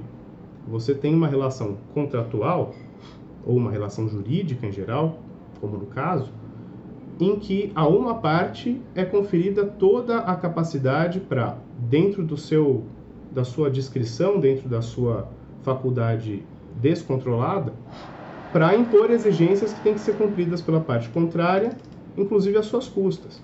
Né? É, nesse contexto é que a gente colocou, que a gente pleiteou o reconhecimento do pedido subsidiário, para que ainda que sem entrar no mérito sobre a possibilidade ou não de que a concessionária estabeleça requisitos de segurança adicionais, ao menos ela tenha um limitador dessa faculdade potestativa, que lembramos, né, lembrando, ela é uma monopolista ali por delegação da União. Né? Ela está em uma posição em que a atribuição de um exercício de uma faculdade não controlada pode ser muito perigosa.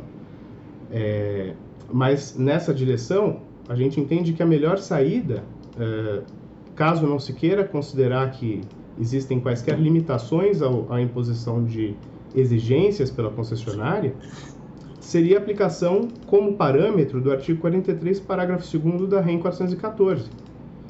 Esse artigo, ele prevê, em relação a, a padrões de qualidade superiores aos resultantes da aplicação da regulamentação, em situações de conexão, que se a cessante ou concessionário optarem por realizar obras com esses padrões superiores aos exigidos, a parte que opta deve arcar com os custos adicionais. Ou seja, numa situação dessas, os custos a serem arcados, numa situação em que haja exigência por parte da própria concessionária, os custos adicionais seriam arcados uh, pela concessionária e o usuário, ao usuário caberia arcar com os custos da ligação de acordo com as normas técnicas.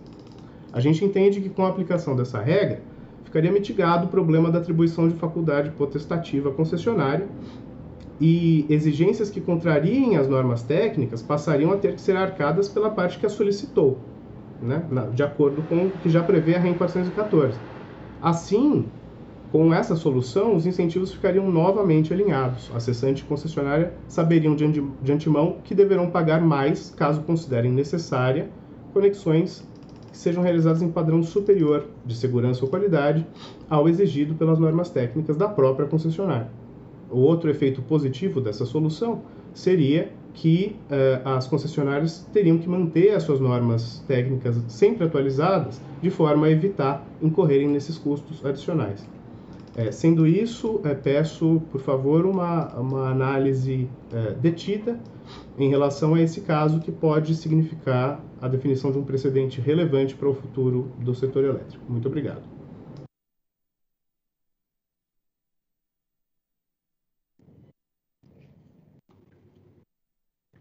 Procuradoria. Muito obrigado pela sustentação oral, senhor é, diretor relator. Nesse caso, a Procuradoria não emitiu opinião jurídica, trata-se ainda da análise da medida cautelar.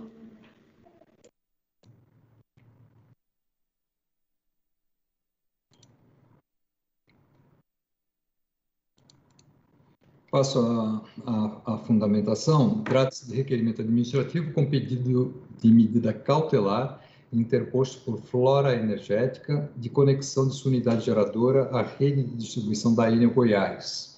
Trata-se de usina hidrelétrica com capacidade instalada de 120 kW, portanto, um empreendimento de capacidade reduzida, a ser operada na modalidade de mini geração distribuída e conectada à rede de distribuição de 13.8 de propriedade da Enel para participar do sistema de compensação de energia elétrica.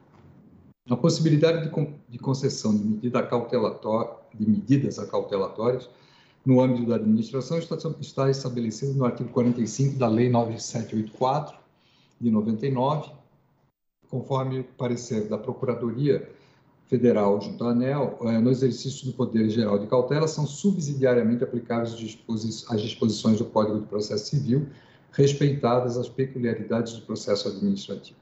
Assim, os requisitos para o deferimento da medida cautelar são a verossimilhança das alegações apresentadas, no máximo com direito, e o fundado receio de dano irrecuperável ou de difícil reparação em perigo da demora. Relata a empresa que a Enel Goiás está impondo condições injustificadas e ilícitas para o atendimento da solicitação de conexão apresentada por ela e requer a medida cautelar é, em discussão. Em 25 de junho de 2020, a, a empresa apresentou à Enel os estudos de proteção elétrica para a conexão de sua unidade geradora. No entanto, em 7 de julho de 20, recebeu a reprovação de sua solicitação, solicitação fundamentada no argumento de que a proteção geral na entrada seja realizada por intermédio de disjuntores de acionamento automático através de relés secundários de sobrecorrente, e não por elo fusível. Afirma a empresa que buscou desde então demonstrar que a exigência apresentada pela Enel está técnica e juridicamente equivocada, tendo enviado uma multiplicidade de e-mails e participado de reuniões com as áreas técnicas da concessionária. A Enel alegou que a atuação da proteção por fusível é mais lenta que a atuação dos relés de proteção de disjuntores e religadores, o que pode levar à descoordenação com os religadores de linha e da subestação. Em caso de queima dos elos de proteção de alta do transformador, a Flora poderia solicitar a Enel a abertura da chave e, monta, e a montante e a abertura do disjuntor religador, que poderia impactar outros clientes.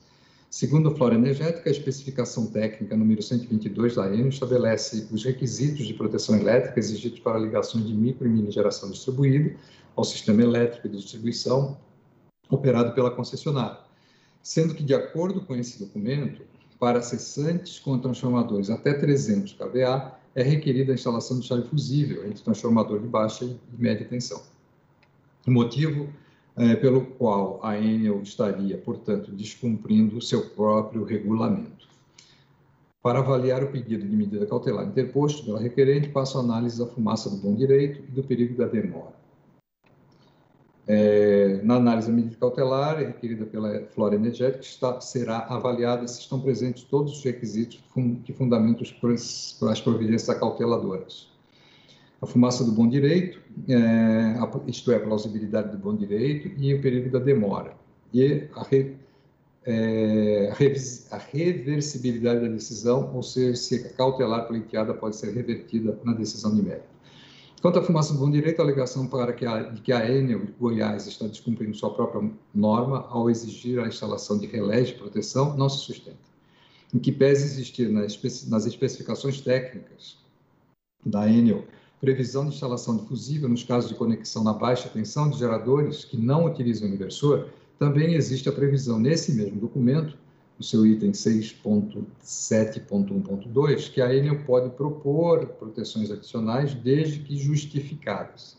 O disposto na especificação técnica da Enel está de acordo com o previsto no item 5.2.2 do módulo 3 de PRODIST, ou seja, a acessada pode propor proteções adicionais, desde que justificada tecnicamente, em função de características específicas do sistema de distribuição acessado. A informação da AN que os relés de proteção dos disjuntores podem levar a descoordenação com os religadores de linha e da subestação foram justificados e apresentados ao, para exigir a instalação de disjuntores de acionamento automático através de relés secundários sobre corrente. Nesse ponto, Quero destacar que a distribuidora tem a obrigação de operar as instalações de modo a assegurar a segurança de suas instalações e consumidores, sendo sua prerrogativa de definir os equipamentos e filosofia de proteção, desde que haja justificativas para uma exigência adicional à prevista na norma. Logo, considerando que essas proteções adicionais vão na direção da segurança das pessoas e do sistema elétrico, não parece razoável a concessão de medida cautelar impedindo a distribuidora de exigir as proteções que ela, como responsável pela segurança das instalações, aponta como necessárias. Portanto, não se encontra presente a fumaça do bom direito, afastado um dos requisitos necessários ao provimento da medida cautelar. Desnecessária seria a análise do perigo da demora. No entanto, para que não restem dúvidas acerca do indeferimento do pleito, vale destacar a ausência de tal requisito. Sobre esse quesito, Veja a aplicação inversa do conceito. Temerário seria autorizar a conexão da referida unidade consumidora sem apropriada avaliação da adequada proteção aos sistemas.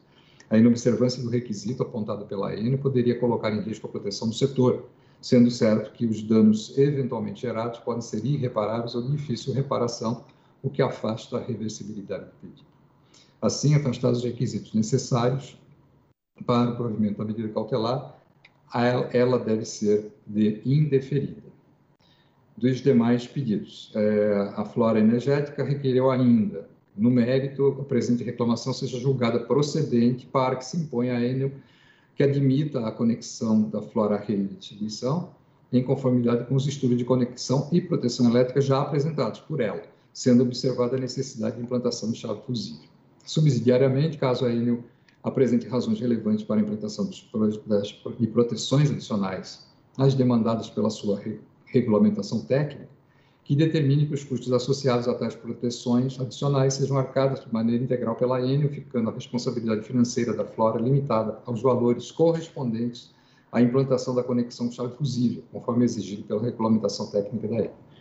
Sobre esses pedidos, entendo que já foram afastados no âmbito da análise da medida cautelar e devem ser indeferidos, reconhecendo os, os potenciais riscos à segurança das instalações decorrentes da conexão de, da mini geração e dos seus impactos no fluxo de potência, de modo a garantir a proteção tanto da própria geração quanto dos demais usuários.